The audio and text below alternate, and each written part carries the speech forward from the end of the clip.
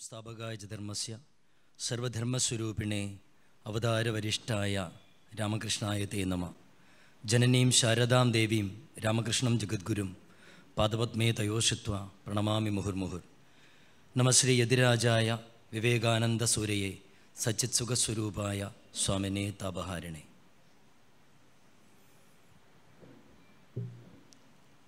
അഖില കേരള ശ്രീരാമകൃഷ്ണ ഭക്തസമ്മേളനത്തിന്റെ മൂന്നാം ദിവസമായ ഇന്ന് ശ്രീ ശാരദാദേവി സത്സംഗ് കാലാംശമാണ് ഈ സമയത്ത് നടക്കുന്നത്.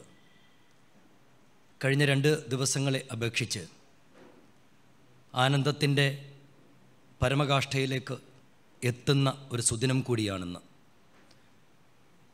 പ്രായഭേദമന്യേ അമ്മയുടെ മക്കളെല്ലാവരും ആ മടിത്തട്ടിൽ ആ ലാളനകളേറ്റ് ചെലവഴിക്കുന്ന ദിവസമാണിന്ന്. അതുകൊണ്ട് ഇന്ന് ഇവിടെ ഇരിക്കുന്ന നമ്മളെല്ലാം കുട്ടികളാണ് അമ്മയുടെ മക്കളാണ്. ആ ലാളിത്യത്തിൽ ആ ലാഘവത്തിൽ നമുക്ക് ഇന്നത്തെ ഈ ദിവസത്തെ കടന്ന് പോകേണ്ടതുണ്ട്.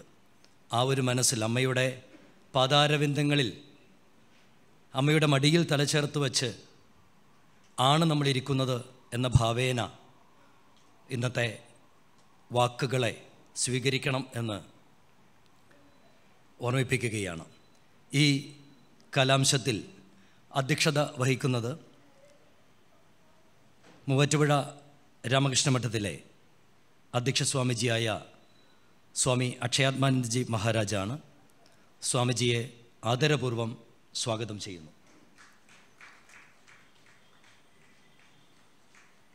Holy mother personification of spirituality എന്ന ആശയത്തെ അടിസ്ഥാനപ്പെടുത്തി നമ്മോട് അമ്മയുടെ ജീവിതം പങ്കുവയ്ക്കുന്നത്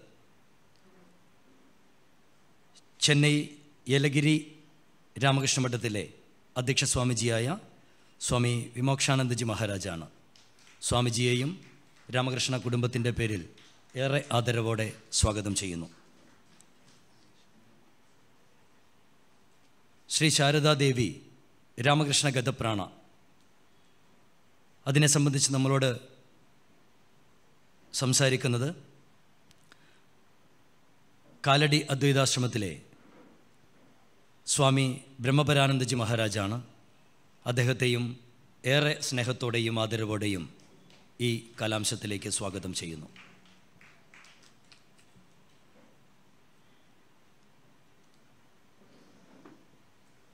കൊച്ചി ആശ്രമത്തിന് ഏറെ സന്തോഷം നൽകിക്കൊണ്ട്. ഇതൊന്നും സന്തോഷമല്ല എന്നല്ല പക്ഷേ ചില സ്വകാര്യ സന്തോഷങ്ങൾ കൂടി ഉണ്ടാവുമല്ലോ. നമ്മുടെ അധ്യക്ഷ സ്വാമിജിയായിരുന്ന ഭദ്രേശാനന്ദജി മഹാരാജ് റെക്കോർഡ് വീഡിയോയിലൂടെ Shri Sarada Devi the universal motherhood എന്ന ആശയത്തിലും നമ്മോടൊപ്പം സമയം പങ്കുവയ്ക്കുന്നു. ഭദ്രേശാനന്ദജി മഹാരാജിനെയും ഏറെ സ്നേഹത്തോടെ സ്വാഗതം ചെയ്യുന്നു. ആദ്യം സൂചിപ്പിച്ചതുപോലെ അമ്മയുടെ മക്കളായി കളിച്ചിരികളുമായി ഏറെ സന്തോഷത്തോടെ നിറഞ്ഞ മനസ്സോടെ നമുക്ക് ഈ വാക്കുകളെ ശ്രവിക്കാം. നന്ദി ജയരാമകൃഷ്ണ. ഓം ജനനീം ശാരദാം ദേവീം രാമകൃഷ്ണം ജഗദ്ഗുരും പാദപത്മേ തയോ ശ്രുവാ പ്രണമാമി മുഹുർമുഹൂ. അമ്മയായ ശ്രീ ശാരദാദേവിയെയും ജഗദ്ഗുരുവായ ശ്രീരാമകൃഷ്ണദേവന്റെയും പാദപത്മങ്ങളിൽ വീണ്ടും വീണ്ടും ഞാൻ നമസ്കരിക്കുന്നു. വേദിയിലിരിക്കുന്ന ശ്രീമദ് സ്വാമി വിമോക്ഷാനന്ദ സ്വാമിജിക്ക് എന്റെ പ്രത്യേക നമസ്കാരം. അപ്പു മഹാരാജിന്. അദ്ദേഹത്തിന്റെ പേര് സന്യാസ പേര് ഇവിടെ വന്നു. എന്നോട് ഒന്ന് രണ്ട് പേര് ചോദിച്ചു. ഇപ്പോഴും ഞാൻ മറന്നു. ഇപ്പോൾ പറയുകയും ചെയ്തു. അദ്ദേഹം ബ്രഹ്മ ബ്രഹ്മപരാനന്ദ സ്വാമിജിക്കും എന്റെ പ്രത്യേക നമസ്കാരം. സദസ്സിലിരിക്കുന്ന എല്ലാവർക്കും എന്റെ നമസ്കാരം. വിവേകാനന്ദ സ്വാമികൾ പറഞ്ഞു എന്റെ ചേച്ചിക്കും പ്രത്യേക ഒരു നമസ്കാരം. വിവേകാനന്ദ സ്വാമികൾ പറഞ്ഞു ഈ ഭൂമിയിലുള്ള സ്ത്രീ പുരുഷന്മാരിൽ പത്ത് ലക്ഷത്തിൽ ഒരു ഭാഗം സ്വസ്ഥമായിരുന്ന് അല്ലയോ ജനങ്ങളെ അല്ലയോ മൃഗങ്ങളെ അല്ലയോ ജീവജാലങ്ങളെ നിങ്ങളെല്ലാവരും ഒരേ പരമേശ്വരന്റെ നാനാരൂപങ്ങളാകുന്നു എന്ന ശശ്രദ്ധം അല്പനിമിഷ നേരം പറയുന്നതായാൽ ഈ ലോകത്തിന്റെ സ്വഭാവം ആകെ മാറും.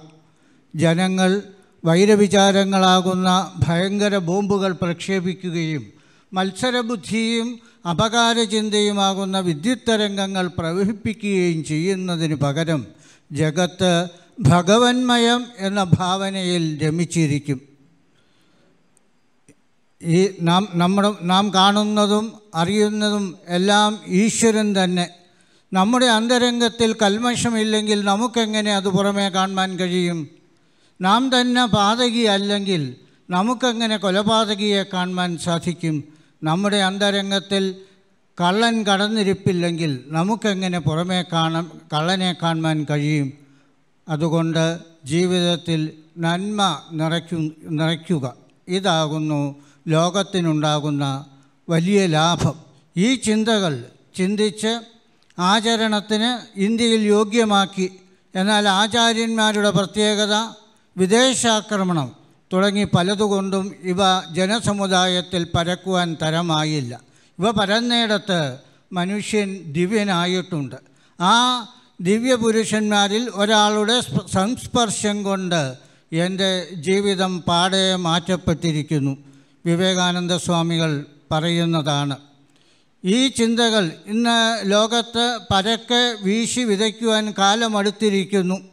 ഇവ പണ്ഡിതന്റെയും പാമരന്റെയും എല്ലാവരുടെയും ശിശുവിന്റെയും സ്ത്രീ പുരുഷ സ്ത്രീയുടെയും പുരുഷന്റെയും പൊതു സ്വത്തായി തീരുകയും ചെയ്യണം.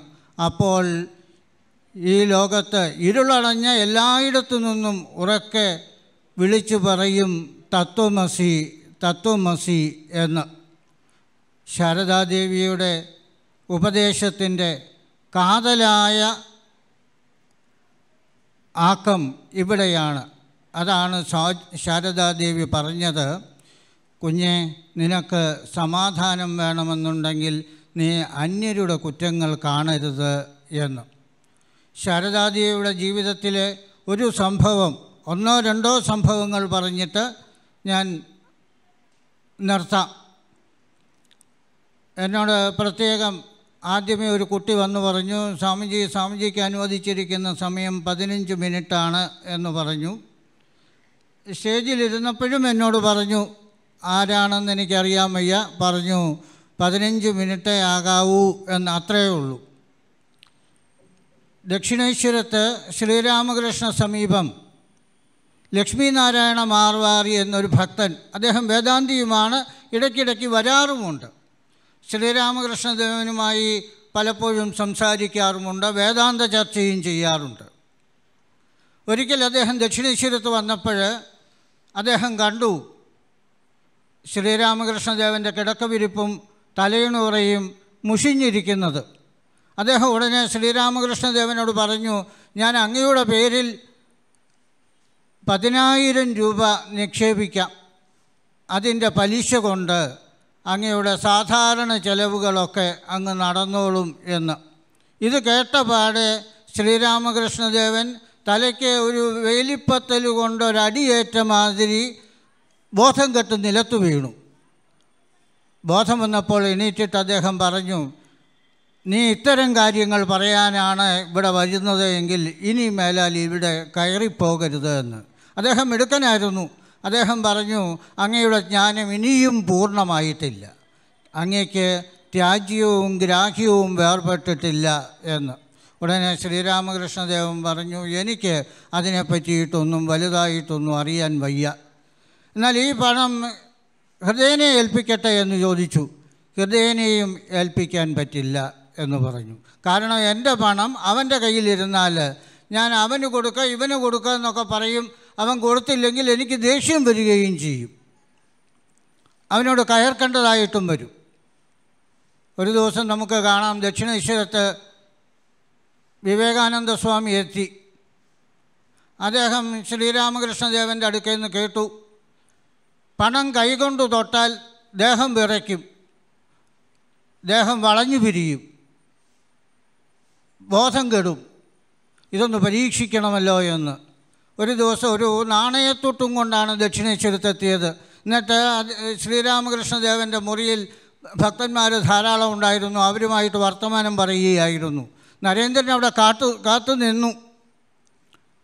ഇടയ്ക്ക് എല്ലാവരും ഒന്ന് ശ്രീരാമകൃഷ്ണദേവൻ വെളിയിലിറങ്ങി ബാക്കി ഭക്തന്മാരും അങ്ങോട്ട് പുറമോട്ട് പുറകേക്ക് ഇറങ്ങി പുറമേക്ക് ഇറങ്ങിയപ്പോൾ നരേന്ദ്രൻ അകത്ത് കടന്നു. എന്നിട്ട് ഈ കൊണ്ടുവന്നിരുന്ന നാണയത്തൊട്ട് ആരും അറിയില്ല കിടക്കയ്ക്കരികിൽ ഒളിപ്പിച്ചു വെച്ചു. ആരും കണ്ടില്ലല്ലോ എന്ന് തിരിഞ്ഞു നോക്കുകയും ചെയ്തു. ആരും കണ്ടിട്ടുമില്ല ആരുമില്ല.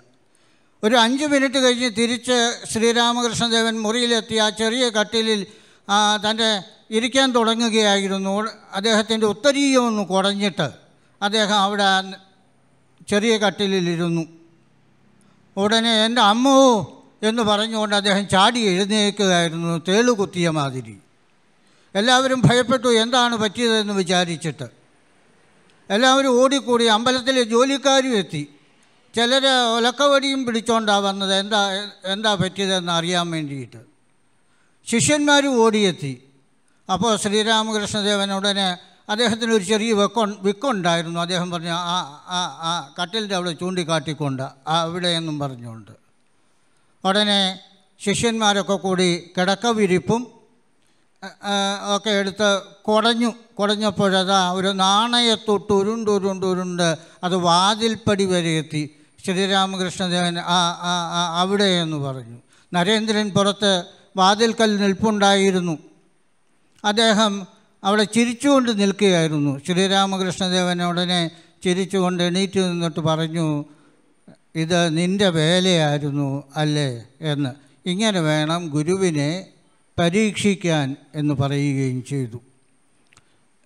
എന്തായാലും ആ ലക്ഷ്മിനാരായണ മാർവാറി കൊണ്ടുവന്ന പണം ഹൃദയനെ ഏൽപ്പിക്കാൻ സമ്മതിച്ചില്ല. ഉടനെ അദ്ദേഹം നഹബത്തിലേക്ക് പോയി. ശാരദാദേവി അവിടെ ഉണ്ടായിരുന്നു. ഉടനെ ശാരദാദേവിയുടെ കയ്യിൽ കൊടുക്കാൻ വേണ്ടിയിട്ട് തുടങ്ങി. ഉടനെ ശാരദാദേവി ചോദിച്ചു അദ്ദേഹം എന്തു പറഞ്ഞു എന്ന്? അപ്പോൾ പറഞ്ഞു അദ്ദേഹം സ്വീകരിക്കാൻ കൂട്ടാക്കിയില്ല എന്ന്.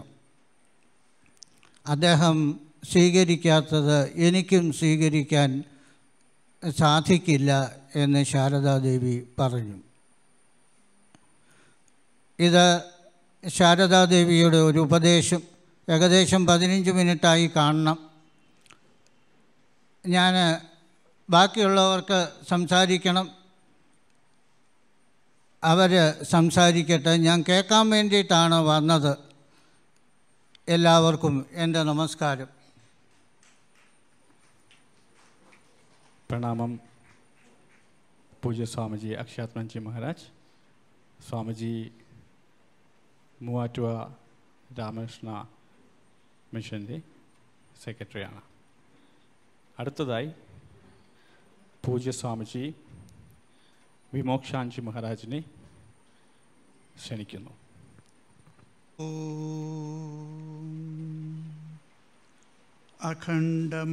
അഖണ്ഡമണ്ഡലാകാരം വ്യാപ്തം യേന ചരാചരം തത്പദം ദർശിതം യേന തസ്മൈ ശ്രീഗുരവേ നമ ഹരി ഓം നമോ ഭഗവത്തെ ശ്രീരാമകൃഷ്ണായ Very good morning to every one of you. I'm so pleased to be with all of you on the first session of this third day of the All Kerala Bhav Prachar Parishad function. How beautifully the function has been organized. I am seeing sitting here for the last three days. the function started on a very holy, auspicious day, on 10th. It was the Ganga Puja day, the day that Mother Ganga came and touched the earth from the Shira, from the head of Lord Shiva. So 10th was the Ganga Puja day, Dashami. And then on that day, we had such a wonderful, blissful atmosphere of the presence of our Vice President Maharaji also. Swami Gautamaniji was here. His very presence elevated the atmosphere here very much. So we all enjoyed the spiritual company of our Vice President Maharaj.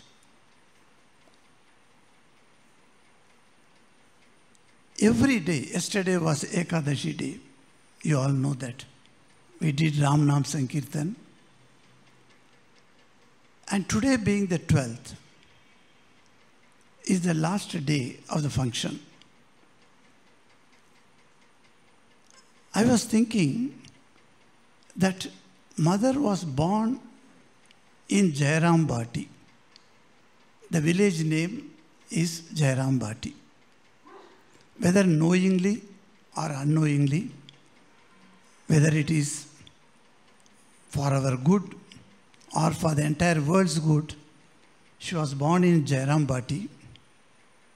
There is a beautiful Bengali song in uh, most of our centers we sing. Vaikunta theke loki elo. The Mahalakshmi from Vaikunta came down to Jairam Bhati. It's a very beautiful song. And this Loki is none other than Mother Sita. And Sita and Ram cannot be separated. As Sri Ramakrishna says, Brahman and Shakti cannot be separated. They are one and the same. If there is a milk, the whiteness of the milk cannot be taken out. If there is a diamond, the dazzling power of the diamond cannot be taken out. So, is the paper for me? What is it?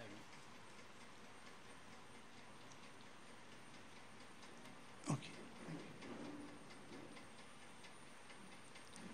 So now you see this Brahman and Shakti, if they cannot be separated, and if that Brahman, as we say, Shuddha Brahma Parat Pararam, Ram was not a mere son of King Dasharatha. He was himself a Shuddha Brahman. And only the sixth line you get Kaushalya and Dasharatha, etc. In Ramnam, you all know that. That Shuddha Brahman, when he takes an avatar, what happens to the Shakti that is with him, which is inseparable? So that Shakti also comes down to the earth in a female form. And that is what we found when Sri Ram came, his Shakti came as Mother Sita. When Sri Krishna came, his Shakti came as Rukmini. When the same power, the Shuddha Brahman, came as Sri Ramakrishna, his power came as Holy Mother Sri Sharada. And she was born in Jairam Bhati, where Jairam, the Ram's name is there. So I am thinking in my mind that Sita and Mother Sarada are also connected. If Ramakrishna and Ram was connected, in the same way, Sita and Mother Sarada also connected. This, there is a beautiful instance that happened in Rameshwaram. You all know Rameshwaram in the south, in Tamil Nadu. Most of us visit Rameshwaram, Shiva Bhaktas. We all go to Rameshwaram. I also went to Rameshwaram and uh, saw that place. And in Rameshwaram, that place itself is beautiful, no? Ramasya Ishwara and his upasana. That Ishwara's upasana is done by Sri Ram himself. That's why the place got the name Rameshwaram. In Rameshwaram, the Puranic story says that when Rama came from Lanka, taking Mother Sita, and with Lakshmana and Hanuman, they are all there, and they reached the place. And that place, from there, the plane is going to come, and which is going to fly them off to Ayodhya. At that moment, one Rakshas comes. Rakshas means it's a Brahma Rakshasa. Brahma Rakshasa doesn't have a body, he has got only a light form. So he comes and threatens Rama. Rama, I want to eat you now. And Brahma Rakshas can eat any human. So Rama was, had a human body. So Brahma Rakshas can eat him. When Brahma Rakshas says, I want to eat you, then all the people surrounded by Rama, they got alarmed. They said, What? After so long, Mother Sita was being taken out from Lanka and she is standing there. And the Brahma Rakshas says, I will eat you. Only 15 minutes are there. Within that time, after that, I will eat you. He gives a warning.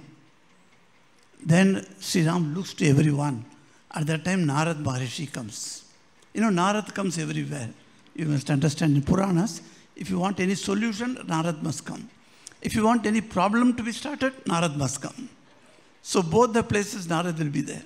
So Narad comes. Then Sri Ram looks at Sri Narad and said, Any solution? That's what he looked at him. And Narad said, Yes.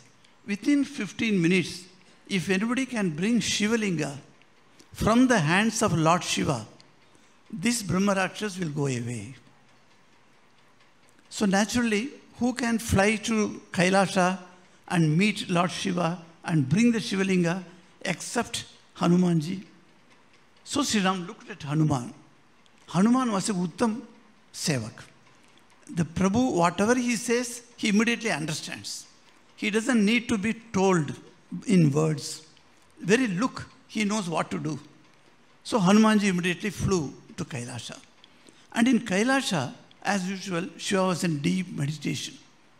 He goes and touches his feet. Shiva does not look. He doesn't open his eyes. And here time is past. Five minutes gone, six minutes gone, ten minutes gone. In one minute he can fly, but then time is passing. So Hanumanji pressed she was like forcefully. You know, Hanuman's bala, you know, that bala cannot be described. Tulsidas says that uh, Atula, Atula Balam, he says, Hanuman had Atula Balam. It cannot be compared with anything. So when he pressed Shiva's feet, Shiva opened his eyes. He asked, Hanuman, what do you want? I said, I want a Shivalinga from your hand. Take one. Why one? I'll give you two. So he gave two Shivalingas to him in two hands. And Hanuman flew. But here, in the place where Sri Ram was standing and the Brahma Rakshas was standing, there another story was happening.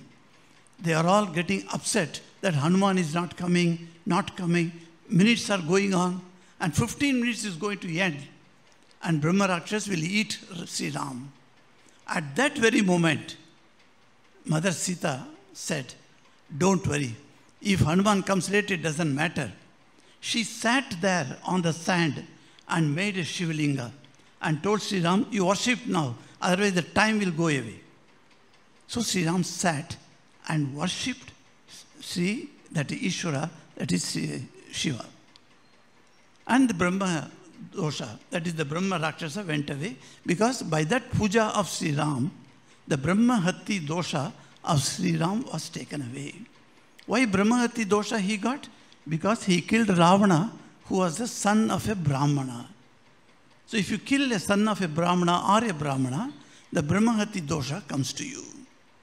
So that dosha now is gone, Ram is free. Sita was very happy that her husband is now free from any dosha. Now they all can go to Ayodhya. At that time, Hanuman comes with two Shivalingas. Now Hanuman got upset. What is this? The story, of course, goes uh, long, but I am not going to take you all the story. Here I will stop. If you want, you go to Google and find out the rest of the story. And it's a very interesting story. And after that, I'm stopping here because Sita made the Shivalinga in Rameshwaram.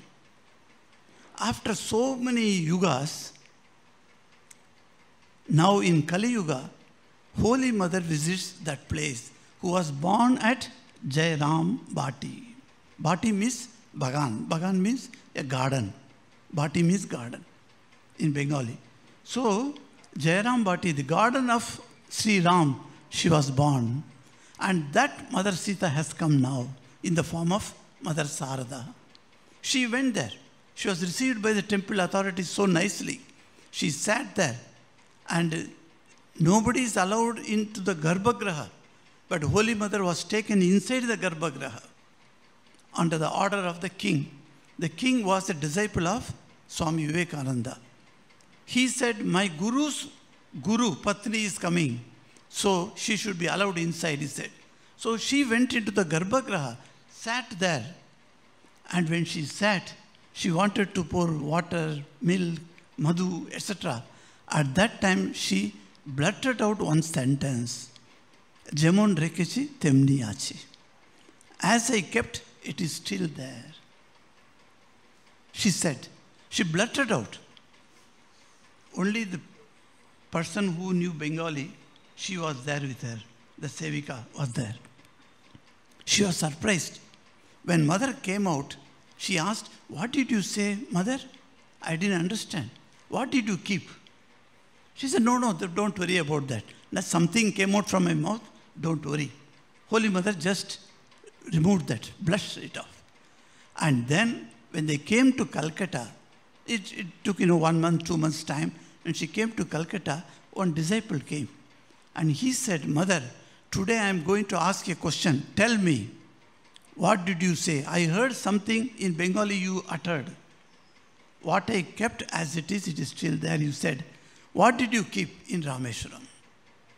Then mother agreed with him, Yes. As Sita, I kept the Shivalinga, it is still there. How beautiful connection between her birthplace and Ram's story that we read in Puranas. So this mother is none other than Mother Sita. If he who was born as Sri Ram, he who was born as Sri Krishna, can come in this Kalikal as Sri Ramakrishna, cannot the Shakti also come with him? And that is what happened. He, she who was Sita, she who was Rukmini, is now at this time as Mother Sarada. This is the spirituality of the deity that we are speaking. That Holy Mother was just like an ordinary woman like us, like we see everywhere in our families. She wore saris in the same way as any other Bengali woman wore. And she did all things that any human in a family, a human lady would do. Everything she did. But she was extraordinarily brilliant. And that brilliance comes due to her being the Shakti of Brahman, Shuddha Brahman, who has come as Ramakrishna. That's why the spirituality of Mother Sarada was not an acquired one, mind you, like any other person. Even Sri Ramakrishna did so much of tapasya and he had realization. So we speak about as a sadhaka, Sri Ramakrishna as a sadhaka, Sri Ramakrishna as a siddha. We speak all these things as if Ramakrishna had to do lot of tapasya. But nothing. In three days, what he could attain, Totapari had to struggle for three years. Mind you, so much of easily that he could acquire because these are all his birthright. Every siddhi that Sri Ramakrishna attained was already with him because he was the Ishvara. That's why the spirituality of Ramakrishna and Mother Sarada and Swami Vivekananda cannot be compared to our spirituality because we struggle, we gain. For them, no struggle, it is already there. So I want to tell you how Holy Mother's spirituality was not of the ordinary type. That's why the title given to me, it says that spirituality personified Holy Mother. If the spirituality, the word, if you can imagine a form, and that form should be Holy Mother. That is the meaning of that type, topic. As you know, in Prakritim Paramam also we say about Holy Mother, how beautifully Abhedananji, has said, so the Pavitrata Swarupinyai, he says, if Pavitrata can be given a form, a, a figure, and that figure is Holy Mother Sarada Devi. And this Pavitrata was associated with Mother Sita also. And is this the only thing that she expressed her divinity, her spirituality? No. Many other instances also are there. When you read Swami Gambhirananji's authentic life of Holy Mother, Sri Sarada Devi, the Holy Mother, by Swami Gambhiranandaji. It is in English, it is there. His own Bengali book he translated into English. He himself translated into English. It's a very beautiful English. I do not know whether it has been translated into Malayalam. Is it translated? Holy Mother's Life by Gambhirananda Maharaj. If it is there, please purchase and, and see it. Every chapter he begins with a philosophical question and answers. That is the beauty of that book. It's not a mere story of Holy Mother. He, in the first introduction itself, he says how the Brahma Shakti has come in the form of Holy Mother Sarada Devi. Unless we keep in mind that Holy Mother is Brahma Shakti, you will not be able to understand her even smallest of the small, that ordinary work that she did. She was very compassionate. She was very kind to everyone. Even she says, You are my son. How can you allow to take the leaf? You have eaten, now get up. I will remove the leaf. So she runs to him and takes the leaf herself and cleans the place. Because you are my son. Is not Jagadamba, we are all sons of Jagadamba? Are we different from her? We are all born, the whole entire universe has come from her. Srishti Sthiti Vinashanam Shakti Bhute Sanatani. She is eternal, Sanatani, and Shakti Bhuta, full of power. And the Srishti Sthiti Vinashanam she does. So we are all children of that Divine Mother. Unless we keep that in mind, we will not be able to appreciate. Otherwise, every mother can do that for her son. Okay, you finish, you, you take food and then wash your hands. I will remove your plate. Every mother does. But here, you must understand what made Holy Mother to do that particular ordinary work. Even in ordinary work, you find a spirituality brimming with, and it comes out, manifests. Another time, Holy Mother went to Bankuda. Bankuda is a district town in West Bengal. It's a small town. And she went and stayed in one devotee's house. And the devotee was, took all the care of Holy Mother. And Holy Mother had a, many disciples, you know, many monks got initiation from Holy Mother. These were all monks who later got initiation or when they were young boys, they came to Holy Mother and were initiated by Holy Mother. One such boy was there. He came to her at the age of 10 or 11 and then he got initiated by Holy Mother. So Holy Mother used to love this boy and keep with her. So wherever she would go, he would take this boy. In the meantime, the boy became little younger, 16, 18 year old. He joined the Ramakrishna mission. He became a monk also. His name was Hari Premananda. This Hari Premananda used to accompany Holy Mother wherever she would go on tour. So once she went to Bankuda, this Hari Premananda also was there. His duty was, after Holy Mother taking her bath and taking food, she would come and sit on a chair. She was already very old. She passed away in 1920.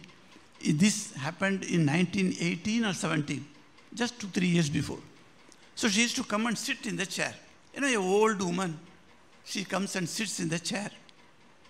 And Hari Premananda will come there. And he would take uh, oil and massage her feet. That was his duty. So one day, while massaging the feet, he saw the feet, and while massaging the feet, he felt something peculiar idea came to him.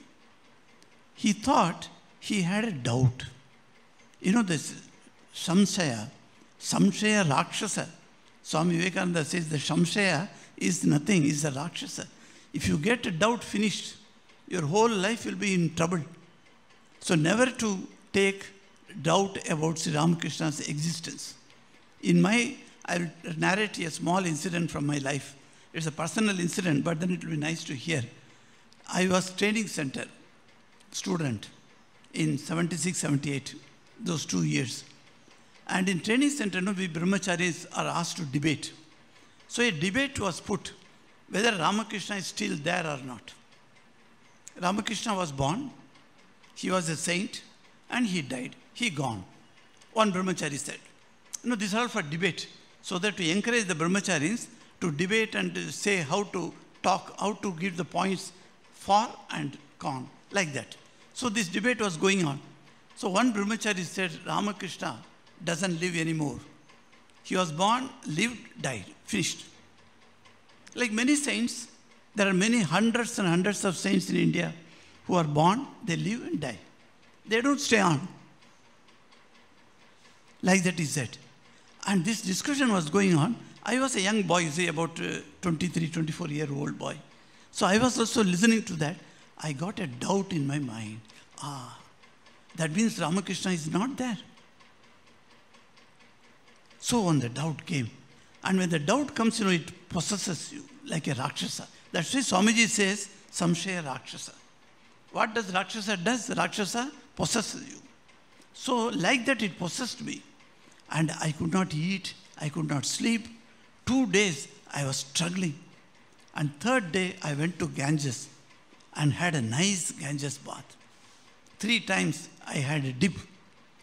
And my mind became very quiet and down. I thought I have become very calm and quiet now. Because Ganges is like that. Even if you can't get a Ganges bath, you can keep Ganges bottle in your home. Take little.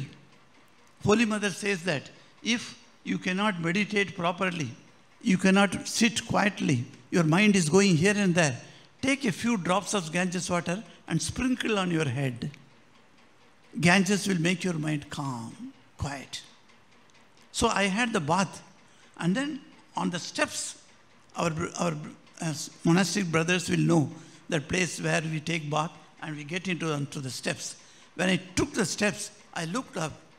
On the balcony, my Gurudev was standing there, putting his hands, he's looking at me. I was surprised. My Gurudev was Swami Nirvanananji Maharaj. He was there, standing. Then I thought, why I am struggling last two days with this doubt?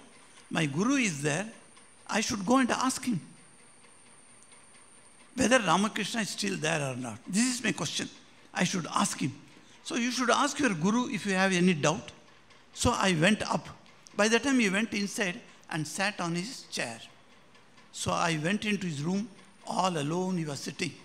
No sevak was there. I made sashtang pranam to him and then got up. He kept his hand on my shoulder and slowly, he was, age was already 86. So he was slowly getting up. So I gave him a support, you know, shoulder support. He kept his hand, slowly got up and started walking. Absolute pin drop silence. And he walked slowly, step by step. And I am also supporting him. I am walking with him. And went to that tall window in his room. And he stood there. I am standing next to him. He said, in Bengali, he asked me, Hey, ki dekchish ekane? He asked me, What do you see here? Then I said, Maharaj, I also replied to him in Bengali, I see Thakur's sleeping room, Shayan Ghar. It is called Shayan Ghar. The sleeping room I am seeing, where Thakur is night, you know, after the puja, night when the temple is closed, you send Sri Ramakrishna, Oh Lord, now please go for peaceful sleep. You say, send him off. And upstairs, if you go by the steps upstairs, there there is a room where Sri Ramakrishna's bed is there. And a glass of water is also kept. In the night, suppose he gets up. He requires water. Water also is kept there. So that room he goes away. That is our belief. Now, I told him, I see Sri Ramakrishna's sleeping room. Then he looked at me, he said, Look, every day at four o'clock I come here and stand. I look at this room. Sri Ramakrishna gets up from the bed. He travels, he walks down through the stairs and goes and merges himself into that big marble statue down. My doubt was cleared. I wanted to ask him, is Ramakrishna living? He said he sees every day. My guru sees every day, that means he's still there. So once the doubt is gone, that doubt never came back to me. Otherwise, if the doubt continued, what would have happened to my life? I don't know. But you see, the doubt is called that Samshaya Rakshasa. This type of doubt came into the mind of Hari Premananda. I was telling, taking you to the sto- mother story in Bankuda. So he was massaging her feet and he found almost no flesh is there. It was like a skeleton. Because old age, old age, a woman will not be like a youthful woman. So her, her our feet was all, you know, everything was visible. And he was touching the feet and he felt it's like yeah, he's touching a bone. And the doubt came into his mind is she Jagadamba? Is she Jagadatri? Her feet is all bones. You see the Jagadadri photo, Jagadadri picture, a Durga's picture, how youthful the deities are given. Lakshmi's photo you see, Lakshmi's picture, Saraswati's picture. All the deities you find, they are all described in a youthful form. Lalita Tripura Sundari, if you see the description given by Shankaracharya, you'll be stunned. The way he speaks in Saundarya Lahiri, all beauty. And here, no beauty, only the skeleton. So the doubt came to him is she Jagadamba? And he was massaging anyway. Every day he massages. But never this doubt came. But on that day, the doubt came to him what he will do. Anyway, the doubt is there, and he is looking down below and he's doing massage, massage. Suddenly, he thought, let me look at Holy Mother. And suddenly, he closed his eyes at the time. Suddenly, when he was massaging, the foot was not like the skeleton foot. Suddenly, the foot developed some flesh, like a young woman's, yeah, adult young woman's foot. It became fleshy. And then it had some ornaments. Because Holy Mother was not wearing any ornaments. So suddenly some ornaments came into his hand. And then he was surprised. And then he just looked up and she was having the silk sari. What is this? She used to wear a cotton white sari, but this is a grand sari. And slowly he looked upon, and then he raised his eyes slowly from now this side, this level, this level. He was stunned to see Mother Jagadadri sitting in the chair. And that Jagadadri with four hands and the serpent on her shoulder, like Shiva. You know, Jagadadri is another form of Divine Mother Durga. She wears serpent and lot of these uh, uh, diamond necklaces. And she has got a huge crown on her head. And he looks at her. He's stunned at the rupa, the form of Holy Mother. Immediately he goes into samadhi. He became unconscious. And suddenly, after a long time must have passed, he heard somebody is putting her hand on his back. He knew it was Holy Mother's hand. Holy Mother is touching him in the back, patting him. Hari, Hari, Hari, what happened to you? Ki holo tumar? Uto, uto. She's telling him, What happened to you? Get up, get up. And then Hari Maharaj opened his eyes and see the old Holy Mother is sitting there. His known mother. This incident, Hari Premaranji says, made me understand Holy Mother, though she looked like an ordinary woman, you can see in the photos, ordinary woman, but she was spirituality personified. Because she was a spirit. She is not a human body. The moment you consider Sri Ramakrishna, Holy Mother, and Swami Vivekananda as human, you are at the level of religion. The moment you consider these three, Daiva Tirumuvar, in Tamil we say, Daiva Tirumuvar, the divine glory, holy trio, if you consider them as divine, you have come into spirituality. So long you are religious, you will consider them as a human. If you want to go to spirituality, you should make your mind start thinking they are not human, they are spiritual giants. That's how you must be able to think of.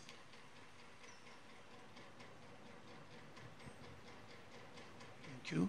So, this is what I wanted to tell you within the time uh, given. You know, Holy Mother spirituality, you all must read. Merely hearing is not enough.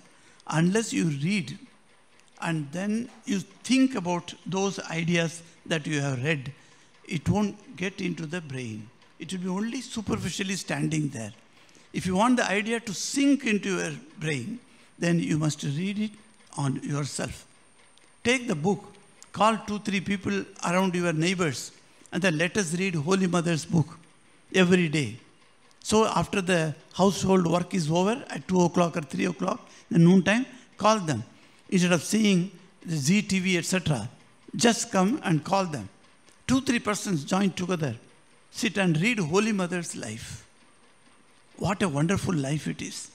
It will transform your mental thinking and you will find everything spiritual in this world. And that is what our goal also to see God within and to see God outside. Yachakinchit jagat sarvam drishyate shruyate piva. Shruyate piva. That also is added. Because everything you cannot see. Drishyate means what is seen. There are many things that you have not seen. So shruyate piva. You may hear. You have not gone to Rameshwaram. I do not know how many of you has gone to Rameshwaram. If you have not gone to Rameshwaram, today you have listened. Shruyate. Yachakinchi jagat sarvam drishyate shruyate piva. So tat sarvam vyapya narayana stitaha. What a beautifully such a ancient our Upanishads, lore that they say. These are all very beautiful sentences, not merely for chanting, to be thought of. Whatever we see in this world, even from the small ant that is passing on to the big Swami here, everyone, in everyone, the same Lord resides. And that is how Holy Mother is present everywhere. Did not Parvati tell Ganesha, I am present in everything? You hurt that cat. Then Ganesha says, When did I hurt? While playing with the cat, your this nail struck cat's face. And today you see, I am hurt here. What a beautiful story. It's a Puranic story. But it shows to us that Mother Parvati is present in every jiva. And that made uh, Ganesha, oh, he will not hurt anybody. So you can understand that how it's so beautifully these things are given to us. Great tradition we have, mind you. And in this place, only with the, so much of tradition, I find we are slowly, slowly forgetting our traditions. So let us think about this great holy trio and imagine in our mind what is their life incidents and go on thinking about that. We shall bless ourselves in this life. May the holy trio bless all of you, is my prayer. Om Shanti Shanti Shanti Hari Om Tat Sat Sri Ramakrishna Arpanavastu. Pranam Maharaj. That was revered Swami Vimokshanji Maharaj, Adhyaksha Ramakrishna Mutt, Yellagari, talking of Holy Mother, personification of spirituality. One announcement if there are anybody who has taken Mantra Diksha from Srimad Swami Atmasthanandaji Maharaj, please meet Puja Swami Narasimhanji Maharaj after the session. Next session is Sri Sharada Devi Ramakrishna Gadaprana by Revered Swamiji Brahma Paranandaji Maharaj.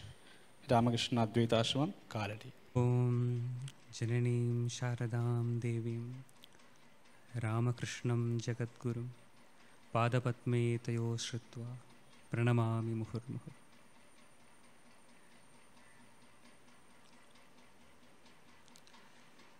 വേദിയിലും സദസ്സിലും ഇരിക്കുന്ന എല്ലാ സന്യാസി വര്യർക്കും മാതാജിമാർക്കും മറ്റെല്ലാ ഭക്തർക്കും എന്റെ പ്രണാമം. ഇന്ന് എനിക്കിവിടെ നൽകിയിരിക്കുന്ന വിഷയം രാമകൃഷ്ണ ഗതപ്രാണ ശാരദാദേവി എന്നുള്ളതാണ്.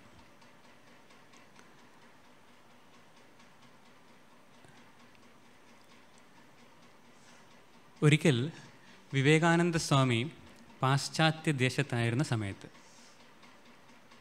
അദ്ദേഹത്തിന് ആതിഥ്യമരുളിയിരുന്ന ഒരു വിദേശ മഹിള ഒരു കാഴ്ച കാണുകയുണ്ടായി. വിവേകാനന്ദ സ്വാമി അദ്ദേഹത്തിന്റെ മുറിയിൽ ഇങ്ങനെ നടക്കുകയാണ്. ആ മുറിയുടെ നടുവിലായി ഒരു കണ്ണാടിയുണ്ട്. നടക്കുന്നതിന്റെ ഇടയിൽ വിവേകാനന്ദ സ്വാമിജി ഈ കണ്ണാടിയുടെ മുന്നിൽ ഇങ്ങനെ വന്നിട്ട് കണ്ണാടിയിലേക്ക് ഇങ്ങനെ സൂക്ഷിച്ചു നോക്കി നിൽക്കുകയാണ് കുറച്ചു നേരം. അതിനുശേഷം വീണ്ടും നടക്കുകയാണ്. വീണ്ടും ഈ കണ്ണാടിയുടെ മുന്നിൽ ഇങ്ങനെ വന്ന് സൂക്ഷിച്ചു നോക്കുന്നു. വീണ്ടും നടക്കുന്നു. ആശ്ചര്യചകിതയായ ഈ മഹിള സ്വാമിജിയോട് ചോദിക്കുകയുണ്ടായി. സ്വാമിജി അങ്ങ് എന്താണ് ഈ ചെയ്യുന്നത്? ഇടയ്ക്കിടയ്ക്ക് എന്തിനാണ് ഇങ്ങനെ കണ്ണാടിയുടെ മുന്നിൽ വന്ന് സൂക്ഷിച്ചു നോക്കുന്നത് എന്ന്. അപ്പോൾ സ്വാമിജി പറഞ്ഞു ഓ അമ്മ ഇത് ശ്രദ്ധിച്ചുവോ? നോക്കൂ എനിക്ക് എന്റെ രൂപം എങ്ങനെയാണ് എന്ന് ഓർത്തെടുക്കുവാൻ സാധിക്കുന്നില്ല എന്ന്. I cannot recollect how I look like എന്റെ രൂപം എങ്ങനെയാണ് എന്ന് എത്ര ചിന്തിച്ചിട്ടും എനിക്ക് ഓർക്കാൻ സാധിക്കുന്നില്ല എന്ന്. ശ്രീരാമകൃഷ്ണദേവന്റെ മറ്റൊരു ശിഷ്യൻ മാനസപുത്രനായിരുന്ന ബ്രഹ്മാനന്ദ സ്വാമിജി. അദ്ദേഹം മഠത്തിന്റെയും മിഷന്റെയും പ്രസിഡന്റ് കൂടിയായിരുന്നു. അതുകൊണ്ട് ഒരുപാട് തന്നെ ഔദ്യോഗികമായ പേപ്പറുകളിൽ അദ്ദേഹത്തിന് ഒപ്പിടേണ്ടതായിട്ടുണ്ടായിരുന്നു. അതുപോലെ വളരെ പ്രാധാന്യമുള്ള ഒരു പേപ്പറിൽ ദിവസങ്ങളായിട്ടും അദ്ദേഹം ഒപ്പിടാതെ ഇങ്ങനെ ഇരിക്കുകയാണ് അപ്പോൾ മറ്റ് സന്യാസിമാർ അദ്ദേഹത്തിന്റെ അടുത്ത് ചെന്നിട്ട് പറഞ്ഞു മഹാരാജ് ദയവ് ചെയ്ത് ഇത് ഒപ്പിട്ട് തരൂ. വളരെ അത്യാവശ്യമാണ് എന്ന്. അദ്ദേഹം ഇങ്ങനെ പേന കയ്യിലെടുത്തിട്ട് ഒപ്പിടാനായിട്ട് ഇങ്ങനെ നിന്നു കുറച്ച് നേരം കഴിഞ്ഞിട്ട് ഒപ്പിടുന്നില്ല. അടുത്ത് നിന്ന സന്യാസിവരിനോട് ചോദിക്കും എന്റെ പേരെന്തായിരുന്നു? അദ്ദേഹം അദ്ദേഹത്തിന്റെ സ്വന്തം പേര് മറന്നുപോയി. നോക്കൂ ശ്രീരാമകൃഷ്ണദേവന്റെ രണ്ട് ശിഷ്യന്മാരാണ്. ഒരാൾ സ്വന്തം പേര് നാമം മറന്നുപോയി. ഒരാൾ സ്വന്തം രൂപം രൂപം മറന്നുപോയി. നാമരൂപാത്മകമാണ് ഈ പ്രപഞ്ചം മുഴുവൻ. മായ എന്ന് പറയുന്നത് തന്നെ നാമരൂപാത്മകമാണ്. ഈ രണ്ട് ശിഷ്യന്മാരും നാമരൂപാത്മകമായ ഈ പ്രപഞ്ചത്തെ താണ്ടിപ്പോയി. ഇതേ വിവേകാനന്ദ സ്വാമി വാഗ്മി വിശ്വത്തെ മുഴുവൻ അമ്പരപ്പിച്ച ഞെട്ടിച്ച മഹാപ്രതിഭ ശാരദാദേവിയെ കാണുവാനായിട്ട് ഉദ്ബോധനയിലേക്ക് ഗംഗയിലൂ നൗകയിലൂടെ പോയിക്കൊണ്ടിരുന്ന സമയത്ത് ഗംഗാജലം വീണ്ടും വീണ്ടും എടുത്ത് കുടിക്കുന്നു. ശരീരമാസകലം തളിക്കുന്നു. വീണ്ടും വീണ്ടും ചെയ്തുകൊണ്ടേയിരിക്കുകയാണ്. അപ്പോൾ അടുത്തിരുന്ന തുര്യാനന്ദ മഹാരാജ് ചോദിക്കുകയാണ് സ്വാമിജി അങ്ങ് എന്താണ് ഈ ചെയ്യുന്നത് എന്ന്? അപ്പോൾ പറയും നോക്കൂ ഞാൻ അമ്മയുടെ അടുത്തേക്ക് പോവുകയാണ്. ഗംഗാജലം ഉപയോഗിച്ച് എന്നുള്ളിലുള്ള സകല പാപങ്ങളെയും ഞാൻ ഇല്ലായ്മ ചെയ്യുകയാണ് എന്ന്. അതേ ബ്രഹ്മാനന്ദ സ്വാമി അമ്മയെ ദൂരെ നിന്ന് കാണുമ്പോൾ തന്നെ ശരീരമാസകലം അദ്ദേഹത്തിന് വിറയ്ക്കാൻ തുടങ്ങും. സാക്ഷാംഗം നമസ്കരിക്കും. അമ്മ കൊടുക്കുന്ന മധുര പലഹാരങ്ങൾ വളരെ സന്തോഷത്തോടെ സ്വീകരിക്കും. അമ്മയുടെ സാന്നിധ്യത്തിൽ വെറും ഒരു കൊച്ചു കുട്ടിയെ പോലെയായി മാറും. എന്തിന് വിവേകാനന്ദ സ്വാമിജിയും ബ്രഹ്മാനന്ദ സ്വാമിജിയും ഒക്കെ നമുക്ക് മറക്കാം. സാക്ഷാൽ യുഗാവതാരമായ ശ്രീരാമകൃഷ്ണൻ. ശ്രീനാരായണ ഗുരു പറഞ്ഞതുപോലെ ആ പൂർണ ബ്രഹ്മത്തിന് ഒരു രൂപം കൊടുക്കാൻ സാധിച്ചാൽ അതേ ശ്രീരാമകൃഷ്ണദേവൻ താൻ അനുഷ്ഠിച്ച സർവ സാധനയുടെയും സർവ തപസ്സിന്റെയും ഫലം.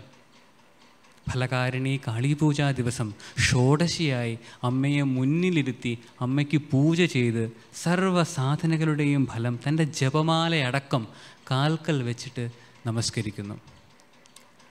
ആരാൽ ഈ യുഗാവതാരത്തിന്റെ പൂജ ഇങ്ങനെ ഏറ്റുവാങ്ങാൻ സാധിക്കും? ആ ജഗദമ്പയ്ക്ക് മാത്രം. ഒരിക്കൽ ഒരു ഭക്ത അമ്മയെ കാണുവാനായി വന്നു. അറിയാമല്ലോ വീട്ടിൽ ഒരുപാട് പ്രശ്നങ്ങൾ. ഇതിൽ നിന്ന് എങ്ങനെയെങ്കിലും ഒരു മോചനം കിട്ടണം ഒരു സമാധാനം വേണമെന്ന് പറഞ്ഞിട്ട് അമ്മയുടെ അടുത്ത് വന്നു. അവിടെ വരുമ്പോൾ കാണുന്ന കാഴ്ച എന്താ? രാധു മാക്കു സുരബാല മറ്റു ബന്ധുബാന്ധവർ ഇവരൊക്കെ തന്നെ നാനാവിധത്തിലുള്ള പ്രശ്നങ്ങൾ ഉണ്ടാക്കിക്കൊണ്ടിരിക്കുക. അമ്മ ഈ പ്രശ്നത്തിന്റെ നടുവിൽ ഇങ്ങനെ എന്ത് ചെയ്യണമെന്നറിയാതെ ഇങ്ങനെ വിഷമിച്ചിരിക്കുകയാണ്. അപ്പോൾ ഭക്ത അമ്മയോട് പറയും അമ്മേ അമ്മയാകെ മഹാമായയിൽ അകപ്പെട്ടിരിക്കുകയാണല്ലോ എന്ന് അപ്പോൾ അമ്മ ഒരു വാക്ക് പറയും കീ കൂർവോ അമി തോ നിജയ മഹാമായ. എന്ത് ചെയ്യാനാ പോലെ ഞാൻ തന്നെയല്ലേ മഹാമായ എന്ന് അമ്മ പറയുന്ന വാക്കാണ് പെട്ടെന്ന് പറയുന്നതാണ് എന്ത് ചെയ്യാനാ ഞാൻ തന്നെയല്ലേ മഹാമായ. നോക്കൂ ഒരു കുട്ടി ഈ ലോകത്ത് ജനിച്ച് വീഴുമ്പോൾ അതിനാകെ അറിയാവുന്ന ഭാഷ കരയുക എന്ന് മാത്രമാണ് വേറൊരു ഭാഷയും അറിയില്ല. കരയാൻ മാത്രമേ അതിനറിയുള്ളൂ. അതിന്റെ എല്ലാ കാര്യങ്ങളും നോക്കുന്നത് എന്റെ അമ്മയാണ്. എന്തിന് ജനിക്കുന്നതിന് മുമ്പ് ഗർഭപാത്രത്തിൽ അതിനെ സംരക്ഷിച്ച് അതിനെ വളർത്തി എല്ലാം ചെയ്യുന്നത് അമ്മയാണ്. ജനിച്ച് വീണതിന് ശേഷമോ പാലൂട്ടി വളർത്തുന്നത് എല്ലാം പഠിപ്പിക്കുന്നത് പിച്ച വെച്ച് നടത്താൻ പഠിപ്പിക്കുന്നത് എല്ലാം അമ്മയാണ്. അതുകൊണ്ട് തന്നെയാണ് മാതാപിതാ ഗുരുദൈവം. വേദങ്ങളിൽ തന്നെ മാതൃദേവോ ഭവ പിതൃദേവോ ആചാര്യദേവോ ഒക്കെ പിന്നീടാണ്. അതുകൊണ്ടാണ് മാതൃഭാഷ മാതാവിനാണ് ഏറ്റവും പ്രാധാന്യം. ഈ കുട്ടി വളർന്നു കഴിഞ്ഞാലോ? അപ്പോഴും ഈ അമ്മ തന്നെ നോക്കണം. രാവിലെ സ്കൂളിൽ പോകാനായിട്ട് വിളിച്ചുണർത്തണം. ഭക്ഷണം പാചകം ചെയ്ത് ടിഫിൻ ബോക്സിനകത്ത് വെച്ച് കൊടുക്കണം. എല്ലാം ചെയ്യുന്നത് അമ്മയാണ്. ഇപ്പോൾ നമ്മൾ കുട്ടികളോട് പറയും നോക്കൂ മാതാവ് ദേവതയ്ക്ക് തുല്യമാണ്. മാതാവിനെ നമസ്കരിക്കുമെന്ന് ആ കുട്ടി ഇങ്ങനെ ശങ്കിച്ച് നിൽക്കും. ഏ അമ്മയെ നമസ്കരിക്കണോ? എന്തിന്? സത്യം പറഞ്ഞാൽ നാം ഓരോരുത്തരും ആ കുട്ടി തന്നെയാണ്. എത്ര അനായാസമാണ് നമ്മൾ ശ്വസിക്കുന്നത് അല്ലേ? നമ്മൾ പറയും ഓട്ടോമാറ്റിക്കായിട്ട് ശ്വസിക്കും. നമ്മൾ ശ്രദ്ധിക്കാറേ ഇല്ല. എന്ത് ശക്തി കൊണ്ടാണ് സാധിക്കുന്നത്? നമ്മൾ കഴിക്കുന്ന ഭക്ഷണം ദഹിക്കുന്നു. ശരീരം വളരുന്നു. ശരീരത്തിൽ രക്തം ഉൽപാദനം നടക്കുന്നു. ഇതൊക്കെ എന്ത് ശക്തിയുടെ ഫലമായിട്ടാണ്. യാ ദേവി യാ ദേവി സർവഭൂതേഷു ചേതനിത്യഭിധീയതേ. സ്മൃതിരൂപേണ സംസ്ഥിത തൃഷ്ണാരൂപേണ സംസ്ഥിത ക്ഷുതാരൂപേണ സംസ്ഥിത സ്മൃതിരൂപേണ സംസ്ഥിത ശക്തിരൂപേണ സംസ്ഥിത. എല്ലാ ശക്തിയും സാക്ഷാല ജഗദമ്പ തന്നെയാണ് ചെയ്യുന്നത്. ഈ പ്രപഞ്ചത്തിന്റെ സൃഷ്ടിസ്ഥിതി എല്ലാത്തിന്റെയും പിന്നിലുള്ള ശക്തി ആ മഹാമായ ജഗദമ്പ തന്നെയാണ്. അമ്മ തന്നെ സ്വയം പറഞ്ഞിട്ടുണ്ട് ഞാൻ തന്നെയാണ് ആദ്യാശക്തി എന്ന് ആ അമ്മയെ നമ്മളെ പരിപാലിക്കുന്നത് മുഴുവൻ ആ അമ്മ തന്നെയാണ്. നമ്മുടെ ശരിയായിട്ടുള്ള അമ്മ ജന്മജന്മാന്തരങ്ങളായിട്ട് നമ്മുടെ അമ്മ എന്ന് പറയുന്നത് ആ ആദ്യാശക്തി തന്നെയാണ്. അമ്മയുടെ അവതാരത്തിന്റെ ഉദ്ദേശം എന്താണ്? ശ്രീരാമകൃഷ്ണദേവന്റെ അവതാരത്തിന്റെ പൂർത്തീകരണം. ശ്രീരാമകൃഷ്ണദേവൻ വിശുദ്ധ സത്വഗുണമുള്ള വ്യക്തിയാണ്. ബാബുരാം മഹാരാജ് പറയുന്നത് പോലെ മനസ്സിൽ കളങ്കമുള്ളൊരു വ്യക്തി അദ്ദേഹത്തെ സ്പർശിക്കുകയാണ് എങ്കിൽ അദ്ദേഹം കരയും. പവിത്രനല്ലാത്ത ഒരു വ്യക്തി ഉണ്ടാക്കിയ ഭക്ഷണം അദ്ദേഹത്തിന് കഴിക്കുവാൻ പോലും സാധിക്കുകയില്ല. അത്രമാത്രം വിശുദ്ധമായ സത്വഗുണമുള്ള ഒരു വ്യക്തി ഈ ലോകത്ത് ജീവിക്കണമെങ്കിൽ അദ്ദേഹത്തെ പരിപാലിക്കാനായി അത്രമാത്രം പവിത്രതയുള്ള വേറൊരു വ്യക്തിത്വം കൂടെ കൂടെ വരണം.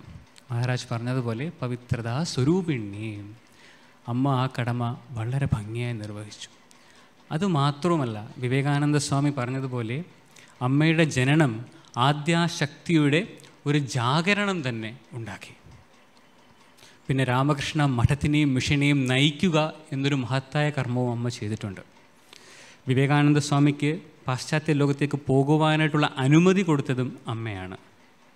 അതുപോലെ തന്നെ വിവേകാനന്ദന്റെ ശിഷ്യർ പ്രത്യേകിച്ച് വിദേശ വനിതകൾ ഇന്ത്യയിലേക്ക് എത്തിയപ്പോൾ അവരെ സ്വന്തം മക്കളെ പോലെ സ്വീകരിച്ചതും അമ്മയാണ്. ദുർഗാപൂജ സമയത്ത് ബലി പാടില്ല എന്ന് എതിർത്തത് കരുണാമയിയായ അമ്മ തന്നെയാണ്. അതുപോലെ തന്നെ കൽക്കട്ടയിൽ പ്ലേഗ് പടർന്നു പന്തലിച്ച സമയത്ത് മഠം വിറ്റിട്ട് ദുരിതാശ്വാസ പ്രവർത്തനങ്ങളിൽ ഏർപ്പെടാൻ മുതിർന്ന വിവേകാനന്ദ സ്വാമിയെ തടഞ്ഞതും അമ്മ തന്നെയാണ്. ഒന്നല്ല ഒരായിരം റിലീഫ് വർക്ക് ആശ്രമം ചെയ്യുമെന്ന് പറഞ്ഞത് അമ്മയാണ്. അതുപോലെ തന്നെ കർമ്മയോഗം ഇത് ശ്രീരാമകൃഷ്ണദേവൻ പറഞ്ഞതല്ല എന്ന് പ്രമുഖരായ പല ഭക്തരും എന്തിനേറെ വചനാമൃതം എഴുതിയ മാസ്റ്റർ മാഷയെ പോലും പറഞ്ഞപ്പോൾ അവരെയൊക്കെ തിരുത്തിയതും അമ്മ തന്നെയാണ്. അതുപോലെ തന്നെ ഒരുപാട് പേർക്ക് മന്ത്രദീക്ഷയും സന്യാസം ഇതൊക്കെ നൽകിയത് അമ്മയാണ്. ഒരു ഐഡിയൽ ഗ്രാ ഗാർഹസ്ഥ ജീവിതം ഗൃഹസ്ഥാശ്രമികൾ എങ്ങനെ ജീവിക്കണമെന്ന് അമ്മ കാട്ടിത്തന്നു. ഒരു ഐഡിയൽ വുമൺഹുഡ് മാതൃത്വം അതമ്മ കാട്ടിത്തന്നു. ഇതെല്ലാം തന്നെ അമ്മയുടെ വലിയ സംഭാവനകളാണ്. നമ്മൾ സീതാദേവിയെപ്പറ്റിയും രാധയെപ്പറ്റിയും സാവിത്രിയെപ്പറ്റിയുമൊക്കെ പറ്റിയും സാവിത്രിയെ പറ്റിയുമൊക്കെ ഇതിഹാസ പുരാണങ്ങളിൽ വായിച്ചിട്ടുണ്ട്. ഒരിക്കൽ കൂടി ഈ യുഗത്തിൽ നമ്മളെ കാട്ടുവാനായി നമ്മളെ പഠിപ്പിക്കുവാനായി അതേ ആദ്യാശക്തി തന്നെ അമ്മയായി ജനിച്ച് നമ്മുടെ മുന്നിൽ വന്നു. നമുക്ക് മാർഗദർശനം ഏകാനായിട്ട് നമുക്ക് വഴി കാണിച്ചു നൽകാനായിട്ട് അമ്മ വരികയുണ്ടായി. അമ്മയുടെ ജീവിതം കുറച്ച് ആഴത്തിൽ നമ്മൾ നോക്കിയാൽ നമുക്കൊരു കാര്യം വ്യക്തമാകും. അമ്മയുടെ ജീവിതത്തിന്റെ സാരഭൂതമെന്ന് പറയുന്നത് അമ്മ രാമകൃഷ്ണ ഗതപ്രാണയാണ് ശരീരം കൊണ്ടും വാക്കുകൊണ്ടും ഇന്ദ്രിയങ്ങൾ കൊണ്ടും മനസ്സുകൊണ്ടും ബുദ്ധി കൊണ്ടും പ്രകൃത്യ സ്വഭാവം കൊണ്ടും അമ്മ രാമകൃഷ്ണ അഭിമുഖയാണ് അമ്മ എന്ത് ചെയ്താലും അത് രാമകൃഷ്ണാഭിമുഖമായിട്ടാണ്. അമ്മ ദക്ഷിണേശ്വരത്തുണ്ടായിരുന്നപ്പോൾ ഭഗവാന് ഭക്ഷണം പാചകം ചെയ്യുക ഭഗവാനെ കുളിപ്പിക്കുക മുതലായ കാര്യങ്ങൾ. അതുപോലെ അമ്മ പറയുമായിരുന്നു ആ സമയത്ത് ഏകദേശം ഒരു ലക്ഷം ഉരു ഞാൻ മന്ത്രം ജപിക്കുമായിരുന്നു എന്ന് ഒരു ലക്ഷം ഒരു മന്ത്രം ജപിക്കുമായിരുന്നു. അത്രമാത്രം. അതുപോലെ തന്നെ ഇന്ദ്രിയ. എല്ലാ ഇന്ദ്രിയങ്ങളും എപ്പോഴും ഭഗവാന്റെ കഥകൾ കേൾക്കുകയും മറ്റുമായിരുന്നു ചെയ്യുന്നത്. അമ്മയ്ക്ക് വേറൊന്നില്ല വേറൊരു ലോകമില്ല. അത് മുഴുവൻ ശ്രീരാമകൃഷ്ണൻ മാത്രമായിരുന്നു. ഇവിടെ പ്രധാനപ്പെട്ട ഒരു കാര്യം ശ്രദ്ധിക്കേണ്ടത്. ശ്രീരാമകൃഷ്ണദേവനെ ഒരു തന്റെ ഭർത്താവായ ഒരു പതിയായിട്ടല്ല അമ്മ കണ്ടിരുന്നത്. അതിന് രണ്ട് ഉദാഹരണങ്ങൾ. ഒരിക്കൽ അമ്മ ഭഗവാന് ഭക്ഷണം കൊടുക്കുന്ന സമയം ഭഗവാൻ ഭക്ഷണം കഴിച്ചുകൊണ്ടിരിക്കുകയാണ്. അമ്മ അടുത്തിരുന്നിങ്ങനെ വിശറിക്കൊണ്ട് വീശിക്കൊണ്ടിരിക്കുകയാണ്. പെട്ടെന്ന് ഈ വീശുന്നത് അമ്മ നിർത്തിയിട്ട് അമ്മ എഴുന്നേറ്റിട്ട് സാഷ്ടാംഗം നമസ്കരിക്കുന്നു ഭഗവാനെ. ഭഗവാൻ പെട്ടെന്ന് ചോദിക്കും ശ്രീരാമകൃഷ്ണദേവൻ പെട്ടെന്ന് ചോദിക്കും ഇതെന്താണ് പെട്ടെന്ന് ഒരു നമസ്കാരം? പതിവില്ലാത്ത നമസ്കാരം? ഇതെന്താണ്? അപ്പോൾ ശാരദാദേവി പറയും അല്ല ഒന്നുമില്ല അങ്ങ് ഭക്ഷണം കഴിക്കൂ എന്ന് പറയും. അപ്പോൾ ഭഗവാൻ പറയും ഇല്ല. ഇപ്പോൾ പ്രണാമം ചെയ്തതിന്റെ കാര്യം പറയാതെ എന്തുകൊണ്ടാണ് നീ പ്രണാമിച്ചതെന്ന് പറയാതെ ഞാൻ ഭക്ഷണം കഴിക്കില്ല. അപ്പോൾ അമ്മ പറഞ്ഞു ഭഗവാൻ അങ്ങ് ഭക്ഷണം കഴിക്കുന്ന സമയത്ത് ഞാൻ കണ്ടു അങ്ങയുടെ കഴുത്തിന് മുകളിലോട്ട് സാക്ഷാൽ കാളീദേവി. അങ്ങ് ഭക്ഷണം കൊണ്ടുപോയി കഴിക്കുന്നു. കാളീദേവിയാണത് സ്വീകരിക്കുന്നത്. സാക്ഷാൽ കിരീടധാരി നീലവർണം ഭക്ഷണം ഞാൻ കണ്ടു പ്രത്യക്ഷമായി കണ്ടു എന്ന്. അപ്പോൾ ശ്രീരാമകൃഷ്ണദേവൻ ചിരിച്ചുകൊണ്ട് പറയും നീ കണ്ടത് ശരിയാണ്. എന്ന് അതുപോലെ തന്നെ ശ്രീരാമകൃഷ്ണദേവന്റെ മഹാസമാധി സമയത്ത് മുകളിലേക്ക് ഓടിക്കേറി വരുന്ന അമ്മ പെട്ടെന്ന് പറയുന്നത് ഓ കാളിദേവി നീ എന്നെ വിട്ടുപോയോ? എന്നാണ്. സാക്ഷാൽ കാളിദേവിയായിട്ടാണ്. സാക്ഷാൽ ഈശ്വരനായിട്ട് തന്നെയാണ് അമ്മ ശ്രീരാമകൃഷ്ണദേവനെ കണ്ടത്. അതുകൊണ്ട് തന്നെ അമ്മയുടെ ഓരോ ചേഷ്ടയും ഓരോ പ്രയത്നവും അമ്മ ഈ രാമകൃഷ്ണ കഥപ്രാണയാണ് ഭഗവത് അഭിമുഖമായിട്ടാണ് അമ്മയുടെ എല്ലാ പ്രവർത്തനങ്ങളും പോകുന്നത്. അമ്മ നമ്മളോട് ഓരോരുത്തരോടുമായി പറയുന്നു ഈ ജഗത്ത് ഈ ലോകം ഭഗവത് സൃഷ്ടിയാണ്. മായയാൽ സൃഷ്ടമാണ്. നാം ഓരോരുത്തരും ഇതിൽ ഭഗവാന്റെ ലീലയിലെ അംഗങ്ങളാണ്. ഈശ്വരൻ നമ്മളെ ഏതവസ്ഥയിൽ ഏത് സ്ഥലത്തിരുത്തിയോ സന്തോഷത്തോടെയും സംതൃപ്തിയോടെയും കൂടെ അവിടെ ഇരിക്കുക. ആരുടെയും കുറ്റങ്ങൾ കാണാതിരിക്കുക. നാം ദുഃഖിക്കുന്നതിന് കാരണം നമ്മുടെ തന്നെ കർമ്മത്തിന്റെ ഫലങ്ങളാണ്. അതുകൊണ്ട് തന്നെ ആരിലും ഒരു കുറ്റവും കാണാതിരിക്കുക. ആർക്കും ദുഃഖമുണ്ടാകുന്നതിന് കാരണക്കാരാകാതിരിക്കുക. സദാ സർവദാ ഭഗവത് നാമം ജപിക്കുക. പൂർണ ഭക്തിയോടെ പൂർണ ശ്രദ്ധയോടെ പൂർണ വിശ്വാസത്തോടെ ഭഗവാനെ സ്മരിക്കുക. ഇത് മാത്രമാണ് ഭഗവത് സാക്ഷാത്കാരത്തിനുള്ള ഏക ഉപായമെന്ന്. ശ്രീരാമകൃഷ്ണ ഗതപ്രാണ ഇത് ഏറ്റവും വ്യക്തമായി കാണാൻ സാധിക്കുന്നത് അമ്മയുടെ വൃന്ദാവൻ പര്യടനത്തിന്റെ സമയത്താണ്. അപ്പോൾ യോഗാനന്ദ്ജി മഹാരാജ് അദ്ദേഹത്തിനെ അനുഗമിച്ചിരുന്നു. യോഗാനന്ദ്ജി പറയുകയുണ്ടായി ആ വിരഹ സമയത്ത് അമ്മ സാക്ഷാൽ രാധാറാണിയെ പോലെ തന്നെയായിരുന്നു എന്ന്. ഒരു വ്യത്യാസവും ഉണ്ടായിരുന്നില്ല. ആ സമയത്ത് അമ്മ കൂടെ കൂടെ സമാധി അവസ്ഥയിൽ പോകുമായിരുന്നു. അമ്മയുടെ മനസ്സ് വളരെ ഉച്ചമായ ഒരവസ്ഥയിലായിരുന്നു ആ സമയത്ത് ഞാൻ പല ബുദ്ധിമുട്ടുള്ള പ്രശ്നങ്ങളും അമ്മയോട് ചോദിച്ചിട്ടുണ്ട്. അപ്പോഴൊക്കെ അമ്മ ശ്രീരാമകൃഷ്ണദേവൻ എങ്ങനെയാണോ വളരെ സുന്ദരമായ ലളിതമായ ഉദാഹരണങ്ങളിലൂടെ വിവരിച്ചിരുന്നത് അതേപോലെ തന്നെ അമ്മയും വിവരിക്കുമായിരുന്നു. പലപ്പോഴും തോന്നിയിട്ടുണ്ട് ഇത് സാക്ഷാൽ ശ്രീരാമകൃഷ്ണദേവൻ തന്നെയാണ് മുന്നിലിരിക്കുന്നത് എന്ന്. ശാരദാദേവി അല്ല സാക്ഷാൽ ശ്രീരാമകൃഷ്ണദേവൻ തന്നെയാണ്. രാമകൃഷ്ണ കഥപ്രാണ തന്നാമ ശ്രവണപ്രിയ തദ്ഭാവ രഞ്ജിതാകാര. ഇത് യോഗാനന്ദ സ്വാമി യോഗാനന്ദ സ്വാമികൾക്ക് അവിടെ വെച്ചാണ് അമ്മ മന്ത്രദീക്ഷയും കൊടുക്കുന്നത്. ആദ്യത്തെ ശിഷ്യനാണ്. അദ്ദേഹം പറഞ്ഞതാണ് ഈ വാക്കുകൾ.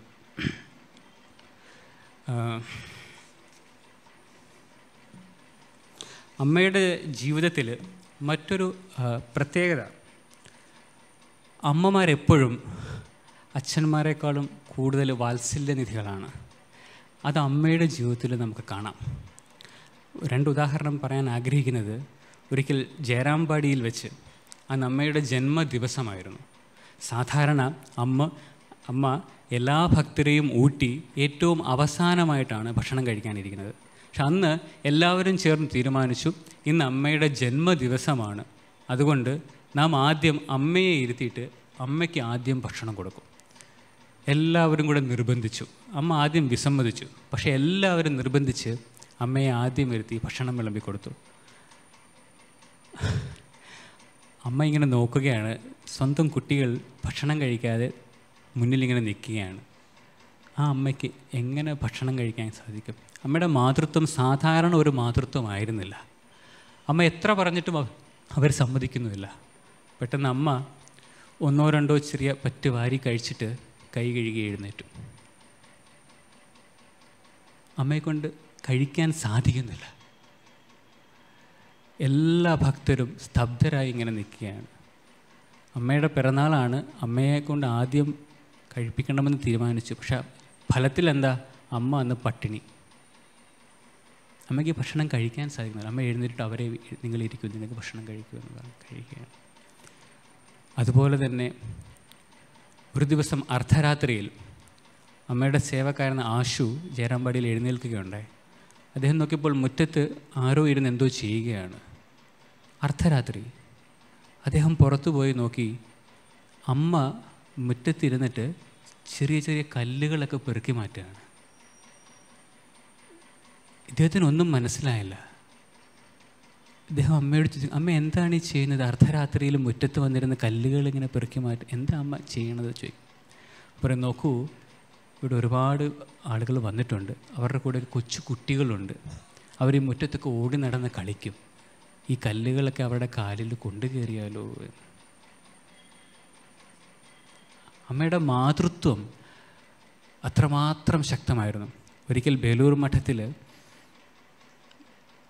വളരെ സീനിയറായിട്ടുള്ളൊരു സ്വാമി ആരോഗ്യഭവനിൽ എന്നോട് പറയുകയുണ്ടായി നോക്കൂ അമ്മയോട് കരഞ്ഞു പ്രാർത്ഥിക്കുക എന്ന്. കാരണം നാം എപ്പോഴും ഇരിക്കുന്നത് അമ്മയുടെ മടിയിലാണ്. നമുക്ക് രണ്ടും മടിയുണ്ട്. ഒന്നെങ്കിൽ വിദ്യാമായ അല്ലെങ്കിൽ അവിദ്യാമായ. ഒന്നുകിൽ നമ്മൾ വിദ്യാമായയിലാണ് ഇരിക്കുന്നത് അല്ലെങ്കിൽ അവിദ്യാമായയിലാണ് ഇരിക്കുന്നത്. വിദ്യാമായ എന്നാൽ നമ്മൾ ഈശ്വര അഭിമുഖമായി കൊണ്ടുപോകും. വിവേക വൈരാഗ്യം ഭക്തി ജ്ഞാനം സത്സംഗം സാധുസംഗം ഇതൊക്കെ നമുക്ക് കിട്ടും. മറ്റൊന്ന് അവിദ്യാമായ. ഇതിന് നേരെ വിപരീതമാണ്. മായയിൽ നമ്മളെ ആകെ അകപ്പെടുത്തി കളയും. അഹങ്കാരം. എല്ലാം നമുക്ക് നൽകും. പക്ഷെ നാം ഇരിക്കുന്നത് അമ്മയുടെ മടിയിൽ തന്നെയാണ്. അതുകൊണ്ട് കരഞ്ഞ് അമ്മയോട് പ്രാർത്ഥിക്കൂ.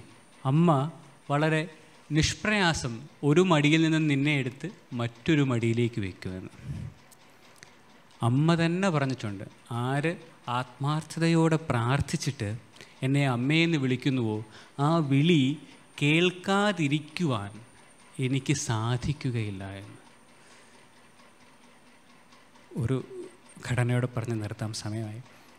അമ്മയുടെ സേവക്കായിരുന്ന ശാന്താനന്ദജി മഹാരാജനോട് അമ്മ പറഞ്ഞിട്ടുണ്ട് നോക്കൂ നിന്റെ ജീവിതത്തിൽ എപ്പോഴെങ്കിലും എന്ത് ചെയ്യണമെന്നറിയാത്ത ഒരവസ്ഥ വരുന്നുവോ? ആ സമയത്ത് ഓർക്കുക നിനക്കൊരമ്മയുണ്ട് എന്ന്. ആ സമയത്ത് ഏകാന്തതയിലേക്ക് പോവുക. കുറച്ച് ദിവസത്തേക്ക് ഏകാന്തവാസത്തിലേക്ക് പോവുക. എന്നിട്ട് ജപധ്യാനാദികളിൽ മുഴുകുക. മനസ്സുരുകി എന്നോട് ചോദിക്കുക അമ്മേ ഞാൻ എന്താണ് ചെയ്യേണ്ടത്? എനിക്ക് മാർഗദർശം അരുളിയാലുമെന്ന് പ്രാർത്ഥിക്കുക. ഈ ദിവസങ്ങളിൽ വളരെ മിതമായി മാത്രം ഭക്ഷണം കഴിക്കുക. ശരീരവും മനസ്സും പരിശുദ്ധമായി വയ്ക്കുവാൻ പരമാവധി ശ്രമിക്കുക. ആരോടും അധികം സംസാരിക്കാതിരിക്കുക. കൂടുതലും മൗനം അവലംബിക്കുക. നീ എന്താണ് ചെയ്യുന്നത് എന്ന് മറ്റാരും അറിയാതെ ശ്രദ്ധിക്കുക. ഇതെല്ലാം പാലിച്ചുകൊണ്ട് ജപധ്യാനാദികളിൽ മുഴുകുക. മനസ്സുരുകി എന്നോട് പ്രാർത്ഥിക്കുക. ഇങ്ങനെ നീ ചെയ്യുകയാണ് എങ്കിൽ തീർച്ചയായും നിനക്ക് എന്റെ ആദേശം എന്റെ നിർദ്ദേശം ലഭിക്കുമെന്ന്. നീ ഇങ്ങനെ കുറച്ച് ദിവസം അനുഷ്ഠിച്ചിട്ടും എന്റെ ഒരു നിർദ്ദേശവും നിനക്ക് ലഭിക്കുന്നില്ല എങ്കിൽ പ്രതീക്ഷ കൈവിടാതിരിക്കുക. ഇത് തുടരുക. എന്നിട്ടും എന്റെ ഒരു ആദേശവും നിനക്ക് ലഭിക്കുന്നില്ല എങ്കിൽ ഉറപ്പിച്ചുകൊള്ളൂ എന്റെ നിർദ്ദേശം ലഭിക്കത്തക്കവണ്ണം നിന്റെ മനസ്സ് ഉയർന്നിട്ടില്ല എന്ന്. ഞാൻ നിർദ്ദേശം തരികയില്ല എന്നല്ല അമ്മ പറഞ്ഞത്. എന്റെ നിർദ്ദേശം ലഭിക്കത്തക്കവണ്ണം നിന്റെ മനസ്സ് ഉയർന്നിട്ടില്ല. നമ്മുടെ മനസ്സ് ഉയരുന്ന ആ നിമിഷം തീർച്ചയായിട്ടും അമ്മയുടെ നിർദ്ദേശം നമുക്ക് കിട്ടും. ഇത് അമ്മ പറഞ്ഞ വാക്കാണ്. ഒരുപാട് പേർക്ക് അനുഭവമുള്ള കാര്യമാണ്. അഭേദാനന്ദ മഹാരാജ് ഇത് എഴുതിയിട്ട് രാമകൃഷ്ണ ഗതപ്രാണ തന്നാമ ശ്രവണപ്രിയ തദ്ഭാവരഞ്ജിതാകാര പ്രണമാമി മുഹുൾ മുഹുൾ ഇത് എഴുതിയിട്ട് നിലമ്പൂർ ബാബൂർ അമ്മ താമസിച്ചിരുന്ന അവിടെ ചെന്നിട്ട് അമ്മയുടെ മുന്നിൽ ഇത് ആലപിക്കുകയുണ്ടായി.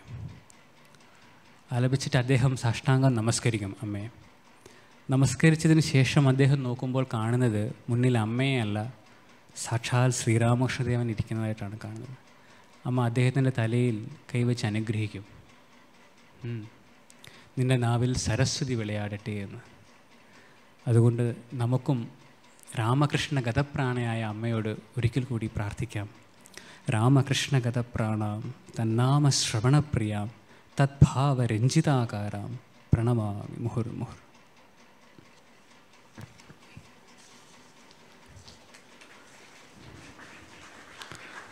ശ്രീ ശാരദാദേവി രാമകൃഷ്ണ കഥപ്രാണ സംസാരിച്ചത് പൂജ്യ സ്വാമിജി ബ്രഹ്മ ബ്രഹ്മപരാനന്ദജി മഹാരാജ് രാമകൃഷ്ണ അദ്വൈതാശ്രമം കാലടി. ശ്രീ ഗുരുഭ്യോ നമ ഹരി ഓം. സഹനാഭവതു സഹനോ ഭുനക്തു സഹ വീര്യങ്കരവാവഹൈ तेजस्विनावधीतमस्तु मा विद्विषावहै। ॐ शान्ति शान्ति शान्तिः हरिः ॐ। स्थापकाय च धर्मस्य सर्वधर्मस्वरूपिणे अवतारवरिष्ठाय रामकृष्णाय ते नमः। यथाग्ने दाहिका शक्ति रामकृष्णे स्थिता ह्या सर्वविद्यास्वरूपां तां शारदां प्रणमाम्यहं। नमः श्रीयतिराजाय विवेकानन्दसूरये सच्चित्सुखस्वरूपाय स्वामिनेतापहारिणे ॐ शान्ति शान्ति शान्तिः। हरिः ॐ Jai Bhagwan, as they say in Fiji, they always first we will greet as Jai Bhagwan. My Sashtanga pranams to most revered Vice President Srimad Swami Gautamanandaji Maharaj. My respectful pranams to revered Swami Bhuvanatmanandaji Maharaj, Adhyaksha Ramakrishna Matkochi. My pranams to my senior brother monks and my loving namaskars to brother monks, brahmacharis, devotees and devoted volunteers. We have all come together for the All Kerala Bhakta Sammelanam 2022. What has bound us together? What is our bond? It is the Holy Mother who has bound us together into one family, irrespective of our caste, culture, and social status. We all come from different backgrounds, different languages, different uh, cultures, and still we are all together as a family. That is what is Holy Mother's uh, bonding. She is the bonding factor. She is that um, uh, the the factor that is bringing bringing us together, binding us together. So this is this is the divine power of our Holy Mother Sharda Devi. When we talk about Vasudeva Kutumbakam, who is the mother of this great Kutumbam or family or this great big huge Tarwad, it is our Holy Mother Sri Sharda Devi. See, human motherhood has its limitations, but Holy Mother's motherhood is universal, beyond caste, creed, culture, and race. She often said that she is the mother of the virtuous and she is the mother of the wicked too. For her, Swami Shardananda, who was an illumined soul, and Amzad, the dreaded dacoit. They were both her children, and she treated them equally. She was the mother of all, all meaning all beings. One afternoon, one of her monastic disciples asked her, Are you the mother of all? And mother said, Yes. Then the disciple asked again, Even the subhuman beings, birds, and animals? And to this, too, the Holy Mother said, Yes. Then the disciple asked, Then why should there be so much of suffering? Why should these other beings have to suffer so much? And Holy Mother, she replied, she said that in this birth they must have these experiences. So sufferings are nothing but experiences which we for uh, we uh, feel are stressful. That is why we suffer. If we are strong, they will not be stressful, and those experiences will not be sufferings. But mother, you know, she is the eater of the karmas. She is trying to finish off our karmas. She wants our karmas to be over and go beyond to attain liberation, to um, uh, to that divine level from where we have come down. So she is the mother of all, even the animals, even the birds. So in the mother's house, there was a parrot which received the mother's attention. This parrot was very lucky, you see. See, he was, mother used to wash his cage every day, put food for him, give him food. And then afterwards, mother would uh, tell him, her, the parrot's name was Gangadhar, Gangaram. He was, their name was Gangaram. And mother would say, Oh Gangaram, now talk. And the parrot would say, Hare Rama, Hare Rama, Rama Rama, Hare Hare, Hare Krishna, Hare Krishna, Krishna Krishna, Hare Hare. So these brahmacharis, they would, uh, they taught the parrot to call ma ma. He would call mother ma ma ma. So whenever he felt hungry, the parrot would call ma ma ma. And mother would say, Here I am, my son, my son, here I am. And she would go and feed the parrot. You see how much that love she had for she had a cow, the, even the calf she would attend to, the cow she would attend to. She was so loving to everyone, all beings. So we have seen how she served all devotees wherever she lived, whether it was in Calcutta or in Jairambati. And she was very particular about feeding everyone, feeding her children.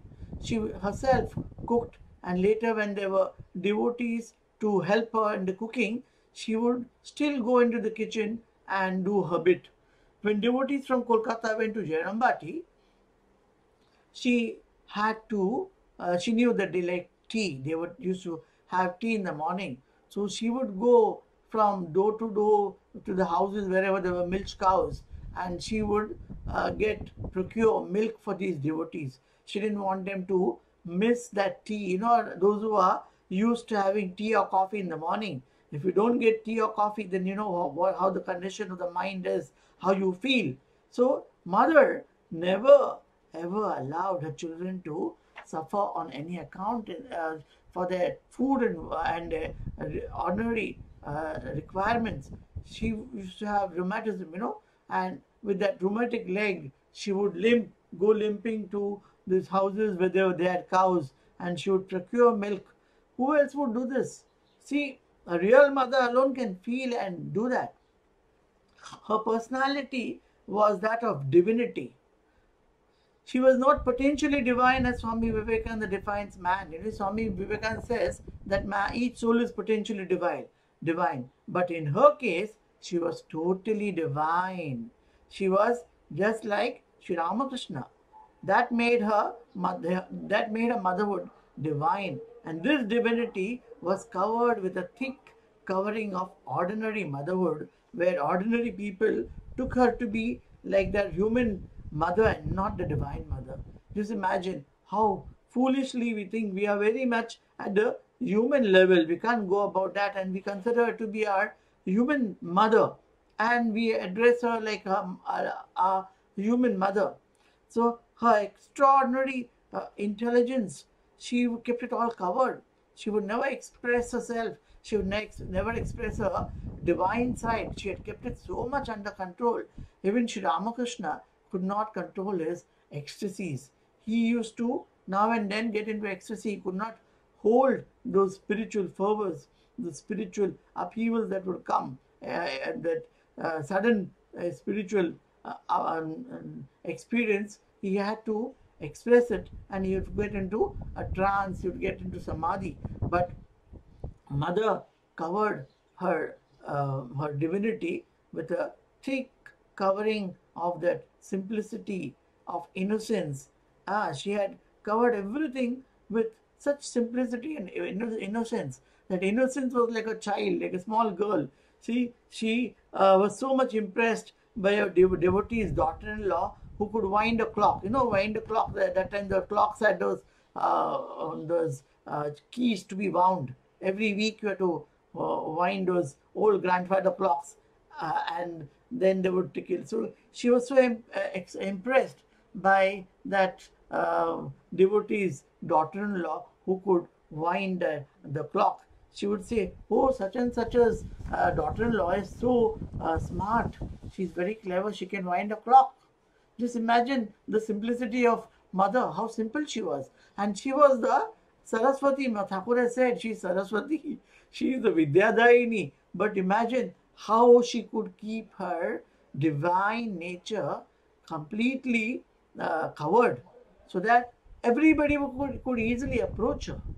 No one could, know, uh, keep a distance from her. They would feel very close to her because of the simplicity. She was approachable.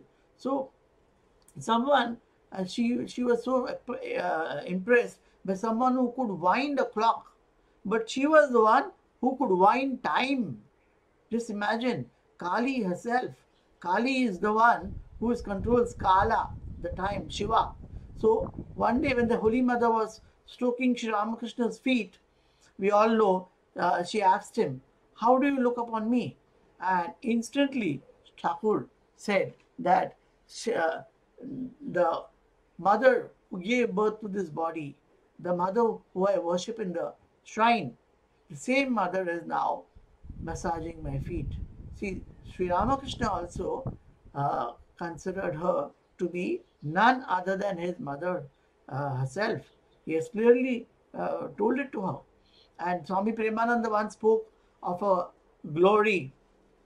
He said, you, you have seen with your own eyes how this mother, who is in reality the great goddess ruling over those who wield the destinies of kings and emperors. You know, those who control the, the devatas, who control the destinies, the fate of kings and emperors.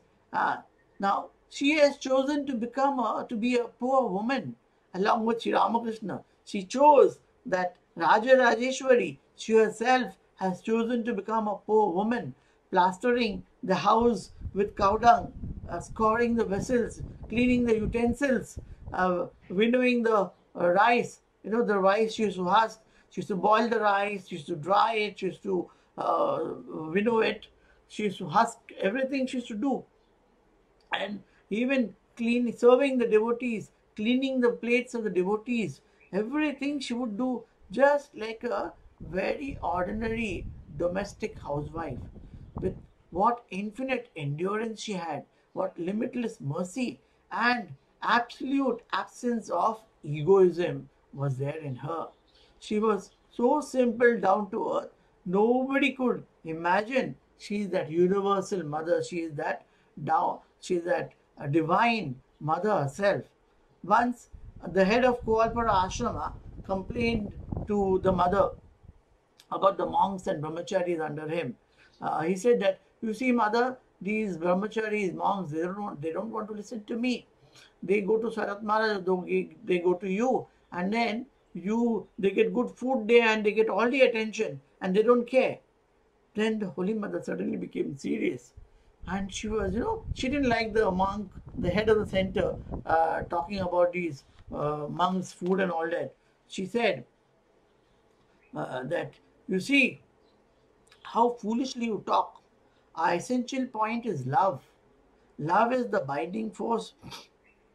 It is through love alone that the spiritual family of Sri Ramakrishna has grown and developed. Besides, I am their mother.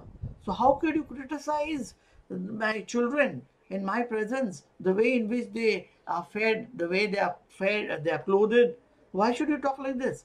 Alas, how much did I weep and pray to the Master for my children? This is why you find everywhere ashramas and monasteries through, the, through his blessings. See, by mother's prayers, so many ashramas came up. The land was uh, um, acquired or it was donated by someone. They got land, they got all the resources to build ashrama. And they could, uh, um, the sadhus could live there happily. So, uh, this is mother's prayers. After the passing away of the master, his disciples renounced the world, found a temporary shelter you know, at, at Baranagar. They took up a dilapidated house and they were staying there for a few days. And then everyone started leaving for pilgrimage here and there. Then one by one, they all went independently and began to roam here and there. That made the Holy Mother very sad. And she prayed to the Master. She said, O Lord, you have been embodied, embodied in human form and you spent the period of your earthly existence with a few disciples. Now has everything ended with your passing away? She asked him, Everything, you have gone away, you have passed away, and everything has ended. So she was so much pained to see Sri Ramakrishna's disciples moving here and there with no proper facilities to stay, no proper food. And then uh, she said, in that case, what need was there for your embodiment entailing so much of suffering? Sri Ramakrishna suffered so much in the human form. He had to uh, uh, undergo so much of stomach ailment, sickness. Finally, he got cancer of the throat. So it was so painful for Sri Ramakrishna. And he, uh, mother, uh, then asked him, So, what is the new need to endure so much pain, to go through so much suffering, if everything has to had to end with your passing away? She said uh, that I have seen in Vrindavan and Benares so many holy men, sadhus living on arms and having the shade of trees, living under the trees. There is no lack of sadhus of that type. But I cannot bear to see my children who have renounced all for your sake, wandering about for want of simple food and clothing. So you see, mother was so much pain to see the sadhus and brahmacharis moving here and there uh, with so much of difficulties. And she prayed to mother that I can't bear to, see- to she prayed to Sri Ramakrishna. She prayed to Thakur and she said, I can't bear to see your children suffering like this. And there are many such sadhus in Vrindavan, in Benares, I've seen them. But I don't want to see your children, my children, like this, uh, who have left their home in your name to move about. So it is also my prayer that my children should live together, clinging to you and your teachings, and people afflicted with the sufferings of the world should come to them and get peace of mind by hearing from them your words. So, mother clearly said that I want that your children should be provided proper food and clothing and they should live in a proper place where devotees who are at home living in the household, grihasthas, those who want to come away from that atmosphere, household atmosphere, and be in satsang, be in holy company, they should be able to come to them and sit and they would listen to your teachings like all of you are doing now. Here it is Ramakrishna, all Kerala, Ramakrishna Vivekananda Bhakta Sammelanam. So it is the whole thing is uh, going around Sri Ramakrishna's name and Sri Ramakrishna's teachings. Whatever your Vedanta may say, whatever Upanishads, Vedas, everything we may discuss, everything has been practically demonstrated by Sri Ramakrishna. And this is what we need to do. Just discussing about his life, discussing about his utterances, his sayings, that itself is discussing our scriptures because Sri Ramakrishna was the Veda Murti, Veda Murti who has lived the Vedas, and mother wanted that all the devotees would come and they would listen to Sri Ramakrishna's teachings, Thakur's teachings, and they would get peace of mind by hearing the, uh, these teachings from the monks and brahmacharis of the ashrama. So, my mother says that you have incarnated yourself in the human form. My, become, my mind becomes restless seeing my children roam about here and there. So, this is how mother prayed to Sri Ramakrishna, and she that's how becomes the Sangha Janani. She is the mother of the Ramakrishna Sangha, the mother of all the sannyasins and all the brahmacharis and all the devotees of the Ramakrishna mission who have completely accepted Sri Ramakrishna as their spiritual ideal, as their spiritual guru. So, this is all we can say from our point of our, faith, from the point of our uh, belief. But there are people who always look at uh, look at reason. They want reasons to believe something. They want reason to understand something. So another logical exp- explanation is that Sri Ramakrishna himself worshipped the Holy Mother. He himself worshipped Sri Sharda Devi as the Shodashi, as the Shodashi uh, um, uh, and Tripura Sundari on this uh, Falaharni Kali Puja. And he offered his entire, uh, the fruit of his entire sadhana at her feet.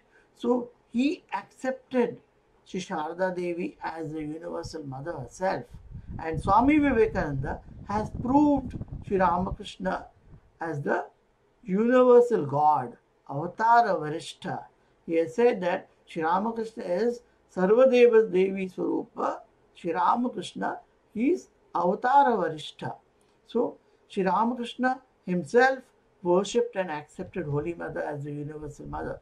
For, for those who think and reason out more than uh, feeling and believing, uh, it can be deduced that the mother of the universe is 100% the universal mother, and she is Sharda Devi.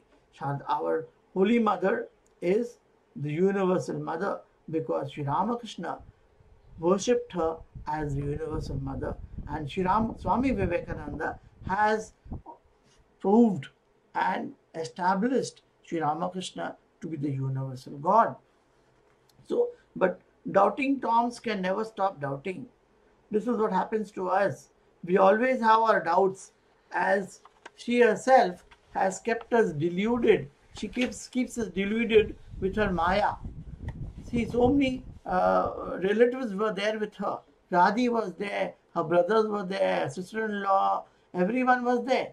But they did not at that time feel that she is the Divine Mother herself because Holy Mother lived so down to earth, such a innocent, such a simple life that she really covered herself, her divinity, with human nature.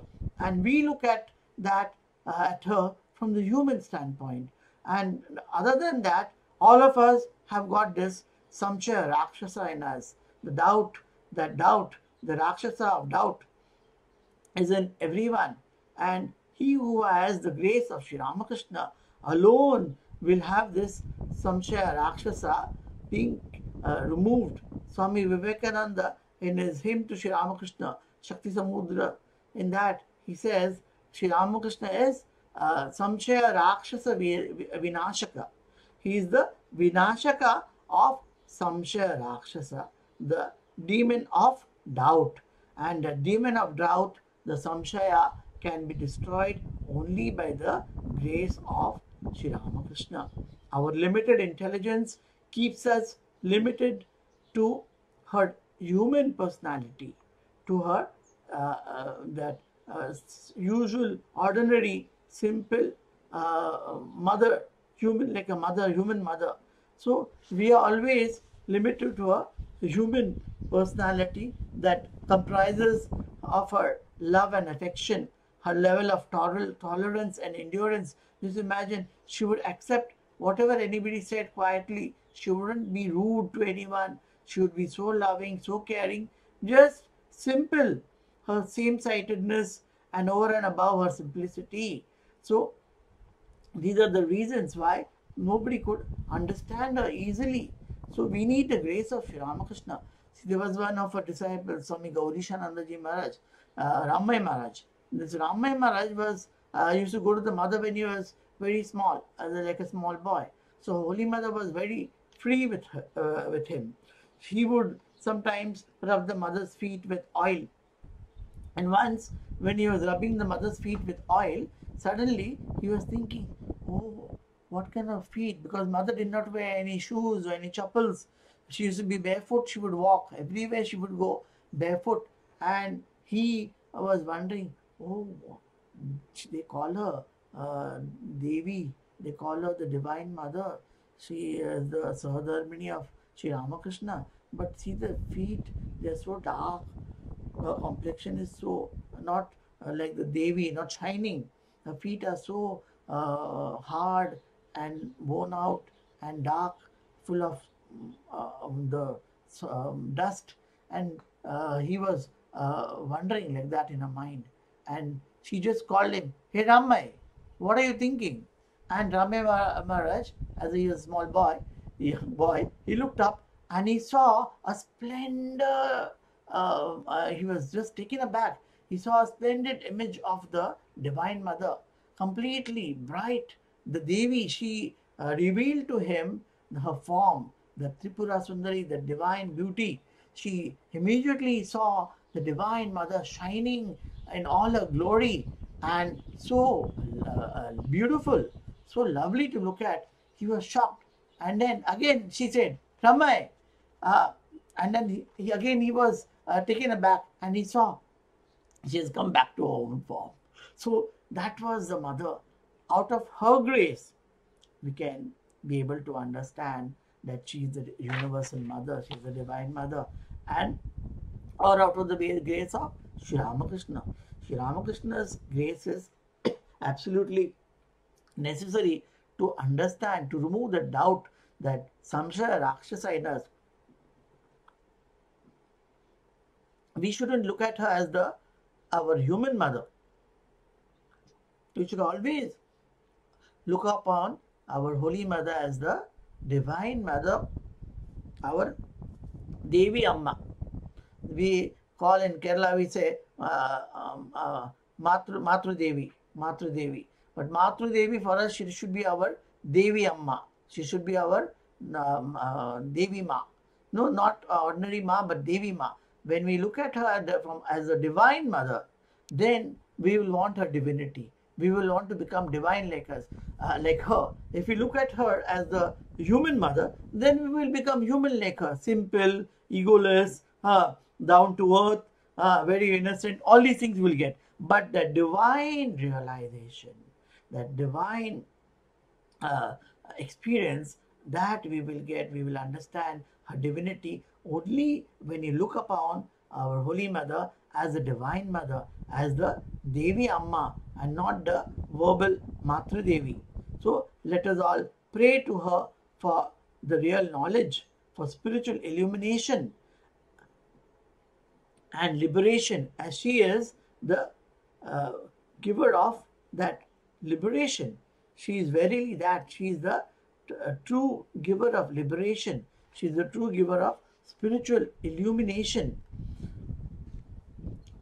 If we use her grace for ordinary comforts and joys, we will be under the influence of her Maya. Just, just uh, remember that if we uh, uh, use, ask for her all these other ordinary things, we will get them. She'll give them to us, but we will be under her Maya. We will always consider her to be some uh, our like a human mother who will be giving us food, clothing, shelter, all these things. But the moment we consider her to be our divine mother, then we will get spiritual enlightenment. Enlightenment. We will get that spiritual wealth uh, that is her true nature. Then we will actually achieve our goal.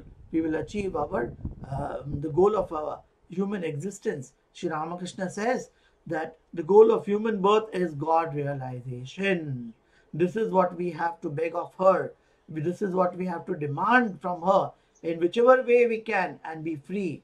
So may we all receive her real grace by attaining nirvasana or desirelessness.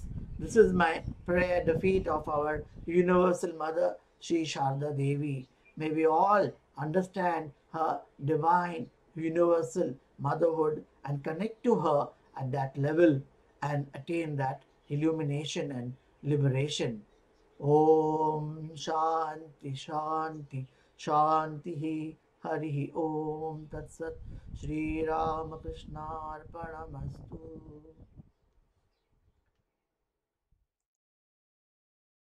എല്ലാ സ്വാമിമാർക്കും എന്റെ പ്രണാമം ഇന്ന് മാതൃദേവിയുടെ സത്സംഗം അതിനെപ്പറ്റി ആണ് session അപ്പോൾ നമുക്കിവിടെ ഇത്രയും നേരം നമ്മൾ സ്വാമിമാരുടെ പ്രസംഗം ഒക്കെ കേട്ടു.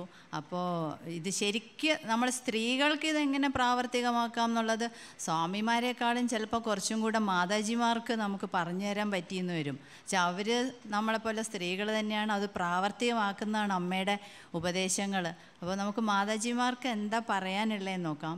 അപ്പോൾ അമ്മയെ പറ്റി എനിക്ക് തോന്നിയിട്ടുള്ളതും എന്റെ ഉള്ളിൽ വിചാരിക്കുമ്പോൾ തോന്നിയത് ഇവരെ മൂന്ന് പേരെയും എനിക്കെപ്പോഴും ആലോചിക്കുമ്പോൾ ഒരു ഒരേപോലെയാണ്. അപ്പോൾ പക്ഷേ ഒരു പഴത്തിന്റെ പുറത്തെ ഭാഗമായിട്ട് സ്വാമിജി തോന്നാറുണ്ട്. അതായത് അതിന്റെ കളർ കൊണ്ട് എല്ലാവരും അട്രാക്റ്റ് ചെയ്യും. ആ പഴത്തിനെ എപ്പോഴും അട്രാക്റ്റ് ചെയ്യാനുള്ള ഒരു കാരണമാണ് ആ കളറും അതൊക്കെ. അപ്പോൾ അങ്ങനെ സ്വാമിജിയാൽ അട്രാക്റ്റഡ് ആയിട്ട് കുട്ടികൾ ഇവിടെ വന്ന് കഴിയുമ്പോഴാണ് അതിന്റെ ഉള്ളിലെ കാതൽ കാമ്പായിട്ടുള്ള ശ്രീരാമകൃഷ്ണദേവന്റെ ഉപദേശങ്ങൾ നമുക്ക് മനസ്സിലാവണമെങ്കിൽ ത്രൂ സ്വാമിജിയാണ് നമുക്ക് പതിവ്. അപ്പോൾ അതും എൻജോയ് ചെയ്ത് കഴിയുമ്പോൾ സാധാരണ നമ്മൾ വിചാരിക്കും കുരുവല്ലേ കളയാം. പക്ഷേ ഈ കുരുവാണ് ഭാവിയിലേക്കുള്ള താക്കോൽ.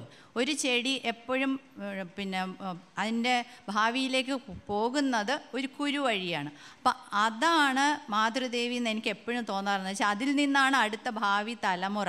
അമ്മമാരാണ് മക്കളെ വാർത്തെടുക്കുക അധികവും അച്ഛന്മാരെക്കാളും നമ്മുടെ ഭാരത പാരമ്പര്യം അനുസരിച്ച് അമ്മമാർക്കാണ് റോൾ. അപ്പം അമ്മമാരാദ്യം നന്നായി കഴിഞ്ഞാൽ തന്നെ മക്കൾ ശരിയായിക്കോളും. അപ്പോൾ ഭാവിയിലേക്കുള്ള ഒരു താക്കോലായിട്ടാണ് എനിക്ക് എപ്പോഴും അമ്മയെ ഫീൽ ചെയ്തിട്ടുള്ളത്.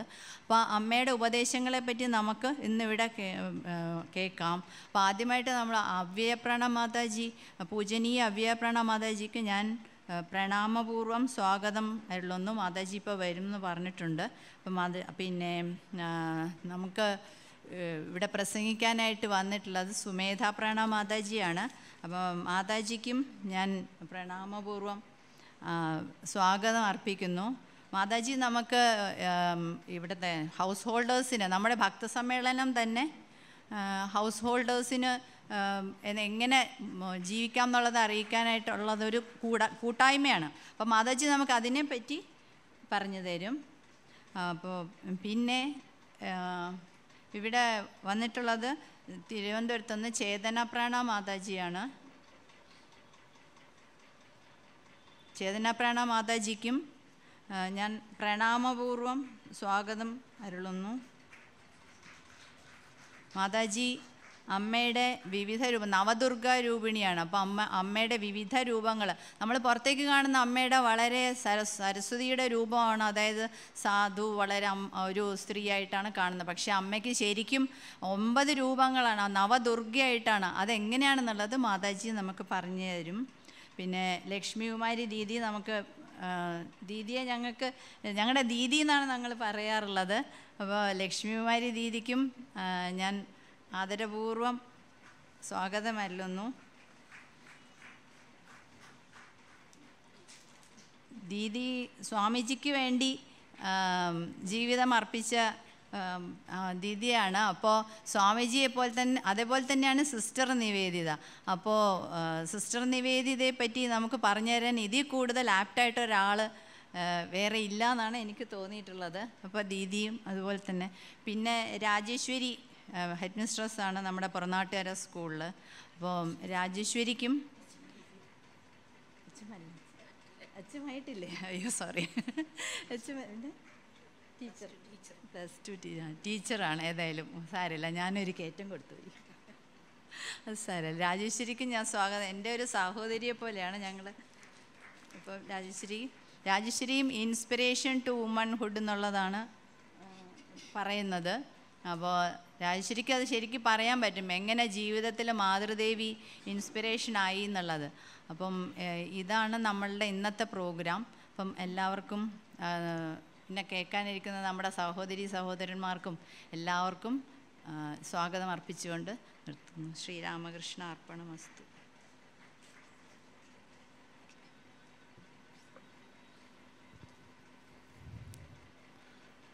അടുത്തതായി holy mother and household devotees എന്ന വിഷയത്തെ സംസാരിക്കാനായി പൂജ പ്രപ്രച പ്രപ്രാചിക സുമേധ പ്രണ മാതാജിയെ ക്ഷണിക്കുന്നു. ശ്രീരാമകൃഷ്ണമഠത്തിന്റെ രവിപുരം.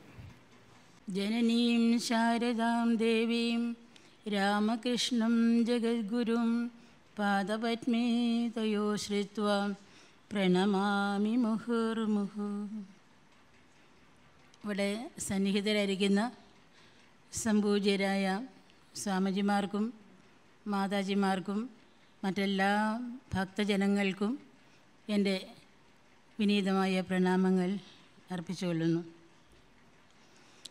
ഇന്നത്തെ ദിവസം എല്ലാവരും ഭഗവാന്റെയും ദേവിയുടെയും ജീവിതത്തെപ്പറ്റിയും സന്ദേശത്തെപ്പറ്റിയും ഇത്രയും രണ്ട് മൂന്ന് ദിവസമായി കേട്ടിട്ട് മനസ്സ് നിറഞ്ഞിരിക്കുന്ന ഒരവസരമാണ്. വളരെ എന്ന് പറഞ്ഞാൽ എല്ലാവരുടെയും ഉള്ളിൽ ഇപ്പോൾ ഭഗവാനും ദേവിയും അതുപോലെ സ്വാമിജിയുടെയും എല്ലാം ജീവിതത്തെയും ആദർശത്തെയും ഉൾക്കൊണ്ടുകൊണ്ട് നിറഞ്ഞിരിക്കുന്ന ഈ അവസരത്തിൽ എന്റെ ഈ വാക്കുകൾ എത്ര കൊണ്ട് ഇറങ്ങി ചെല്ലുമെന്ന് പറയാൻ സാധിക്കില്ല. എങ്കിലും ഇന്ന് എനിക്ക് തന്നിരിക്കുന്ന സബ്ജക്റ്റ് ശ്രീ ശാരദാദേവിയും ഗൃഹസ്ഥ ഭക്തൻ ഭക്തന്മാരും ഭക്തകളും. ആക്ച്വലി ശ്രീ ശാരദാദേവിയുടെ അടുത്ത് ചെന്നിരുന്നവർ എല്ലാവരും ഗൃഹസ്ഥന്മാരായാലും സന്യാസിമാരായാലും ആരായാലും അവർ ദേവിയുടെ സന്താനങ്ങളാണ്. ശ്രീരാമകൃഷ്ണദേവനും ശാരദാദേവിയും അവതരിച്ചത് തന്നെ അപാര കരുണ കൊണ്ടാണ്. ജന ജനങ്ങളോട് അല്ലെങ്കിൽ ജീവികളോടുള്ള ആ അപാര കരുണയാണ് അവരുടെ ജീവിതത്തെ ഉദ്ധരിക്കാൻ വേണ്ടി ഈ രൂപത്തിൽ വന്നത്. അത് നമ്മുടെ എല്ലാവരുടെയും ഭാഗ്യം എന്ന് മാത്രമേ പറയാനുള്ളൂ. അതിനെ നമുക്ക് എത്ര കൊണ്ട് ഉൾക്കൊള്ളാൻ സാധിക്കുമോ എത്ര കൊണ്ട് നമ്മുടെ ജീവിതത്തിലേക്ക് ആഴ്ന്നിറങ്ങിയാൽ എന്ന് സ്വാമിജി പറയുകയുണ്ടായി നമ്മൾ കേട്ട് അത് ഉള്ളിലേക്ക് എത്ര ആഴ്ന്നിറങ്ങുമോ അത്രയും നമ്മൾ ഭാഗ്യവാന്മാരായിത്തീരുന്നു. ശ്രീരാമകൃഷ്ണനും ശാരദാദേവിയും ഇവിടെ പ്രത്യേകിച്ച് ഗൃഹസ്ഥ ഭക്തന്മാരെ കുറിച്ചാണ് പറഞ്ഞിരിക്കുന്നത്. ഗൃഹസ്ഥ ഭക്തന്മാർ സമുദായത്തിൽ ഏറ്റവും കൂടുതൽ ഇപ്പോൾ ഗൃഹസ്ഥ ഭക്തന്മാർ തന്നെയാണ്. പുരാണകാലത്ത് ബ്രഹ്മചര്യം ഗാർഹസ്യം വാനപ്രസ്ഥം സന്യാസം ഇങ്ങനെ വിഭജിച്ചിട്ടുണ്ടായിരുന്നു. അത് അത് അതിന്റേതായ രീതിയിലായിരുന്നു മുന്നോട്ട് പോയിരുന്നത്. ഇന്നിപ്പോൾ ബ്രഹ്മചര്യം കഴിഞ്ഞും സന്യാസത്തിലേക്ക് പോകാം. ഗാർഹസ്യ ജീവിതവും വേണ്ടവർക്ക് നയിക്കാം. അപ്പോൾ ഗാർഹസ്യ ജീവിതമാണ് ഇന്ന് ലോകത്തിൽ കൂടുതലായിട്ട് ഏറ്റവും കൂടുതലായിട്ടും ഉള്ളത്.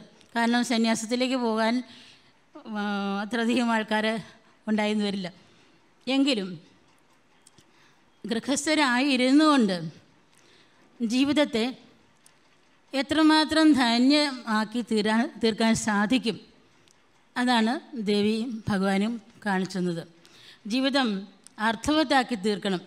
നമ്മൾ ജനിച്ചു അത് കഴിഞ്ഞ് ഭൂമിയിൽ നിന്ന് പോയി അത്ര കൊണ്ട് മാത്രം ഒന്നും ആയില്ല.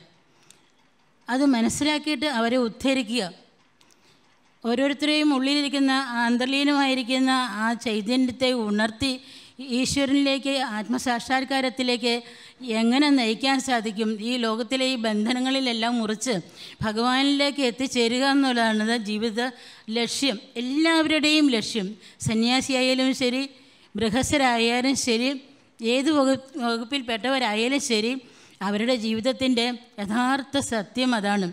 ആ സത്യത്തിലേക്ക് ഇറങ്ങിച്ചെല്ലാൻ പ്രാപ്തിയില്ല എന്ന് നമുക്ക് തോന്നുന്നുണ്ടെങ്കിൽ ഈ ഗാർഹസ്യ ജീവിതത്തിലെ കാര്യകർമ്മങ്ങളെല്ലാം ചെയ്തുകൊണ്ട് ജീവിതത്തെ മുന്നോട്ട് നയിക്കുക. അതേ അതാണ് പറഞ്ഞിരിക്കുന്നത്. ഗാർഹസ്യ ജീവിതത്തിൽ മുന്നോട്ട് നയിക്കണമെങ്കിൽ അത്ര എളുപ്പമുള്ള കാര്യമല്ല. അതാണ് ഒരു മാതൃകയായിട്ട് നമുക്ക് ഭഗവാനും ദേവിയും കാണിച്ചത്. പുരാണ കാലങ്ങളിലേക്കാളും വളരെയധികം വ്യസ്ത വ്യത്യസ്തമായി ഇന്നത്തെ സമുദായം. ഇന്ന് ഗാർഹസ്യ ജീവിതം നയിക്കുന്നവർക്ക് എത്രമാത്രം വിഷമങ്ങൾ എത്രമാത്രം ദുരിതങ്ങൾ എന്തെല്ലാം രീതിയിലുള്ള പ്രലോഭനങ്ങൾ ഇതെല്ലാം ഉണ്ട് മാത്രമല്ല. പുരാണകാലത്ത് പറഞ്ഞിരുന്നത് മാതൃദേവോ ഭവ പിതൃദേവോ ഭവ ആചാര്യ ദേവോ ഭവ അതിഥി ദേവോ ഭവ എന്ന് പറഞ്ഞിരുന്നു സ്വാമിജി. ഒന്നുകൂടെ കൂടി ദരിദ്രദേവോ ഭവ മൂർഖദേവോ അപ്പം ഈ രീതിയിലുള്ള ധർമ്മങ്ങൾ ഗാർഹസ്യ ധർമ്മങ്ങൾ അനുഷ്ഠിച്ച് വേണം ജീവിതത്തെ മുന്നോട്ട് കൊണ്ടുപോകാൻ. യഥാർത്ഥത്തിൽ അതാണ് വേണ്ടത്. അപ്പോൾ ആ രീതിയിൽ പോകുമ്പോൾ ഇന്ന് നാം സമുദായത്തിൽ കാണുന്നത് എത്ര വിപരീതമായിട്ടാണ്. ഗാർഹസ്ഥ്യ ജീവിതത്തിൽ അച്ഛനമ്മമാർക്കാണ് ഈശ്വരനായിട്ട് കണ്ട്. ഈശ്വരന്റെ പദവി കൊടുത്ത് അവരെ ആദരിക്കുക അവരെ പൂജിക്കുക എന്ന ഗൃഹസ്ഥന്മാരുടെ ഏറ്റവും വലിയൊരു ധർമ്മമാണ്. അതുപോലെ ഗുരുജനങ്ങളെ ആദരിക്കുക അവർക്ക് വേണ്ടതെല്ലാം ചെയ്തു കൊടുക്കുക. ഇതെല്ലാം ഗൃഹസ്ഥന്മാർക്ക് വളരെയധികം ഉത്തരവാദിത്തപ്പെട്ട എന്ന് അവരുടെ ധർമ്മത്തിൽപ്പെട്ട കാര്യങ്ങളാണ്. ഇതെല്ലാം ഒക്കെ നമ്മുടെ ജീവിതത്തിലേക്ക് പണ്ട് അനുഷ്ഠിച്ചിരുന്നു. പക്ഷേ ഇന്നത്തെ സമുദായത്തേക്ക് നോക്കിക്കഴിഞ്ഞാൽ എത്ര എത്ര ദുഃഖകരമായിട്ടുള്ള സംഭവങ്ങളാണ് അച്ഛനമ്മമാർക്കും അതുപോലെ മറ്റുള്ളവർക്കും അനുഭവിക്കേണ്ടി വരുന്നതെന്ന് കൂടുതലായിട്ട് നമ്മളിലേക്ക് പറയേണ്ട ആവശ്യമില്ല. കാരണം ഇത് നല്ല ദിവസമായിട്ട് നമുക്ക് നല്ലത് തന്നെ ചിന്തിക്കാം. അപ്പോൾ ഇങ്ങനെ വിഷമിക്കുന്ന ഒരു അവസരത്തിൽ അപ്പോൾ ശ്രീരാമകൃഷ്ണദേവനും ശാരദാദേവിയും പറഞ്ഞിരിക്കുക സ്വാ ഭഗവാൻ ഭഗവാൻ പ്രത്യേകം പറഞ്ഞിട്ടുണ്ട് സന്യാസി ആയി പോയാൽ പോരും കൂടി. അച്ഛനമ്മമാരെ നോക്കാനുള്ള കടവുണ്ട് ക- ആ കടമയുണ്ട്. എന്ന് എന്നും കൂടി ഒരു ഭാഗത്ത് ഭഗവാൻ പറഞ്ഞിട്ടുണ്ട്. ദേവിയും അതുപോലെ കഷ്ടപ്പെടുന്ന അമ്മമാർക്ക് വേണ്ടി എന്ത് ചെയ്യാനും തയ്യാറായി വരുന്നവരോട് കൂടുതൽ ഒരു സ്നേഹമായിരുന്നു ദേവിക്ക് കണ്ടിരുന്നത്. അപ്പോൾ അങ്ങനെ ഗൃഹസ്ഥന്മാർ അവരുടെ ധർമ്മം അനുഷ്ഠിച്ചുകൊണ്ട് ജീവിതത്തെ സാർത്ഥകമാക്കി തീർക്കാൻ എങ്ങനെ സാധിക്കുമെന്നുള്ളത് ദേവി സ്വയം ജീവിച്ച് കാണിച്ചു. കാരണം ദേവി ഒരു ഗൃഹസ്ഥ ജീവിതം നയിച്ചുകൊണ്ട് ഗൃഹ ഗാർഹസ്ഥ്യ ജീവിതത്തിൽ ഇരുന്നു കൊണ്ട് തന്നെ പലതരം ബന്ധങ്ങളുണ്ട് ഗൃഹസ്ഥ ജീവിതത്തിൽ സ്വന്തം വീട്ടിലുള്ളവരോടുള്ളത് മാത്രമല്ല പുറമേ ഉള്ളവരോടും വളരെയധികം കടപ്പാടുകളുണ്ട്. അപ്പം അവർ എല്ലാവരെയും കൂട്ടിയിണക്കി ഒന്നായിട്ട് പോകാനുള്ള ഒരു കഴിവ് അതെങ്ങനെ നേടിയെടുക്കാൻ സാധിക്കും? നേടിയെടുക്കാൻ സാധിക്കും എന്നുള്ളത് സത്യമാണ് എന്ന് ജീവിച്ച് കാണിക്കുക. അതാണ് ഒരു പ്രത്യേകത. എല്ലാവരുമായിട്ട് ഒത്തൊരുമിച്ച് ഇന്ന് ഒത്തൊരുമിച്ച് പോകുക എന്നുള്ളത് തന്നെ ഒരു വലിയ പ്രശ്നമായി മാറിയിരിക്കുകയാണ്. അപ്പോൾ അങ്ങനെ ഒത്തൊരുമിച്ച് പോകണമെങ്കിൽ അത് നിസ്സാരമായിട്ടുള്ളൊരു കാര്യമാണ്. ബഹുജനം പലവിധം. പലതരത്തിലുള്ള ആളുകളാണ്. സമുദായത്തിലാണെങ്കിലും ശരി കുടുംബത്തിലായാലും ശരി പല രീതിയിലുള്ള ജീവിതചര്യകളും ആഗ്രഹങ്ങളും പ്രലോഭനങ്ങളും എല്ലാം ഉണ്ട്. പക്ഷേ ഇത് ഇതെല്ലാം അന്നും ഉണ്ടായിരുന്നു ശാരദാദേവി നയിച്ച ജീവിതം ദേവിയുടെ ജീവിതത്തെ കുറിച്ച് വായിച്ചിട്ടുള്ളവർക്ക് പഠിച്ചിട്ടുള്ളവർക്ക് എല്ലാവർക്കും അറിയാം. എത്ര വിപരീത വിപരീതമായിട്ടുള്ള ഒരു സാഹചര്യത്തിൽ കൂടിയാണ് ദേവി മുന്നോട്ട് പോയത് അപ്പം ദേവി മുന്നോട്ട് പോയ ആ ജീവിതത്തിലേക്ക് നമ്മൾ നോക്കുകയാണെങ്കിൽ നമുക്ക് ധാരാളം സമാധാനം കിട്ടും. അപ്പം നമ്മൾ ഓരോരുത്തരും വ്യക്തിപരമായിട്ട് നോക്കിയാൽ പലതരത്തിലുള്ള അനുഭവങ്ങളിൽ കൂടി കടന്നു പോകുന്നവരാണ്. പക്ഷെ ആ അനുഭവത്തിൽ പോകുമ്പോൾ നമുക്ക് മുന്നോട്ട് പോകാൻ തടസ്സങ്ങൾ വരുമ്പോൾ ദേവിയുടെ ജീവിതത്തിലേക്ക് നോക്കുക. അപ്പോൾ അതിനുള്ള പരിഹാരം അവിടെയുണ്ട്. അപ്പോൾ അങ്ങനെ ഓരോരുത്തരെയും വ്യക്തിപരമായിട്ടുള്ള കാര്യങ്ങളിലും അതുപോലെ സമുദായ സമുദായ സാമുദായികമായിട്ട് നോക്കിക്കഴിഞ്ഞാൽ ഒരു കുടുംബം നല്ലതാണെങ്കിലാണ് കുടുംബത്തിനും കുടുംബത്തിലെ അച്ഛനും അമ്മയും കുടുംബം എന്ന് പറഞ്ഞാൽ അച്ഛനും അമ്മയും മക്കളും എല്ലാവരും. അപ്പോൾ അച്ഛനും അമ്മയും കൊടുക്കുന്ന സംസ്കാരമാണ് കുട്ടികളെ നല്ല നിലയിൽ ഉയർത്താൻ സഹായിക്കുന്നത് ഭൂരിഭാഗവും എല്ലാം അല്ലെങ്കിൽ തന്നെ അവർ എല്ലാ ജീവികളും അവരുടേതായ സംസ്കാരം കൊണ്ടായിരിക്കും വരുന്നത്. എങ്കിലും അവരെ അവർക്ക് വേണ്ടതായ മാർഗം കാണിച്ചു കൊടുത്ത് അവർ അവരിലുള്ളതായ ആ സദ്വാസനകളെ പണം സമ്പാദിക്കുക എന്നുള്ളൊരു സംഭവം വേറെ. അതോടുകൂടി ജീവിതത്തെ മഹത്വപൂർണമാക്കി തീർക്കണമെങ്കിൽ നമുക്ക് ശ്രേയസ്സും പ്രേയസ്സും ഒരുപോലെ നേടിയെടുക്കണം. അപ്പോൾ അതുപോലെ നേടിയെടുക്കാൻ എങ്ങനെ സാധിക്കും? അതാണ് ഭഗവാനും ദേവിയും നമുക്ക് തന്നിരിക്കുന്ന ഏറ്റവും വലിയ ഒരു സമ്പത്ത്. അപ്പോൾ ആ രീതിയിൽ എങ്ങനെ വെറും പ്രേയസ് കൊണ്ട് നമ്മൾ കാണുന്നുണ്ട്? എത്ര ആളുകൾ എത്രമാത്രം സമ്പാദിച്ചു? എങ്കിലും മനസ്സിന് സമാധാനമുണ്ടോ? സുഖമുണ്ടോ? എന്ന് പലരുമായിട്ട് നമ്മൾ സംസാരിക്കുമ്പോൾ മനസ്സിലാകും. പക്ഷേ അത് ബുദ്ധിമുട്ടാണ്. കാരണം ഭൗതികമായ സുഖങ്ങളിലൊന്നും ഇത് അടങ്ങിയിട്ടില്ല. ആധ്യാത്മികമായിട്ടുള്ളതിലേക്കും കൂടെ കടന്നാൽ മാത്രമേ ഭൗതികമായിട്ടുള്ളതും കൂടി നമുക്ക് സുഖകരമായി മാറുക മാറുകയുള്ളൂ എന്ന് നമ്മുടെ ജീവിതം തന്നെ ഏറ്റവും വലിയ ഒരു ഉദാഹരണമാണ്. അപ്പോൾ അങ്ങനെയുള്ള ഈ നശ്വരമായിട്ടുള്ള ലോകത്തെ മനസ്സിലാക്കി ശാശ്വതമായിട്ടുള്ള വസ്തുവിനെ നമ്മൾ ആർക്കാണോ പിടിക്കാൻ സാധിക്കുന്നത് അവരുടെ ജീവിതമാണ് ധന്യമായി തീരുന്നത് എന്ന് ദേവി കാണിച്ചിരുന്നു. അതിനൊരു ശാസ്ത്രത്തിൽ ഇങ്ങനെ പറയുന്നുണ്ട്. തജ്ജീവിതം ജീവിതമാഹുരാര്യ യദീശപാദാർപ്പിത ഈശനിഷ്ഠം. ന ജീവിതം ജീവിതമർപ്പിതായ നിനശ്വരാർത്ഥായ വിനഷ്ടമേതത് വളരെ അർത്ഥവത്തായിട്ട് പറഞ്ഞിരിക്കണം തജ്ജീവിതം ജീവിതമാഹുരാര്യ യദീശപാദാർപ്പിതം ഈശനിഷ്ഠം. ഈശ്വരപാദത്തിൽ അർപ്പിച്ച നിഷ്ഠയോടുകൂടി ജീവിതം അർപ്പിച്ച ജീവിതമാണ് ഏറ്റവും ശ്രേഷ്ഠം. അതാണ് ജീവിതം.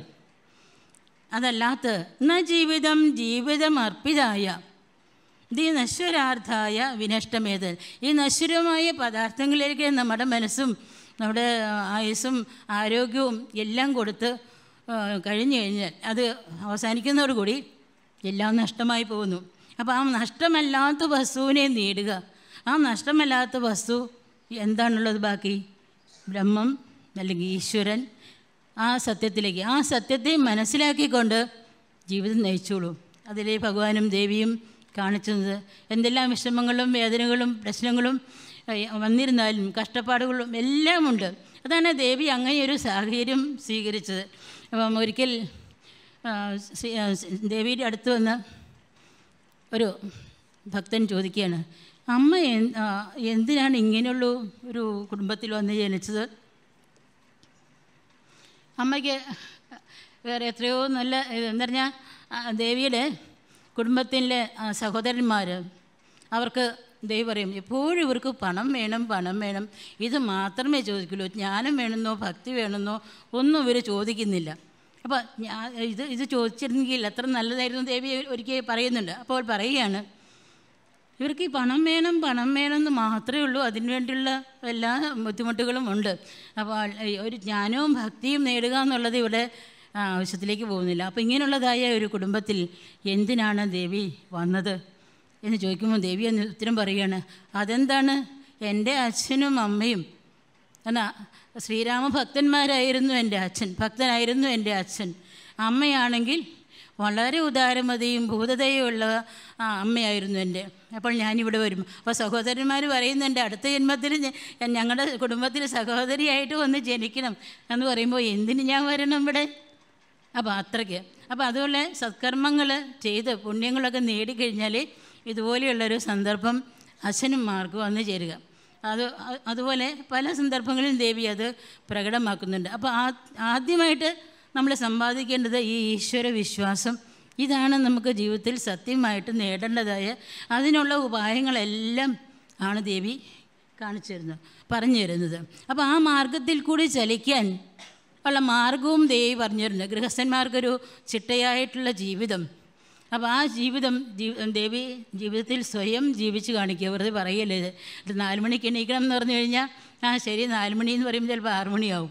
നമ്മുടെ നിഷ്ഠ അങ്ങനെ പോകുന്നുണ്ടല്ലേ? അപ്പോൾ അങ്ങനെയുള്ളതായ ഒരു നിഷ്ഠയല്ല. ദേവി മൂന്ന് മണിക്ക് എണീറ്റാൽ ആ- സമയം മുതൽ നിങ്ങൾ നിങ്ങൾക്ക് എല്ലാവർക്കും അറിയാവുന്ന കാര്യമാണ്. അപ്പോൾ ചിട്ടയായിട്ടുള്ളൊരു ജീവിതം ഗൃഹസ്ഥർക്ക് വളരെയധികം ആവശ്യമാണ്. അപ്പോൾ അങ്ങനെയുള്ളതായ ആ ജീവിതത്തിലേക്ക് എല്ലാ കാര്യങ്ങളും രാവിലെ പ്രാർത്ഥനയോടുകൂടി എണീറ്റ് ജീവിതത്തിൽ ചെയ്യേണ്ടതായ കർമ്മങ്ങളെല്ലാം ഈശ്വര പൂജയായിട്ട് ചെയ്യുമ്പോൾ അതാണ് പ്രത്യേകം പറയുന്നത്. നമ്മൾ ചെയ്യുന്ന ഓരോ പ്രവൃത്തിയും ഈശ്വരന്റെ പൂജയായിട്ട് കണക്കാക്കും.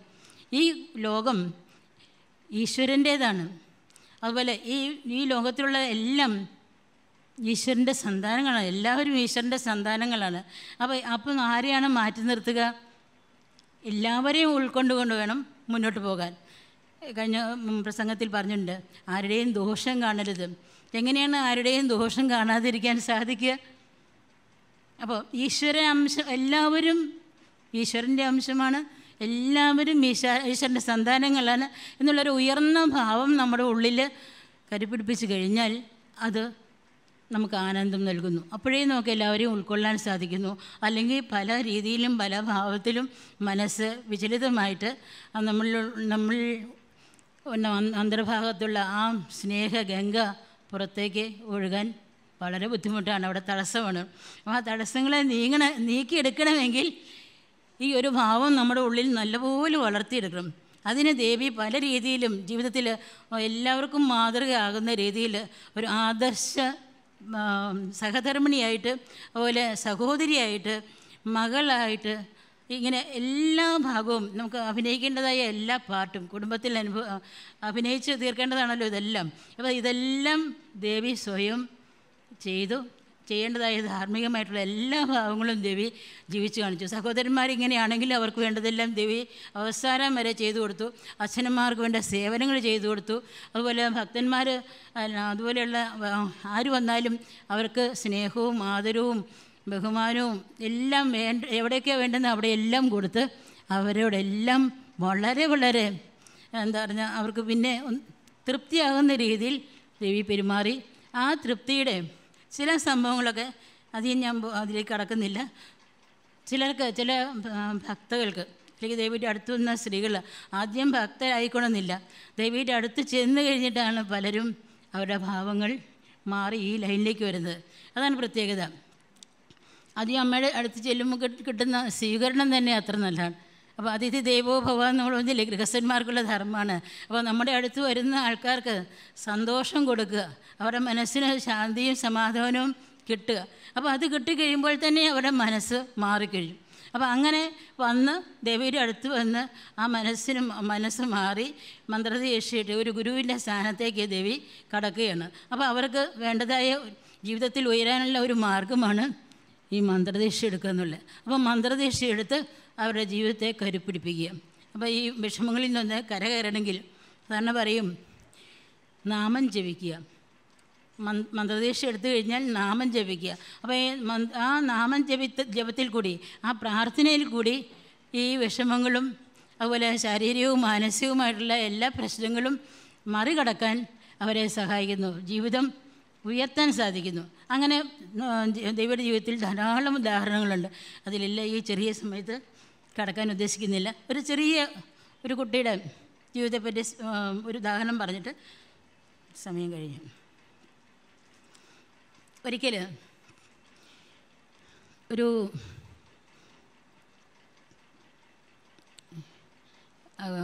വീട്ടിലൊക്കെ കുറച്ച് പ്രശ്നങ്ങളും കാര്യങ്ങളും ഉണ്ടായിരുന്നു. ആദ്യം ഒക്കെ നല്ല രീതിയിൽ പോയിരുന്നതാണ് ചന്ദ്രമോഹൻ ദത്ത എന്ന പേരുള്ള ഒരു അന്ന് ഭക്തനല്ല സാധാരണ ഒരു സാധാരണക്കാരൻ. അപ്പോൾ അദ്ദേഹത്തിന് കുടുംബത്തിലൊക്കെ ഇങ്ങനെ എല്ലാവരുമായിട്ട് പത്ത് പതിനൊന്ന് പേര് കുടുംബ വീട്ടിലുണ്ട്. അപ്പോൾ ആ വീട്ടിലുള്ളവരെ എല്ലാവരും ജ്യേഷ്ഠനാണ് നോക്കുന്നത്. അപ്പം ജ്യേഷ്ഠന്റെ അടുത്ത് അങ്ങനെ നിന്നിരുന്നു.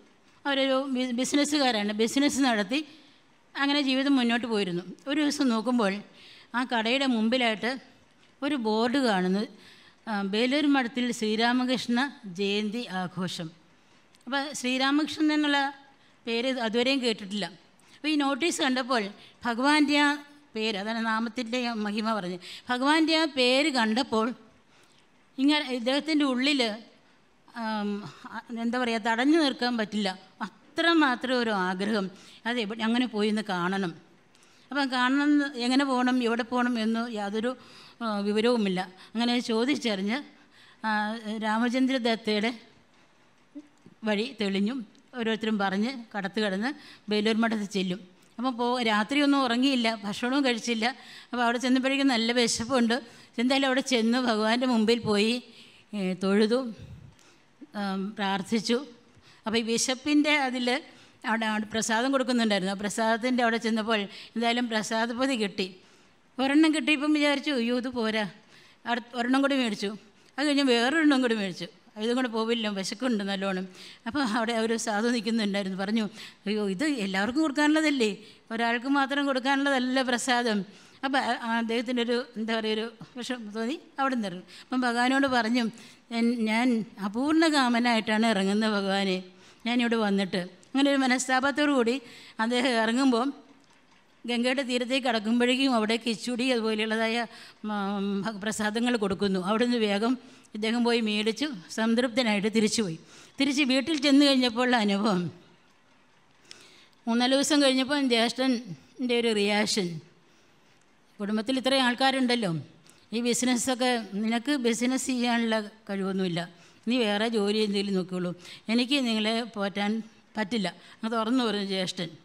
വേണം കുടുംബ പല കുടുംബത്തിലും ഉണ്ടാകുന്ന സംഭവം തന്നെ.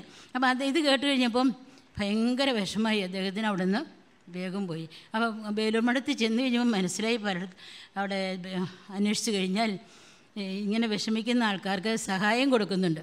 അപ്പം അന്വേഷിച്ച് പോയി അവൻ ബാഗ് ബസാറിൽ പോകും. അവിടെ ചെന്നപ്പോഴും ഇങ്ങനെ പലരോടും ചോദിച്ച് ചോദിച്ച് അവസാനം ദേവി ഇരിക്കുന്ന സ്ഥലത്ത് എത്തി.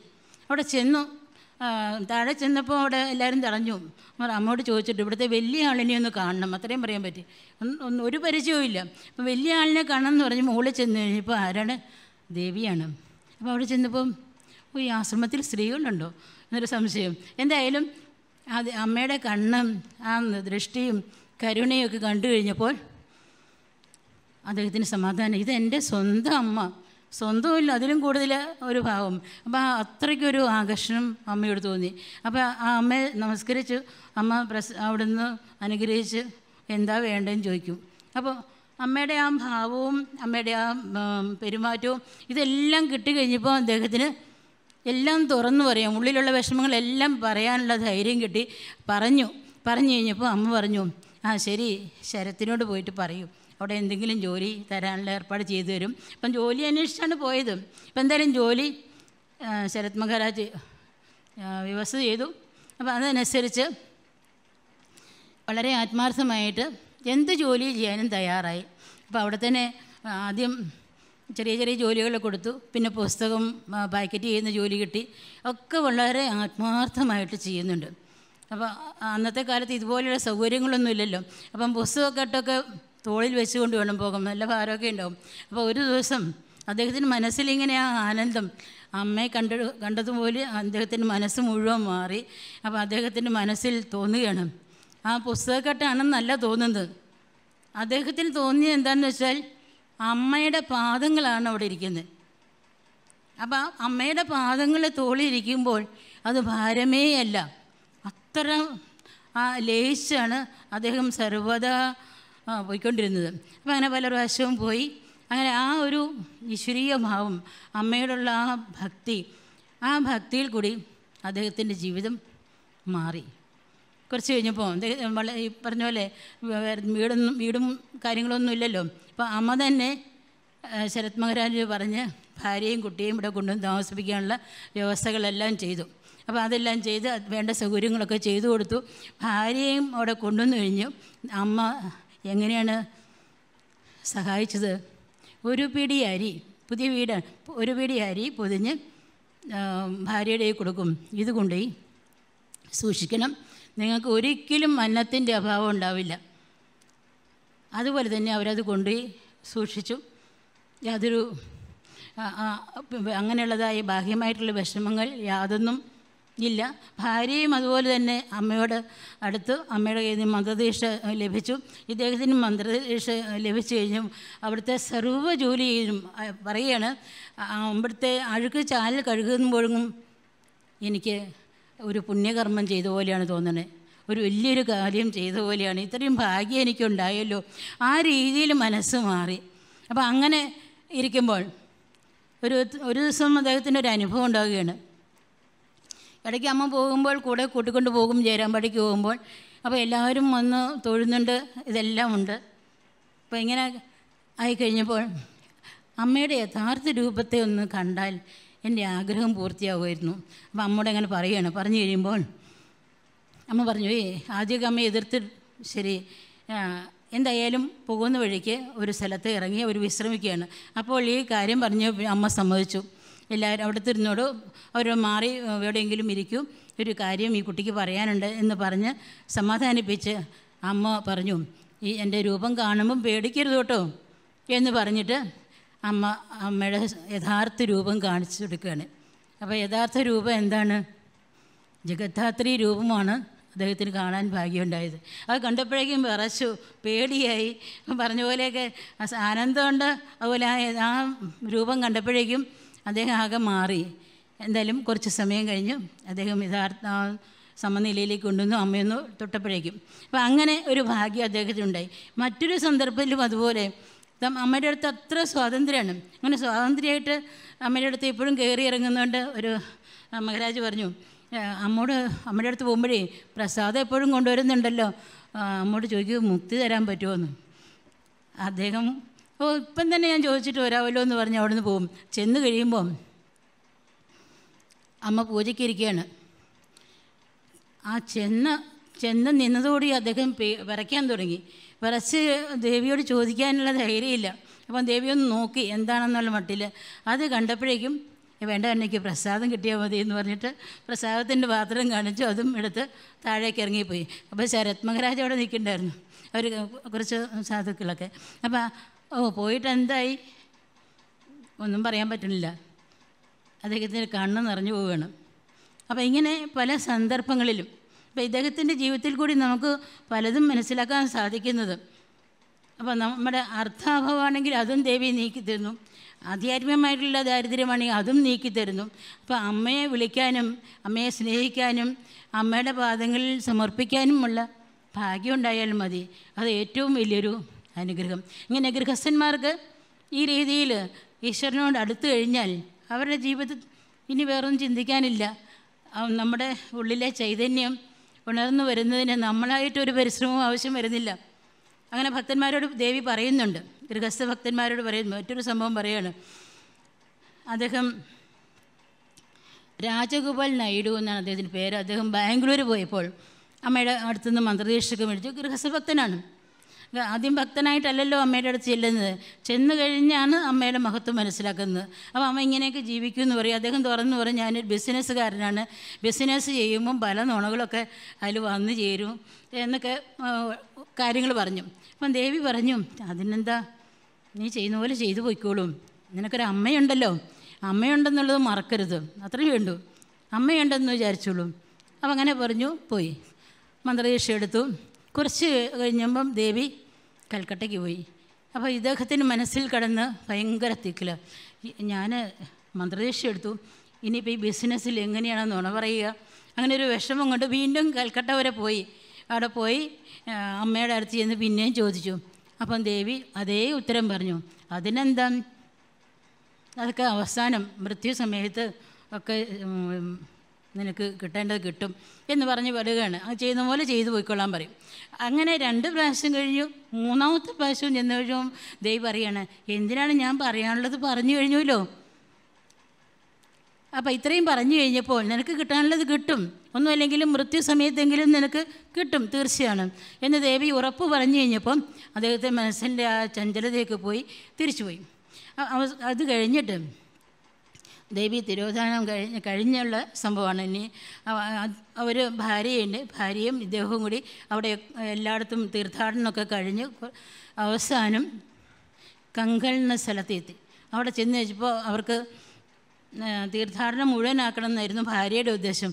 പക്ഷേ ഭാര്യയ്ക്ക് അവർ രണ്ടുപേരും അവിടെ കുറച്ച് നേരം താമസിച്ചു. കുറച്ച് വെയിറ്റ് ചെയ്തിട്ട് പറഞ്ഞു ഇല്ല ഞാൻ വരുന്നില്ല. ഞാൻ ആശ്രമത്തിലേക്ക് പോവുകയാണ്. നമുക്കിവിടെ മതി. ഇത് തീർത്ഥാടനം മതിയാക്കാം. ആശ്രമത്തിൽ പോയിട്ട് കങ്കൾ ആശ്രമത്തിൽ പോയി ഒന്ന് വിശ്രമിക്കട്ടെ. എന്നിട്ടാവാം നമുക്ക് എന്ന് പറഞ്ഞ് തിരിച്ചു വന്നു. ഭാര്യ എത്ര സംബന്ധിച്ചിട്ടും പറ്റണില്ല. വിശ്രമിച്ചിട്ട് പോകാമെന്ന് പറഞ്ഞ് കങ്കൽ ആശ്രമത്തിൽ സാധു എല്ലാം അവിടെ എല്ലാ വ്യവസ്ഥകളും ചെയ്തു കൊടുത്തു. ശരി. അപ്പോൾ ഭാര്യയോട് പറഞ്ഞു കങ്കണാശ്രമത്തിൽ പാവങ്ങളെയൊക്കെ നോക്കുന്ന സ്ഥലമാണ്. അവിടെ നാരായണ പൂജയാണ് ശരിക്കും സേവയാണ് അവിടെ ചെയ്യുന്നത്. അതൊക്കെ പോയി കണ്ടോളൂ. ഞാൻ കുറച്ച് വിശ്രമിക്കട്ടെ എന്ന് പറഞ്ഞ് അവർ വിശ്ര അദ്ദേഹം വിശ്രമിക്കാനായിട്ട് ജസ്റ്റ് അവിടെ ഇരുന്നേ ഭാര്യ പുറത്തേക്ക് ഇറങ്ങി ഒരു പത്തടി നീങ്ങിയിട്ടുണ്ടാവും. അപ്പോൾ എന്തൊരു ശബ്ദം കേട്ടു. അത് കേട്ടിട്ട് ആ വന്നോ? അമ്മ വന്നോ?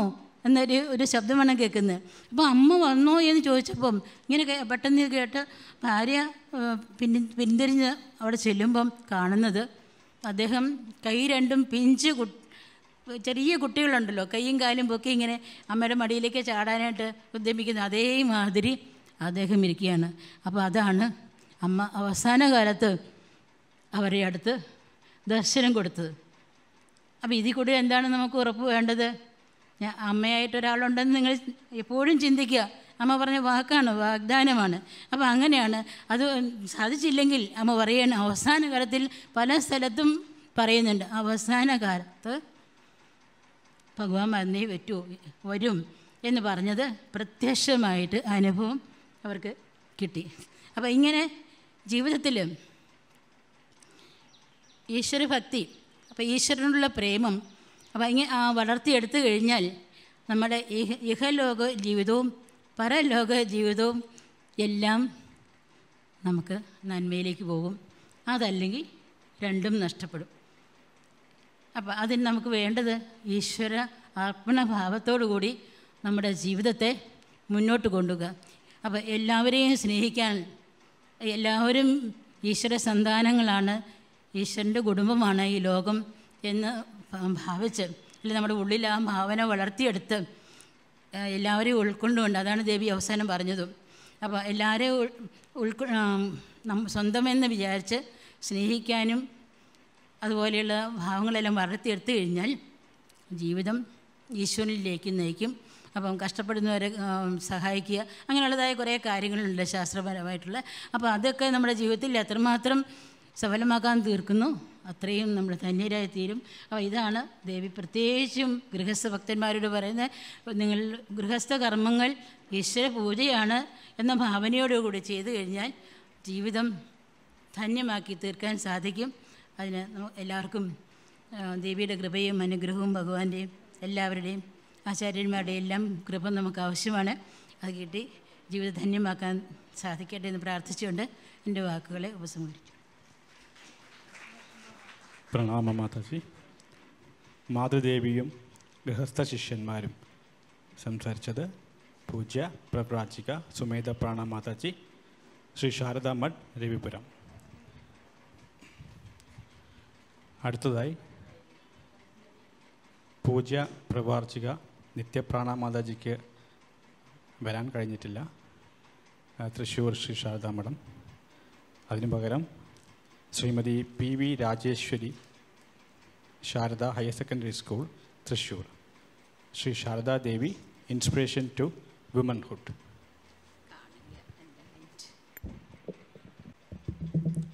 പവിത്രം ചരിതം യസ്യ പവിത്രം ജീവനം തഥാ പവിത്രതാ സ്വരൂപിണ്യേ തസ്യൈ ദേവ്യൈ നമോ നമഃ. വേദിയിലും സദസ്സിലും സന്നിഹിതരായിരിക്കുന്ന സമ്പൂജ്യരായ എല്ലാ സ്വാമിജിമാർക്കും മാതാജിമാർക്കും സാഷ്ടാംഗ നമസ്കാരം. മറ്റെല്ലാ ഭക്തജനങ്ങൾക്കും വിനീതമായ പ്രണാമം. നിത്യാ പൂജനീയ നിത്യാനന്ദ പ്രാണ മാതാജിക്ക് ഒരിക്കലും ഒരു പകരക്കാരി അല്ല എന്നുള്ള ഉറച്ച ബോധ്യത്തോടു കൂടി തന്നെയാണ് ഞാൻ ഇന്നിവിടെ നിൽക്കുന്നത്. പിന്നെ നമ്മുടെ വിഷയം Shri Sarada Devi is the inspiration for womanhood ആധുനിക സ്ത്രീത്വത്തിന് ശ്രീ ശാരദാദേവി എങ്ങനെ ഇൻസ്പിറേഷൻ ഇൻസ്പയർ ചെയ്തിരിക്കുന്നു സ്ത്രീത്വത്തെ. ഞാൻ പഠിച്ചതും വളർന്നതും ശാരദാമഠം സ്കൂളിലും ആശ്രമത്തിലും ആയതുകൊണ്ട് എന്റെ ഇൻസ്പിറേഷൻ ഇവിടെ ഇരിക്കുന്ന ഈ മാതാജിമാർ തന്നെയാണ്. അവരുടെ ഇൻസ്പിറേഷൻ എന്തായാലും ശ്രീ ശാരദാദേവി തന്നെ ആയിരിക്കും. അപ്പോൾ ഒരു തലമുറ വ്യത്യാസമേ ഉള്ളൂ എന്റെ ജീവിതവും മാതൃദേവിയുടെ ജീവിതവും തമ്മിൽ വ്യത്യാസം എന്ന് പറയാൻ. അതുതന്നെയാണ് ഈ ജന്മത്തിൽ എനിക്ക് കിട്ടിയിട്ടുള്ള ഏറ്റവും വലിയ ഭാഗ്യവും. ആ ഒരു ധൈര്യമാണ് ഇന്ന് ഈ വേദിയിൽ എന്നെ ഇവിടെ നിർത്താനായിട്ട് പ്രേരിപ്പിക്കുന്നത്. വളരെ വിശാലമായ ഒരു വിഷയമാണ് ദേവിയുടെ ജീവിതം പൂർണമായിട്ടും പ്രചോദനം തരുന്നത് തന്നെയാണ്. പക്ഷേ എനിക്ക് അനുവദിച്ചിരിക്കുന്ന സമയം പത്ത് മിനിറ്റാണ് എന്നുള്ളത് കൊണ്ടും ഇതിപ്പോൾ വളരെ ലേറ്റായി പോയി എന്നതുകൊണ്ടും ഇതിനെ എങ്ങനെ ഈ സമയത്തിനുള്ളിൽ ഒതുക്കണമെന്ന് എനിക്കറിയില്ല. എങ്കിലും മാതൃദേവിയുടെ കഥ അല്ലെങ്കിൽ ജീവിതം അതാരിലൂടെ പുറത്ത് വന്നാലും അത് ദേവിയുടെ തന്നെ ഇച്ഛയായിട്ട് അല്ലെങ്കിൽ ദേവിയുടെ തന്നെ വാക്കുകളായി ഏവരും സ്വീകരിക്കുമെന്ന പ്രതീക്ഷയോടെ ആ ജീവിതത്തിലേക്കൊന്ന് എത്തി നോക്കാം. വിവേകാനന്ദ സ്വാമിജി വിദേശത്ത് നിന്ന് ഒരിക്കൽ സഹോദര സന്യാസിമാർക്ക് എഴുതിയ ഒരു കത്തിൽ ഇപ്രകാരം പറയുന്നുണ്ട് നിങ്ങൾക്ക് മാതൃദേവിയെ ഹോളി മദറിനെ ഇപ്പോഴും ശരിക്ക് മനസ്സിലായിട്ടില്ല. ശ്രീ ശാരദാദേവി ശരിക്കും ശക്തിയുടെ അവതാരമാണ്. ശക്തിയെ ഉദ്ധരിച്ചില്ലെങ്കിൽ ലോകത്തിന് മുന്നോട്ട് പോകാൻ സാധ്യമല്ല.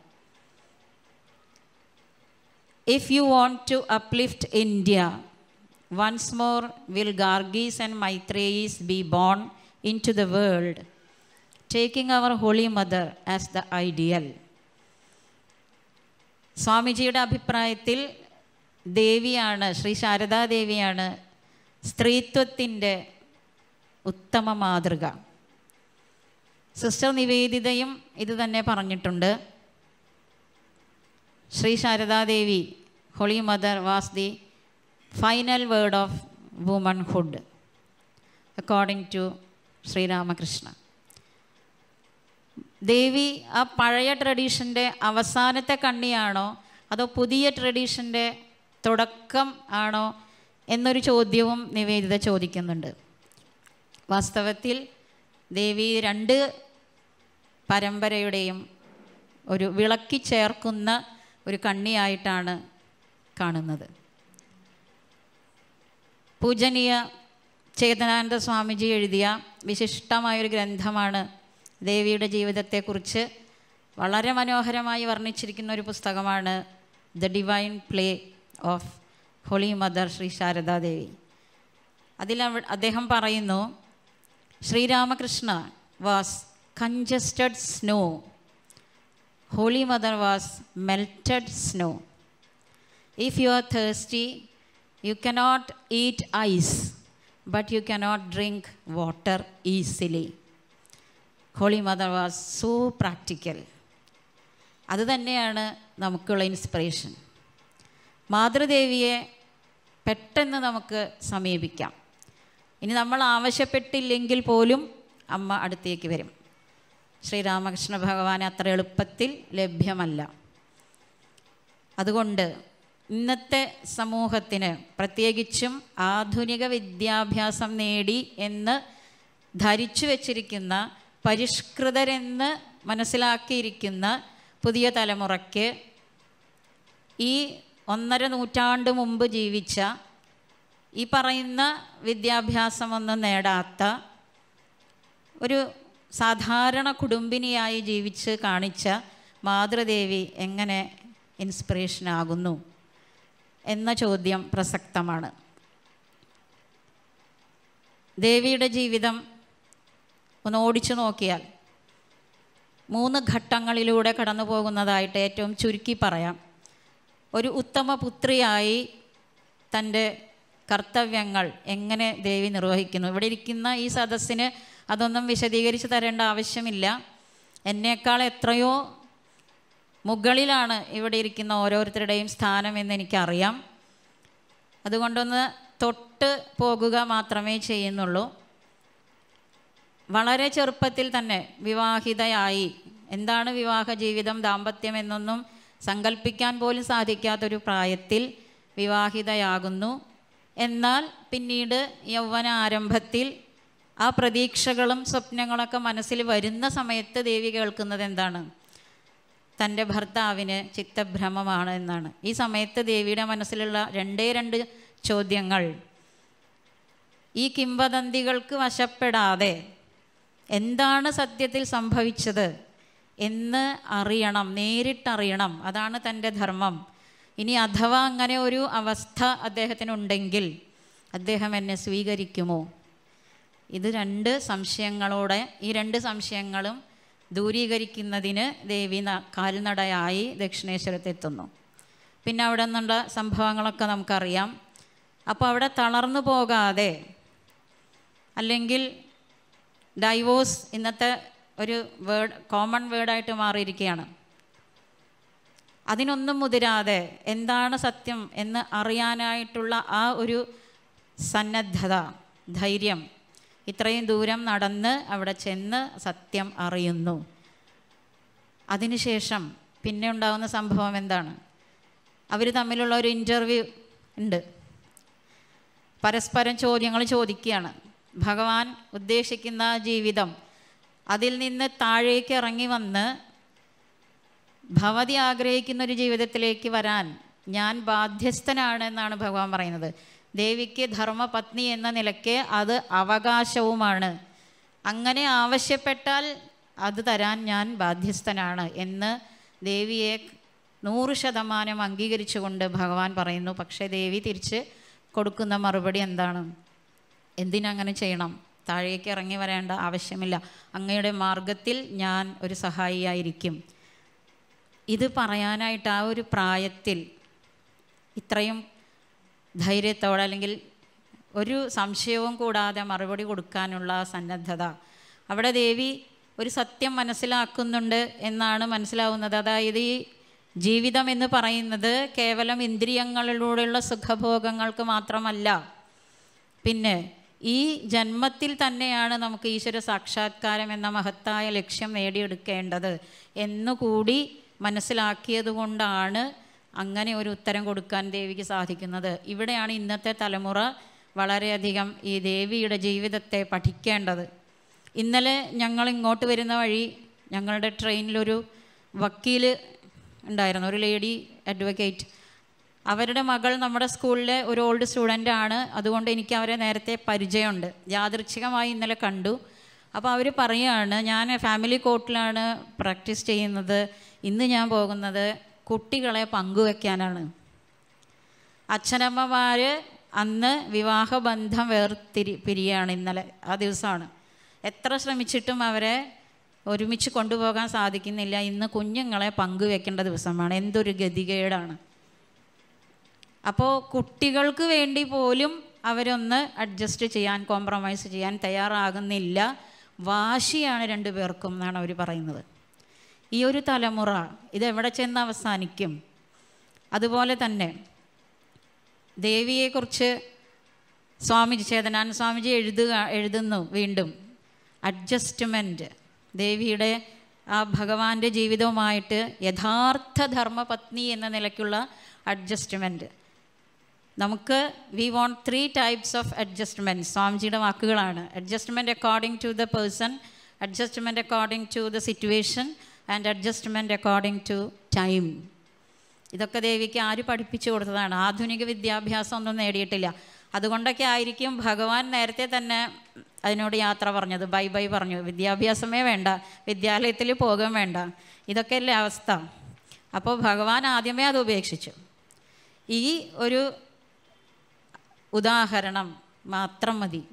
എങ്ങനെ ജീവിക്കണം? എങ്ങനെ അഡ്ജസ്റ്റ് ചെയ്യണം? അതുപോലെ സംതൃപ്തി. ജീവിതത്തിൽ ഇന്ന് ആർക്കുമില്ലാത്തൊരു കാര്യമാണ് സംതൃപ്തി കണ്ടെൻമെന്റ് അതുപോലെ എന്റെ പറയാൻ ഉദ്ദേശിച്ച കാര്യങ്ങളൊക്കെ കുറച്ചൊക്കെ കൈവിട്ട് പോകുന്നുണ്ട് സമയം എന്നുള്ളൊരു ഫാക്ടർ അവിടെ ഉള്ളതുകൊണ്ട് പിന്നീട് ദേവിയുടെ ജീവിതത്തിൽ അടുത്തൊരു ഘട്ടം എന്ന് പറയുന്നത് വൈധവ്യമാണ്. അന്നത്തെ കാലത്ത് ഒരു ബ്രാഹ്മണ വിധവയുടെ ജീവിതം എത്രത്തോളം ദുരിതപൂർണമായിരിക്കും എന്ന് നമ്മൾ ചരിത്രത്തിൽ പഠിക്കുന്നതാണ്. ഭഗവാന്റെ വേർപാട് ദേവിക്ക് താങ്ങാനാവാത്ത ദുഃഖമാണ് നൽകുന്നത്.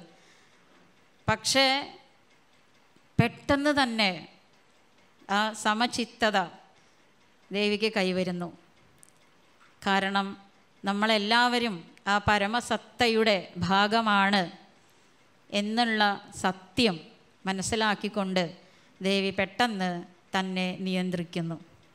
അങ്ങനെ ഒരു സംഘജനനിയായി ഒരു ആത്മീയ ഗുരുവായി ദേവി പിന്നീട് മാറുന്ന കഥയാണ് കാണുന്നത്. ഇതിന്റെയൊക്കെ തുടക്കം ബാല്യം അവസ്ഥയിൽ തന്നെ ശ്രീരാമകൃഷ്ണ ഭഗവാൻ ആ കുഞ്ഞു മനസ്സിലേക്ക് ഇട്ടുകൊടുത്തത് ഈശ്വരൻ എന്ന സങ്കല്പമായിരുന്നു. വളരെ ഭംഗിയായിട്ടാണ് പറയുന്നത്. നോക്കൂ അമ്പിളിമാവൻ എങ്ങനെയാണ് എല്ലാവരുടെയും സ്വന്തം അമ്മാവനായിരിക്കുന്നത്. അതുപോലെയാണ് നമുക്ക് ഈശ്വരൻ. എല്ലാവരുടെയും സ്വന്തമായിട്ടുള്ളത് ഈശ്വരൻ മാത്രമാണ്. ആ ഈശ്വരനെ ആ കുഞ്ഞു മനസ്സിൽ പ്രതിഷ്ഠിച്ചു കൊടുക്കുന്നതിൽ ഭഗവാൻ വിജയിച്ചു. അതാണ് ദേവിയുടെ ജീവിതത്തിലെ ഏറ്റവും അമൂല്യമായ സമ്പത്തായി മാറുന്നത്. ഇന്ന് കുട്ടികൾക്ക് ഇല്ലാത്ത കാര്യവും അത് തന്നെയാണ്. ഇന്ന് രാവിലെ നേരത്തെ എഴുന്നേൽക്കാനോ ഒരു ഈശ്വരനാമം ജപിക്കാനോ കുറച്ചു നേരം ഇതുപോലെ മെഡിറ്റേഷനൊക്കെ ചെയ്യാനോ എത്ര അമ്മമാരോ അല്ലെങ്കിൽ രക്ഷിതാക്കളോ ശ്രമിക്കുന്നുണ്ട്. മുഴുവൻ നമ്മൾ കുട്ടികളെ കുറ്റം പറഞ്ഞിട്ട് കാര്യമില്ല.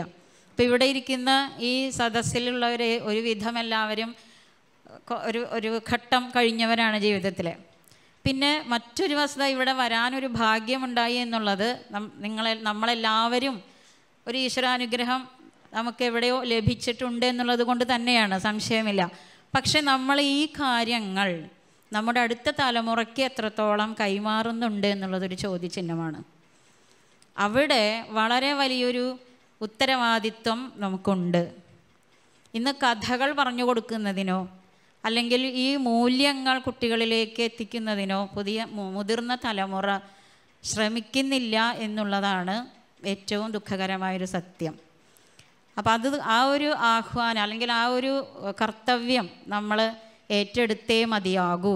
ലോകത്തിന്റെ പോക്ക് അത്ര മോശമാണ്. മൊബൈലിന് അഡിക്ഷനായിട്ട് ഒന്നാന്തരമായി പഠിച്ചുകൊണ്ടിരിക്കുന്ന നല്ല മിടുക്കിയായ ഒരു പെൺകുട്ടി ഒരു രണ്ടാഴ്ച മുമ്പ് ആത്മഹത്യ ചെയ്യുന്നു കഥ വായിച്ചു കാണും എല്ലാവരും. വീട്ടുകാർ അറിഞ്ഞിട്ടേ ഇല്ല ഈ കുട്ടി മൊബൈലിൽ ഇങ്ങനെയുള്ള വീഡിയോസ് കണ്ടുകൊണ്ടിരിക്കുകയാണ് എന്ന് അവരറിഞ്ഞിട്ടില്ല. കുട്ടികൾക്ക് ആവശ്യമുള്ള എല്ലാ സംഭവങ്ങളും സാധനങ്ങളും സാമഗ്രികളും പൈസയും ഒക്കെ ഇവർ കൊടുക്കുന്നുണ്ട്. അധ്യാപകർക്ക് വിശ്വാസമില്ല. ഈ കുട്ടി ഇങ്ങനെ ചെയ്തുവോ ക്ലാസ്സിലെ ഏറ്റവും നല്ല കുട്ടിയാണ്. പക്ഷേ ഈ കുട്ടി മൊബൈൽ ഫോണിൽ കാണുന്നത് മുഴുവനും ഈ കൊറിയൻ വീഡിയോസാണ് ഇപ്പോൾ ഇന്ന് ഒരു വിധം ചെറിയ തലമുറയെ സ്വാധീനിച്ചുകൊണ്ടിരിക്കുന്നത് അത് തന്നെയാണ്. അപ്പോൾ ഇവർ അത് ശ്രദ്ധിക്കുന്നില്ല. അച്ഛനമ്മമാർക്ക് അതിന് സമയം കിട്ടുന്നില്ല. അപ്പോൾ അവിടെ ദേവിയുടെ ജീവിതം നമുക്ക് ഒരുപാട് കാര്യങ്ങൾ പറഞ്ഞു തരുന്നുണ്ട്. അത് വായിക്കുകയും പഠിക്കുകയും നമ്മൾ ചെയ്താൽ മാത്രം പോരാ. അടുത്ത തലമുറയ്ക്ക് കൈമാറണം എന്നുള്ള തീർച്ചയായിട്ടും നമ്മുടെ ഒരു ചുമതലയാണ് അത് എന്നുള്ള ഒരു എളിയ അഭിപ്രായം പങ്കുവെച്ചുകൊണ്ട് മാതൃദേവിയുടെ അനുഗ്രഹവും ആശ ആശീർവാദവും എല്ലാവർക്കും ലഭിക്കട്ടെ എന്ന് പ്രാർത്ഥിച്ചുകൊണ്ട് നിർത്തുന്നു. നന്ദി നമസ്കാരം. പ്രണാമം. Shrimati P V Rajeshwari principal Sharada higher higher secondary school Thrissur. പൂജ്യ പ്രപ്രാചിക നിത്യപ്രണ മാതാജി പ്രത്യേകം പറഞ്ഞയച്ചതാണ് ശ്രീമതി പി വി രാജേശ്വരി മേഡത്തിനെ. അടുത്തതായി നവദുർഗ രൂപിണി ശ്രീ ശാരദാദേവി പൂജ്യ പ്രപ്രാചിക ചേതന പ്രാണ മാതാജി സെക്രട്ടറി ശാരദാ മിഷൻ തിരുവനന്തപുരം. ജനനീം ശാരദാം ദേവീം രാമകൃഷ്ണം ജഗദ്ഗുരും പാദപത്മേ തയോ ശ്രിത്വാ പ്രണമാമി മുഹുർമുഹു.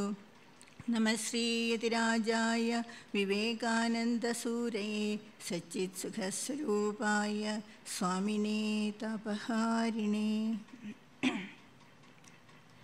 നവദുർഗ രൂപിണി ശാരദാദേവി എന്ന വിഷയമാണ് എനിക്ക് തന്നിരിക്കുന്നത്. അത് രണ്ടർത്ഥത്തിൽ നമുക്ക് എടുക്കാം. ഇത് സമയം വളരെ കുറവാണ് എന്നാലും. നവം നവദുർഗ എന്ന് പറഞ്ഞാൽ ദേവിയുടെ ഒൻപത് രൂപങ്ങളായിട്ട് എടുക്കാം. പിന്നെ ഒന്ന് നവം എന്ന് പറഞ്ഞാൽ പുതിയ എന്നുള്ള അർത്ഥം എടുക്കാം. അതായത് ആധുനിക യുഗത്തിലെ ഈ യുഗത്തിലെ ദുർഗ. അപ്പോൾ ഈ രണ്ടിൽ ഏതാണ് സംഘാടകർ ഉദ്ദേശിച്ചതെന്ന് എനിക്ക് മനസ്സിലായില്ല പക്ഷേ ഞാൻ എന്റെ രീതിയിൽ പറയുന്നു. ദേവി മഹാത്മ്യത്തിൽ ദുർഗയുടെ ഉത്പത്തിയെപ്പറ്റി പറയുന്നത് ദുർഗാദേവി അതായത് മഹിഷാസുരൻ എന്ന അസുരൻ കഠിന തപസ് ചെയ്ത് ശക്തി ആർജിച്ച് ദേവന്മാരെയൊക്കെ തോൽപ്പിച്ചു സ്വർഗത്തിൽ നിന്ന് അവരൊക്കെ കടത്തി. അങ്ങനെ ദേവന്മാർ വളരെ വിഷമിച്ചിരിക്കുന്നു. അവർ ബ്രഹ്മ വിഷ്ണു മഹേശന്മാരുടെ അടുത്ത് പോയി തങ്ങളുടെ സങ്കടം ഉണർത്തിക്കുകയാണ്. അപ്പോൾ ഈ മഹിഷാസുരന്റെ ചെയ്തികൾ കേട്ടിട്ട് അത്യധികം കോപിഷ്ടരായ മഹാവിഷ്ണുവിന്റെയും പരമശിവന്റെയും ആ ശരീരത്തിൽ നിന്നും ഉജ്ജ്വലമായ ഒരു തേജസ് പുറത്തേക്ക് വന്നു. അതേപോലെ മറ്റെല്ലാ ദേവന്മാരുടെയും ശരീരത്തിൽ നിന്നും ഉജ്ജ്വലമായ ഒരു തേജസ് പുറത്തേക്ക് വന്നു. ഈ തേജസ് എല്ലാം കൂടി ഒരു ജ്വലിക്കുന്ന പർവതം പോലെയായി തീർന്നു. ആ ജ്വലിക്കുന്ന പർവതം സാവധാനം ഒരു നാരീരൂപം കൈക്കൊണ്ടു. അനേകം ബാഹുക്കളോടുകൂടിയ അതിസുന്ദരിയായ ഒരു ദേവീരൂപം അതാണ് ദുർഗ. പിന്നെ എല്ലാ ദേവി ദേവന്മാരും എല്ലാ ദേവന്മാരും ഓരോ ആയുധവും ആയുധങ്ങളും ആഭരണങ്ങളും എല്ലാം ദേവിക്ക് സമ്മാനിച്ചു. അതിൽ ഹിമവാൻ കൊടുത്തതാണ് സിംഹം. അങ്ങനെ സിംഹവാഹിനിയായ ദുർഗ. ഈ രൂപവും ഈ ആയുധങ്ങളും എല്ലാം കിട്ടിയ ദുർഗാദേവി. ഭയങ്കരമായിട്ട് അട്ടഹസിച്ചു ലോകം മുഴുവൻ നടുങ്ങത്തക്ക വിധത്തിൽ. അത് കേട്ടിട്ട് മഹി മഹിഷാസുരൻ പോലും ഞെട്ടി എന്താണിത്? എന്ന് ചോദിക്കുകയാണ്. അപ്പോൾ ആ ദുർഗാദേവി യുദ്ധത്തിൽ പിന്നെ മഹിഷാസുരനെ തോൽപ്പിച്ച് ദേവന്മാർക്ക് അഭയം കൊടുക്കുന്നു അവർക്കൊരു വരവും കൊടുക്കുന്നു. അതായത് നിങ്ങൾക്ക് എപ്പോഴെല്ലാം ആപത്ത് വരുന്നുവോ അപ്പോഴൊക്കെ ഞാൻ നിങ്ങളെ സഹായിക്കാനെത്തും അങ്ങനെ ദുർഗാദേവി പിന്നീട് പല രൂപങ്ങളും കൈക്കൊണ്ട് ദേവന്മാരെ രക്ഷിക്കുന്നുണ്ട്. അപ്പോൾ ഈ അത് ദേവിക്ക് അനന്തരൂപിണിയാണ് ദേവി. എത്ര രൂപങ്ങൾ എന്ന് പറഞ്ഞാൽ തീരില്ല. ദേവി ദേവി മഹത്തിൽ തന്നെ നമുക്ക് കാണാൻ സാധിക്കും. വളരെയധികം രൂപങ്ങളാണ്. പക്ഷേ ഇതിൽ നവരൂപങ്ങൾ പറയുന്നത് ദേവി മഹാത്മ്യത്തിൽ തന്നെ തുടക്കത്തിൽ പറയുന്നുണ്ട്. പ്രഥമം ശൈലപുത്രീതി ദ്വിതീയം ബ്രഹ്മചാരിണി തൃതീയം ചന്ദ്രഖണ്ഡേതി കൂഷ്മാണ്ഡേതി ചതുർത്ഥകം പഞ്ചമം സ്കന്ദമാതേതി ഷഷ്ടം കാത്യായനി തഥ. സപ്തമം കാളരാത്രിശ്ച മഹാഗൗരീതി ചാഷ്ടമം. നവമ സിദ്ധിദാത്രിജ നവദുർഗ പ്രകീർത്തിത. അപ്പോൾ ഈ ഒമ്പത് രൂപങ്ങൾ ഇതിൽ നമുക്ക് എങ്ങനെ ശാരദാദേവിയുമായിട്ട് സാമ്യപ്പെടുത്താം എന്നുള്ളതാണ് നമുക്ക് നോക്കേണ്ടത്. ഇപ്പോൾ ദേവി നമ്മൾ ശാരദാദേവിയെ സർവദേവദേവി സ്വരൂപിണിയായിട്ട് സങ്കല്പിക്കുന്നത് കൊണ്ട് ഏത് രൂപവും ദേവിക്ക് എടുക്കാൻ സാധിക്കും. പക്ഷേ ഒരെണ്ണം പ്രത്യേകം നമുക്ക് പറയാൻ ഞാൻ പരാമർശിക്കാൻ ഉദ്ദേശിക്കുന്നത് ശൈലപുത്രി. ശൈലപുത്രി എന്ന് പറഞ്ഞാൽ പാർവതി ദേവിയാണ് പാർവതീദേവി കഠിനമായ തപസ് ചെയ്തു ശിവനെ പ്രീതിപ്പെടുത്തി വിവാഹം കഴിച്ചു. പക്ഷെ വിവാഹം കഴിഞ്ഞപ്പോൾ എല്ലാവരും മാതാപിതാക്കന്മാരെ അപലപിക്കുകയാണ്. എങ്ങനെയുള്ള ഒരാൾക്കാണ് വിവാഹം ചെയ്തു കൊടുത്തിരിക്കുന്നത് രാജകുമാരിയെ? ജടാധാരി ഭസ്മം മുഴുവൻ പൂശിയിരിക്കുന്നു. ദിഗംബരൻ സർപ്പം ധരിച്ചിരിക്കുന്നു. ഭിക്ഷാടനം നടത്തുന്നു. ഇങ്ങനെ ഒരാൾക്കാണോ വിവാഹം കഴിച്ചു കൊടുത്തിരിക്കുന്നത്? എല്ലാവരും അപലപിക്കുന്നു. ദേവിയുടെ അമ്മയ്ക്ക് അത്യധികം ദുഃഖം ഒരുപാട് ദുഃഖം. കഷ്ടം ഇങ്ങനെ ആയിപ്പോയല്ലോ. എന്റെ മകൾക്ക് ഇങ്ങനെ ഒരു അവസ്ഥയായല്ലോ. അങ്ങനെ ആ അവസ്ഥ. അത് കഴിഞ്ഞു. ഇത് കുറച്ചതിൽ ദുർഗാദേവിയുടെ ഈ ആഗമനി സോങ്ങൊക്കെ കേട്ടിട്ടുണ്ടെങ്കിൽ കുറച്ചും കൂടി മനസ്സിലാകും. പക്ഷെ അത് സമയമില്ല ഇപ്പോൾ പറയാൻ. പക്ഷേ കുറേ കഴിയുമ്പോൾ ഈ ദേവിയുടെ അമ്മയ്ക്ക് മനസ്സിലാവുകയാണ് പറയുകയാണ് എന്താ ഉമ്മ? ഉമ്മ എന്ന് പറഞ്ഞാൽ മകളെ വിളിക്കുകയാണ്. ഉമ്മയെ ഞാൻ എന്ത് നല്ല വാർത്തകളാണ് ഇപ്പോൾ കേൾക്കുന്നത്? നീ കാശിയിലെ അന്നപൂർണേശ്വരിയാണെന്ന് കേൾക്കുന്നല്ലോ. നീ ശിവൻ സർവലോകാധിപതിയാണെന്നും അവിടുത്തെ രാജ്ഞിയായി നീ വാഴുന്നു എന്നും കേൾക്കുന്നല്ലോ. ഇന്ദ്രചന്ദ്രന്മാർ പോലും നിങ്ങളുടെ ദർശനത്തിന് കാക്ഷിക്കുന്നു എന്ന് കേൾക്കുന്നല്ലോ. ഇതൊക്കെ സത്യമാണോ? എന്ന് ചോദിക്കുകയാണ്. അതായത് കുറേ കഴിയുമ്പോൾ പാർവതീദേവിയെ ദുർഗയായിട്ട് എല്ലാവരും കണക്കാക്കുകയാണ് ശിവനെ സർവലോകാധിപതി. അപ്പോൾ ഈ സംഭവം ഒരിക്കൽ ഭഗവാന്റെ സമാധിക്ക് ശേഷം ദേവി ജയറാമ്പാടിയിൽ താമസിക്കുകയാണ് അമ്മയോടൊപ്പം. അപ്പോൾ ഈ ഇങ്ങനെ പാട്ടുപാടി കഥ പാട്ടുപാടി വരുന്ന ഒരു സംഘമൊക്കെ ഉണ്ടാവും. അതിന് ബൗൾ എന്ന് പറയും. ഒരു ബൗൾ സംഗീതം ഒരാൾ വന്ന് പാടുകയാണ്. ആ അതിന്റെ വിഷയം ഇതായിരുന്നു. അതായത് പാർവതി ദേവിയുടെ അമ്മ ഈ കാര്യങ്ങൾ ഇങ്ങനെയൊക്കെ പറയുകയാണ്. എന്തൊക്കെ നല്ല വാർത്തകളാണ് ഇപ്പോൾ കേൾക്കുന്നത് ഇങ്ങനെയാണെന്നൊക്കെ ഇതൊക്കെ പറയുമ്പോൾ പക്ഷേ ഞാൻ അന്ന് എത്ര വിഷമിച്ചു. എന്തൊക്കെ എല്ലാവരും എന്നെ കുറ്റം പറഞ്ഞു? എങ്ങനെയുള്ള ആൾക്കാണ് വിവാഹം ചെയ്തു കൊടുത്തത്? ഇതൊക്കെയാണ് ആ പിന്നെ പാട്ടിന്റെ വിഷയം അതായിരുന്നു. അത് കേട്ടുകൊണ്ടിരിക്കുമ്പോൾ ദേവിയുണ്ട് കുറച്ച് ഭക്തന്മാർ ഭക്തരും ഭക്തകളുണ്ട് ദേവിയുടെ അമ്മയുണ്ട്. അപ്പോൾ അത് കേട്ടുകൊണ്ടിരിക്കുമ്പോൾ ദേവി പതുക്കെ അകത്തേക്ക് പോയി. അത് പാടി കഴിഞ്ഞപ്പോൾ ദേവിയുടെ അമ്മ പറയാണ് ശരി എന്റെ ഷാരുവിന് വിവാഹം കഴിച്ച് കൊടുത്തപ്പോഴും ഞാൻ എന്തൊക്കെ കേട്ടു? ഒരു ഭ്രാന്തനാണ് വിവാഹം കഴിച്ചു കൊടുത്തത്. എന്താണ് ഇങ്ങനെ എത്ര ഭാഗ്യം ഭാഗ്യം കെട്ടുപോയല്ലോ? എന്ന് അനുകമ്പ കാണിക്കാറുണ്ട്. എന്തൊക്കെ ഞാൻ കേട്ടു? പക്ഷേ ഇപ്പം ഞാൻ കേൾക്കുന്നല്ലോ. അതായത് ഭഗവാൻ സമാധിയായി കുറേ നാൾ കഴിഞ്ഞു. ഇപ്പം ഞാൻ കേൾക്കുന്ന എത്ര പേരാണ് ഷാരുവിന്റെ അടുത്ത് വരുന്നത്? എത്ര പേരാണ് ഷാരുവിനെ ആരാധിക്കുന്നത്? ഇതൊക്കെ ഞാനിപ്പോൾ കേൾക്കുന്നല്ലോ. അവർ വളരെ നിഷ്കളങ്കമായിട്ടാണ് പറയുന്നത്. അപ്പോൾ ഈ ഒരു ഇത് നോക്കിയാൽ എങ്ങനെയാണ് ദേവി ശൈലപുത്രി എന്നുള്ള അതേ ഭാവം അതേ ഇത് ദേവിക്ക് വന്നിട്ടില്ലെന്ന് നമുക്ക് കാണാം. അതേപോലെ ഇനിയുള്ള ഭാവങ്ങളെല്ലാം പറഞ്ഞാൽ ബ്രഹ്മചാരിണി ദേവി ശരിക്കും ബ്രഹ്മചാരിണി തന്നെ. പിന്നെ പല രൗദ്രഭാവങ്ങളും വരുന്നുണ്ട് പിന്നീട്. കൂഷ്മാണ്ഡേതി അതേപോലെ മഹാകാളി ഇതൊക്കെ. അപ്പോൾ ദേവിയുടെ ജീവിതത്തിൽ ഇതൊന്നും അത്ര പ്രകടമല്ലെങ്കിലും പലപ്പോഴും ഈ രൗദ്രഭാഗം കുറച്ചൊക്കെ പ്രകടമായിരുന്നു. ഉദാഹരണം ഒരു ഉദാഹരണം പറഞ്ഞാൽ ഒരു ഹരീഷ് എന്നുള്ള ഒരു ഭക്തൻ. ശരിക്കും ദേവിയുടെ ഭക്തനായിരുന്നു പക്ഷേ ഒരു മാനസിക നില കുറച്ച് എന്തോ തെറ്റിപ്പോയി. അങ്ങനെ ഒരിക്കൽ അയാൾ ജയറാമ്പാടിയിൽ വന്നു. ദേവിയുടെ വീട്ടിലപ്പോൾ ദേവി മാത്രമേ ഉള്ളൂ. ആ സമയത്ത് ഇയാൾ പതുക്കെ ദേവിയുടെ പിന്നാലെ ഉപദ്രവിക്കാനെന്നുള്ള ഭാവത്തിൽ ദേവിയുടെ പിന്നാലെ പോവുകയാണ്. അപ്പോൾ ദേവിക്ക് ഒരു നിവൃത്തിയില്ല വേറെ ആരുമില്ല അവിടെ. അപ്പോൾ മുറ്റത്ത് ഒരു വൈക്കോൽ ഇങ്ങനെ കൂട്ടി വെച്ചിട്ടുണ്ട് വൈക്കോൽ കൂന. അതിന്റെ ചുറ്റും ദേവി ഓടുകയാണ് ശരിക്കും ഇയാളിൽ നിന്ന് രക്ഷപ്പെടാൻ. പക്ഷേ എന്തായിട്ടും രക്ഷപ്പെടാനുള്ളൊരു മാർഗം കാണുന്നില്ല. അവസാനം ദേവി എന്തു ചെയ്തു? അയാളെ പിടിച്ച് മലർത്തി കിടത്തി മുട്ട് നെഞ്ചിലമർത്തി അയാളുടെ നാവ് പിടിച്ച് വലിക്കുകയാണ്. അതായത് ശരിക്കും ദുർഗയുടെ ഭാവം ദേവി അവിടെ കാണിച്ചു. അതോടുകൂടി അയാളുടെ മാനസിക നില ശരിയായി. പക്ഷേ അപ്പോൾ ഈ എല്ലാ ഭാവങ്ങളും ദേവിയിൽ നമുക്ക് കാണാൻ സാധിക്കും. നവദുർഗ അത് ഓരോന്നെടുത്ത് പറഞ്ഞില്ലെങ്കിലും. അപ്പോൾ അത് കഴിഞ്ഞ് ഈ നവ ഈ യുഗത്തിലെ ദുർഗ. ഇപ്പോൾ വിവേകാനന്ദ സ്വാമികൾ ഒരിക്കൽ ശിവാനന്ദ സ്വാമികൾക്ക് എഴുതുകയാണ്. ഇതൊക്കെ നമുക്കറിയാം. ഇപ്പോൾ വിദേശത്തേക്ക് പോകുന്നതിന് മുമ്പ് ഭഗവാൻ ആദേശം കൊടുത്തിട്ടും ദേവിയുടെ അനുഗ്രഹം കിട്ടിയിട്ട് മാത്രമേ അനുമതി കിട്ടിയിട്ട് മാത്രമേ ദേവി പോകാൻ തയ്യാറാകുന്നുള്ളൂ അതൊക്കെ എഴുതി കഴിഞ്ഞിട്ട് ശിവാനന്ദ സ്വാമികളോട് പറയാണ്. നോക്കൂ താരക്ദ അമ്മ ജീവന്ത് ദുർഗയാണ്. ജീവന്ത് ദുർഗയാണ്. അങ്ങനെ ജീവിച്ചിരിക്കുന്ന ദുർഗയാണ് അമ്മ.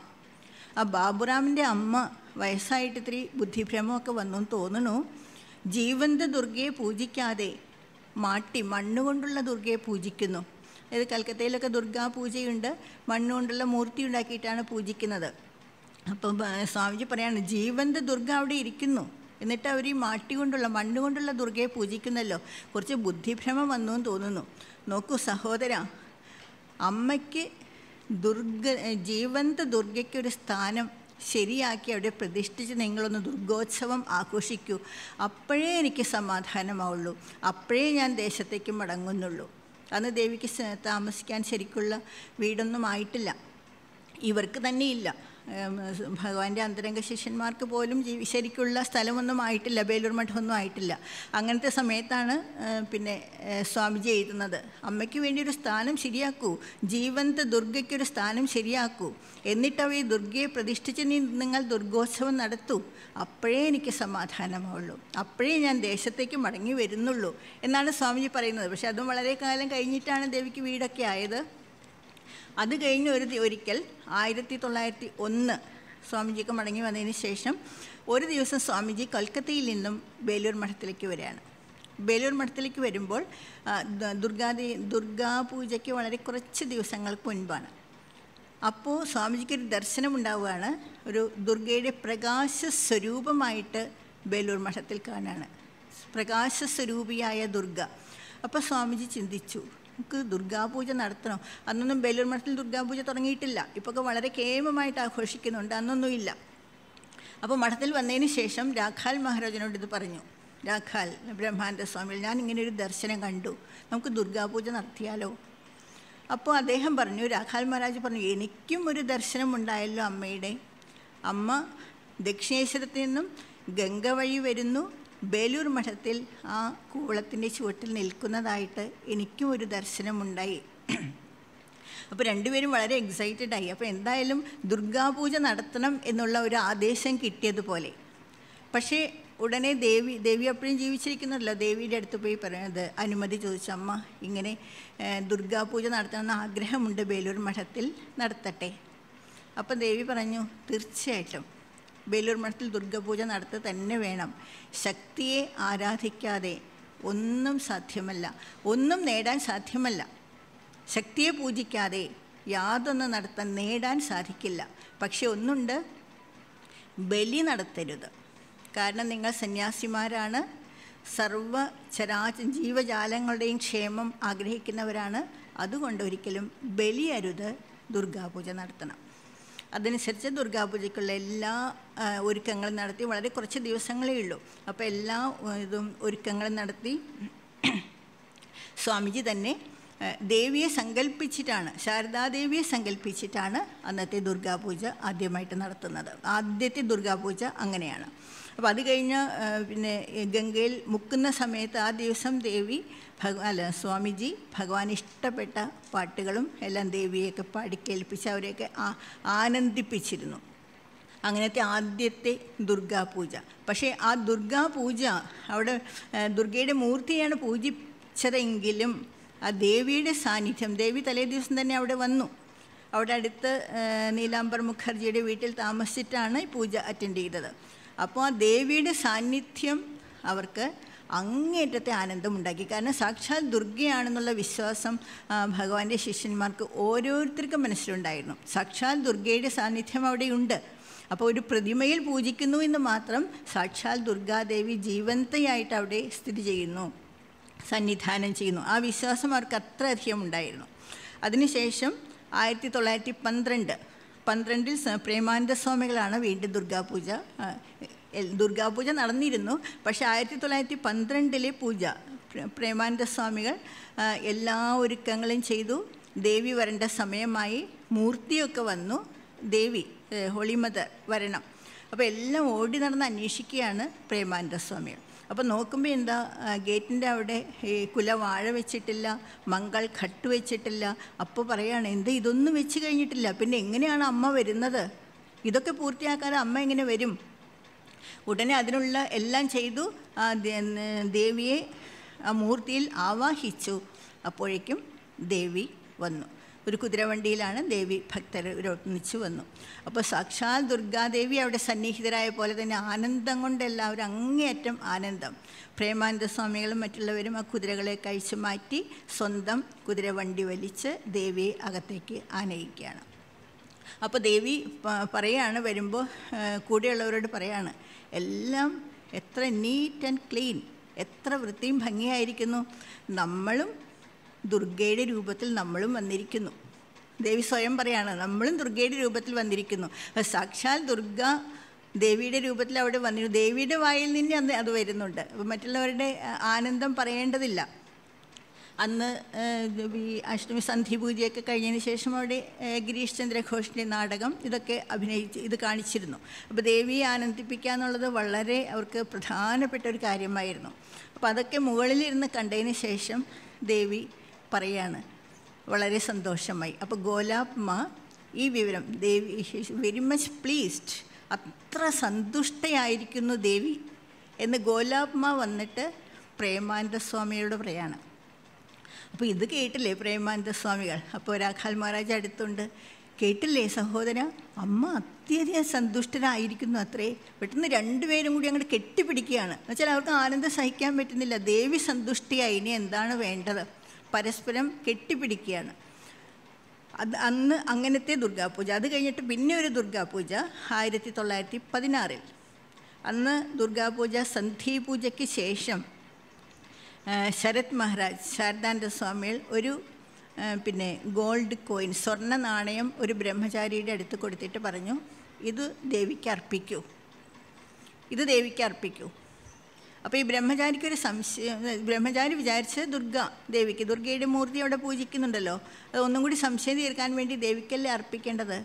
എന്തിനാ അവിടെ അർപ്പിക്കണം? അവിടെ ജീവന്ത് ദുർഗ. അവിടെ അടുത്ത് അടുത്ത വീട്ടിലാണ് ദേവി താമസിക്കുന്നത് വടക വീട്ടിൽ. അവിടെ ഉണ്ടല്ലോ ദേവിയുടെ അടുത്ത് അർപ്പിക്കൂ. അവിടെ അർപ്പിച്ചാൽ മതി. എന്നിട്ട് ബ്രഹ്മചാരി കൊണ്ടുപോയി ദേവിയുടെ പാദത്തിൽ അർപ്പിക്കുകയാണ്. അപ്പോൾ ആ ദുർഗാ പൂജ ദിവസം പത്ത് മുന്നൂറ് പേരാണ് ദേവിയുടെ പാദത്തിൽ പുഷ്പാർച്ചന ചെയ്ത് ആരാധിക്കുന്നത്. എന്നുവെച്ചാൽ ദേവി അത് അങ്ങനെ സ്വീകരിക്കുകയും ചെയ്തിരുന്നു. എല്ലാവരും ദേവിയെ ദേവിയെ സാക്ഷാൽ ദുർഗാദേവിയായിട്ട് അല്ലെങ്കിൽ ദേവിയുടെ പ്രതീകമായിട്ട് ദേവിയുടെ സാന്നിധ്യം അവിടെ അനുഭവിച്ചറിഞ്ഞിട്ടാണ് ഓരോ ദുർഗാ പൂജയും ബേലൂർ മഠത്തിൽ നടത്തിയിരുന്നത്. അപ്പം ഇന്നും അങ്ങനെ തന്നെ. എന്നുവെച്ചാൽ ദേവിയുടെ എന്താ ഭൗതികമായിട്ടുള്ള സാന്നിധ്യം ഇല്ലെങ്കിലും ദേവിയുടെ സാന്നിധ്യം പൂർണ രൂപത്തിൽ അവിടെയുണ്ട്. അപ്പോൾ ഓരോ ദുർഗാ പൂജയ്ക്കും അങ്ങനെ തന്നെയാണ് ബേലൂർ മഠത്തിൽ ഇപ്പോഴും ദുർഗയായിട്ട് ദേവിയുടെ സാന്നിധ്യം അവിടെ അനുഭവിച്ചുകൊണ്ട് തന്നെയാണ് ആ ദുർഗാ പൂജ എപ്പോഴും നടത്തുന്നത്.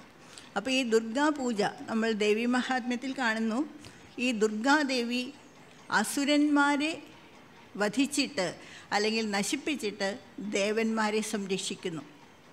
അപ്പോൾ ഈ യുഗത്തിലെ ദുർ- ദുർഗ അതായത് നമ്മുടെ ഹോളി മദർ അങ്ങനെ ചെയ്തതായിട്ട് നമ്മൾ കാണാറില്ല. അസുരന്മാരെ നശിപ്പിക്കുന്നതോ അല്ലെങ്കിൽ വധിക്കുന്നതോ കാണാറില്ല. പിന്നെ എന്താണ് ദേവി ചെയ്തത്?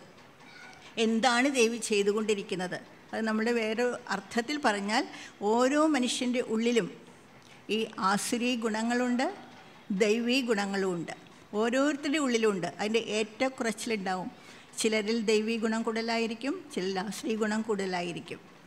അപ്പോൾ നമ്മൾ ആ ദൈവീ ഗുണം ഉപയോഗിച്ച് ഉള്ള ദൈവീ ഗുണം ഉപയോഗിച്ച് നമ്മുടെ അഹങ്കാരത്തെ കുറച്ച് മാറ്റിവെച്ച് ദേവിയെ സാക്ഷാൽ ദുർഗാദേവിയായ ദേവിയെ ശരണം പ്രാപിച്ചാൽ ദേവി നമ്മുടെ ആസുരി ഗുണങ്ങളെ നശിപ്പിച്ച് ദൈവീ ഗുണങ്ങളെ വർദ്ധിപ്പിച്ച് നമ്മുടെ ലക്ഷ്യത്തിലേക്ക് നമ്മളെ എത്തിക്കും.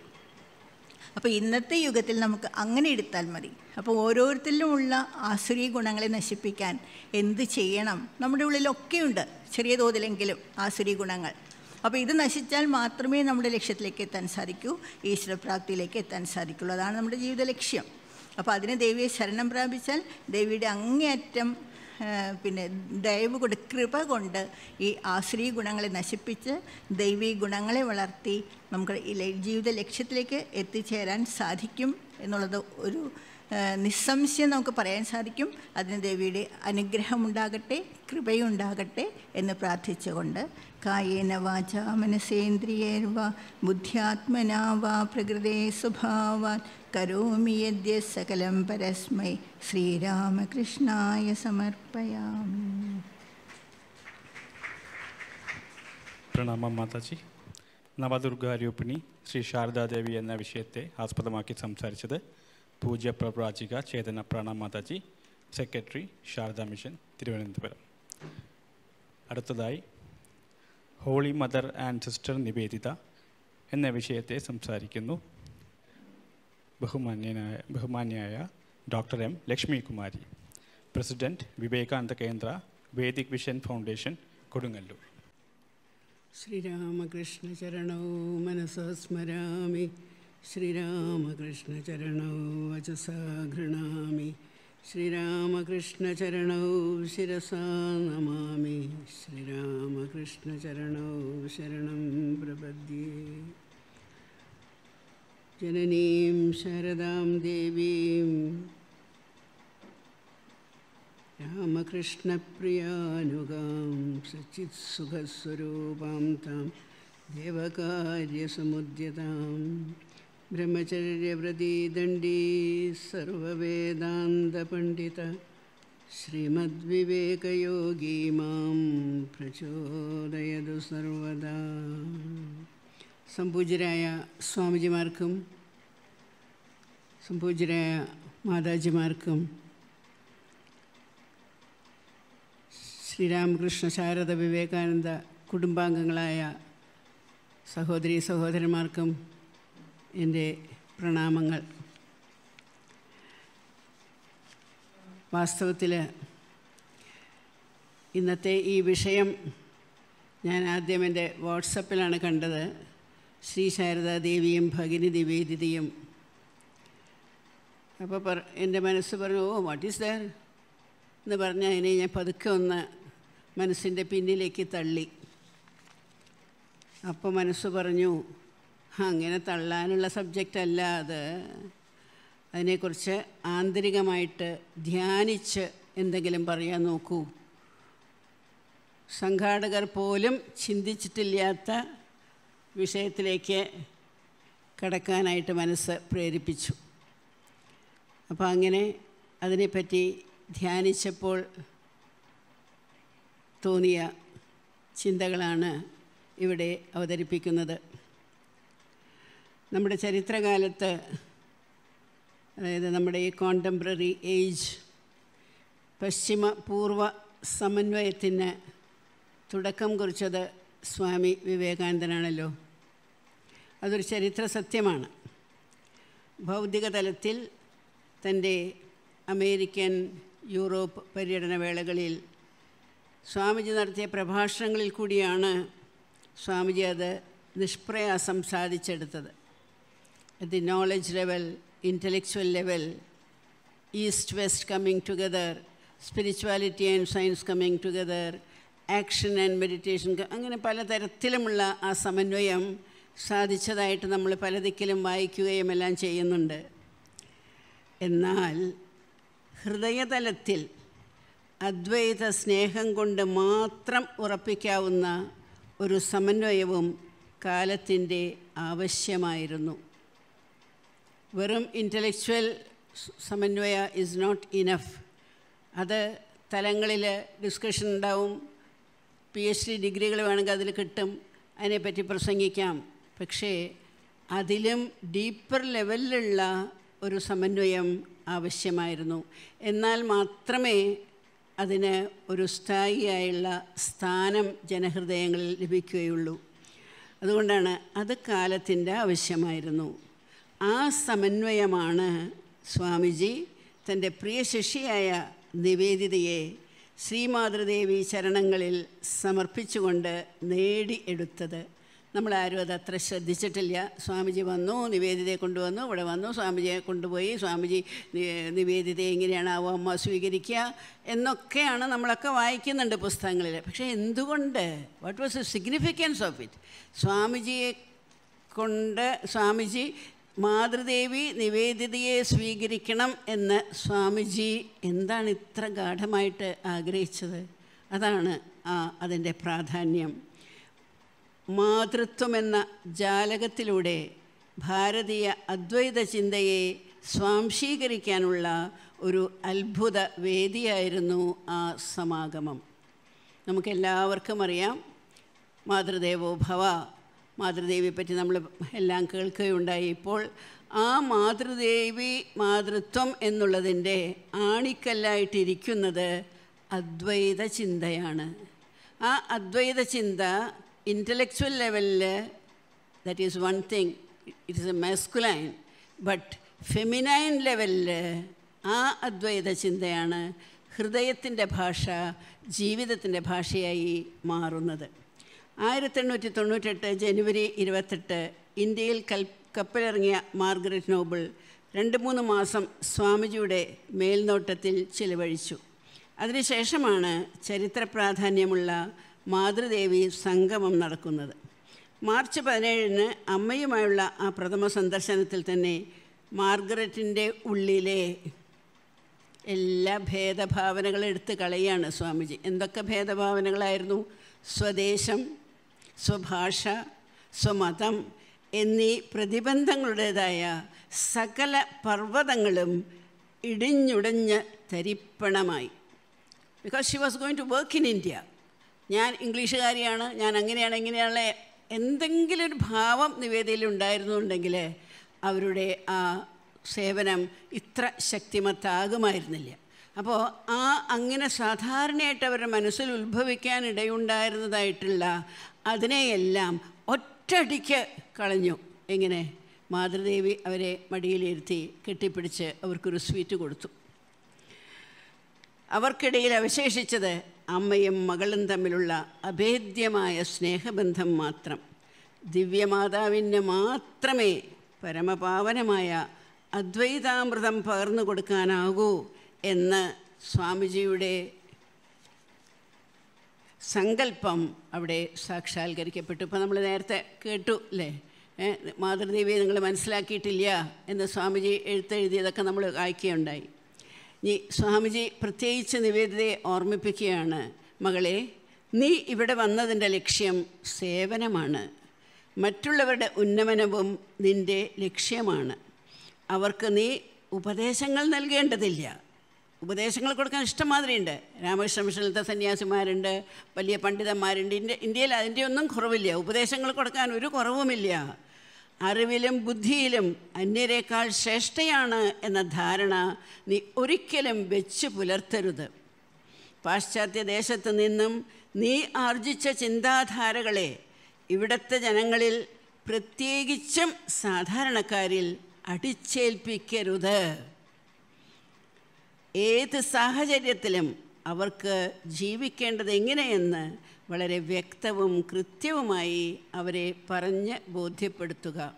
എന്തൊരു മനോഹരമായിട്ടാണ് പറയണേലേ വളരെ നാച്ചുറലാണ് ഇപ്പോൾ ഫോറിനേഴ്സ് ആരെങ്കിലും വന്ന് നമ്മൾ നമ്മൾ ഉടനെ നമുക്കൊരു ഭാവം മാറി നമ്മുടെ അവർ പറയേണ്ടതാണ് ശരി. അപ്പോൾ സ്വാമിജിക്കും വിചാരിച്ചിട്ടുണ്ടാവും ഈ കുട്ടി പോയിട്ട് ഞാൻ അങ്ങനെ വല്ലതും ചെയ്തു കഴിഞ്ഞാൽ എന്റെ ആഗ്രഹവും അഭിലാഷവും മുഴുവൻ തെറ്റും. അതുകൊണ്ട് ആ ഭാവം അടുന്ന് പിഴുതെടുത്ത് കളയണം. അതിന് ഒരാൾക്കേ കഴിയൂ.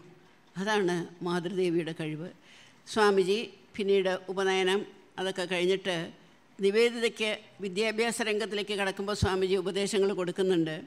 ആത്മീയ മൂല്യങ്ങളെ വിട്ടുകളയാതെ ആധുനികതയുടെ നന്മകളെ ഉൾക്കൊണ്ട് സന്ദേശ സന്ദേ തന്റെ ഇടത്തോടെ മാതൃഭൂമിയെ സേവിക്കാൻ സ്ത്രീ സമൂഹത്തെ ഉദ്ബുദ്ധമാക്കുക. എവിടുന്നാ അത് പഠിക്കാൻ പോണത്? മാതാ അമ്മയുടെ അടുത്ത് ഇരുന്നു കൊണ്ടാണ് അത് മനസ്സിലാക്കാൻ പോകുന്നത്. സ്ത്രീ വിദ്യാഭ്യാസം ആധ്യാത്മികതയിൽ അധിഷ്ഠിതവും സ്ത്രീകളിൽ അന്തർലീനമായിരിക്കുന്ന നൈസർഗികമായ കഴിവുകളെ വികസിപ്പിക്കാൻ ഉതകുന്നതുമായിരിക്കണം. വിദ്യാഭ്യാസത്തിന്റെ ലക്ഷ്യം കേവലം വ്യക്തി പുരോഗമനവും ധനസമ്പാദനവും മാത്രമാകാതെ നമ്മളിപ്പോൾ ആ സ്റ്റേജിൽ കൂടെയാണ് കടന്നു പോയിക്കൊണ്ടിരിക്കുന്നത്. വ്യക്തി പുരോഗമനവും ധനസമ്പാദനവും മാത്രമാകാതെ നിരാശ്രയരുടെയും നിലാര നിരാലംബരുടെയും ഉന്നമനത്തിനു വേണ്ടി പരമാവധി പ്രയോജനപ്പെടുത്തണം.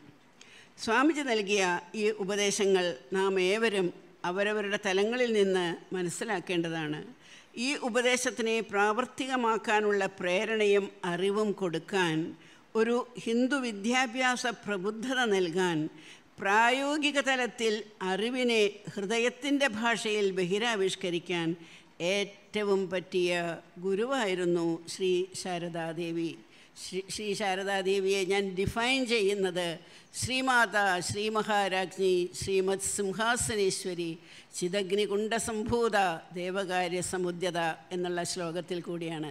ദേവകാര്യ സമുദ്യതയായിരുന്നു അമ്മ. ഇപ്പോൾ ഈസ്റ്റ് വെസ്റ്റ് അവിടെ യോജിപ്പിച്ച മാതിരി ഓരോരോ ഒരു അമ്മയ്ക്ക് മാത്രമേ ആ അദ്വൈത ഭാവത്തെ അടുത്ത തലമുറയിലേക്ക് പകർന്നു കൊടുക്കാനായിട്ട് സാധിക്കുകയുള്ളൂ. അത് ഹൃദയത്തിന്റെ ഭാഷത്തിൽ ഭാഷയിൽ നിവേദിയിൽ നിവേദിതയിൽ കൂടി കുട്ടികൾക്ക് എത്തണമെന്നുണ്ടെങ്കിൽ ആദ്യം അതിന്റെ ഗുരു ശ്രീ ശാരദാദേവി തന്നെ ആയിരിക്കണമെന്ന് സ്വാമിജിക്ക് നിർബന്ധമായിരുന്നു. അതിനെ പ്രായോഗിക തലത്തിൽ ഹൃദയത്തിന്റെ ഭാഷയിൽ ബഹിരാവിഷ്കരിക്കാൻ ഏറ്റവും പറ്റിയ ഗുരുവായിരുന്നു ശ്രീ ശാരദാദേവി. സമ്പൂർണ ആത്മസമർപ്പണമെന്ന ലക്ഷ്യവും മുന്നിൽ വെച്ചുകൊണ്ട് ശ്രീ ശാരദാദേവിക്കൊപ്പം താമസിച്ചുകൊണ്ട് പ്രാർത്ഥന ധ്യാനം കൂട്ടത്തിൽ അവരുടെ ലേഖനമെഴുത്ത് കുഞ്ഞുങ്ങളെ പഠിപ്പിക്കൽ എന്നിവയിലൂടെ നിവേദിത ഭാരതത്തിന്റെ ആത്മാവിനെ തൊട്ടറിഞ്ഞു. അല്ല സ്വാംശീകരിച്ചു. ഈ ആദർശങ്ങളെ ഉൾക്കൊണ്ട് ആയിരത്തി എണ്ണൂറ്റി തൊണ്ണൂറ്റെട്ട് നവംബർ പതിമൂന്നാം തീയതി കാളി പൂജയുടെ പുണ്യദിനത്തിൽ ശ്രീ ശാരദാദേവിയുടെ അനുഗ്രഹത്തോടെ നിവേദിത ചെറിയ ഒരു സ്കൂൾ തുറന്നു. വിദ്യാഭ്യാസ പ്രവർത്തനത്തിന് നന്ദി കുറിച്ചു.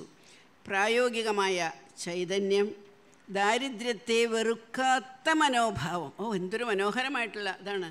സ്വാമിജി പറഞ്ഞേക്കുന്നത് ദാരിദ്ര്യത്തെ വെറുക്കാത്ത മനോഭാവം. ഇപ്പോൾ നമുക്കൊക്കെ ഒരാൾ ദരിദ്രനാണെന്ന് പറഞ്ഞാൽ നമ്മൾ ഉടനെ അവിടെ നിന്ന് മാറും. എന്താ വെച്ചാൽ അയാളുടെ പിടിയിൽ നമ്മൾ വരരുതെന്ന്. ദാരിദ്ര്യത്തെ വെറുക്കാത്ത മനോഭാവം. അതുകൊണ്ടാണ് അവർക്ക് ആ പ്ലേഗിലൊക്കെ ഇത്രയും വളരെ സേവനം ചെയ്യാൻ സാധിച്ചത്.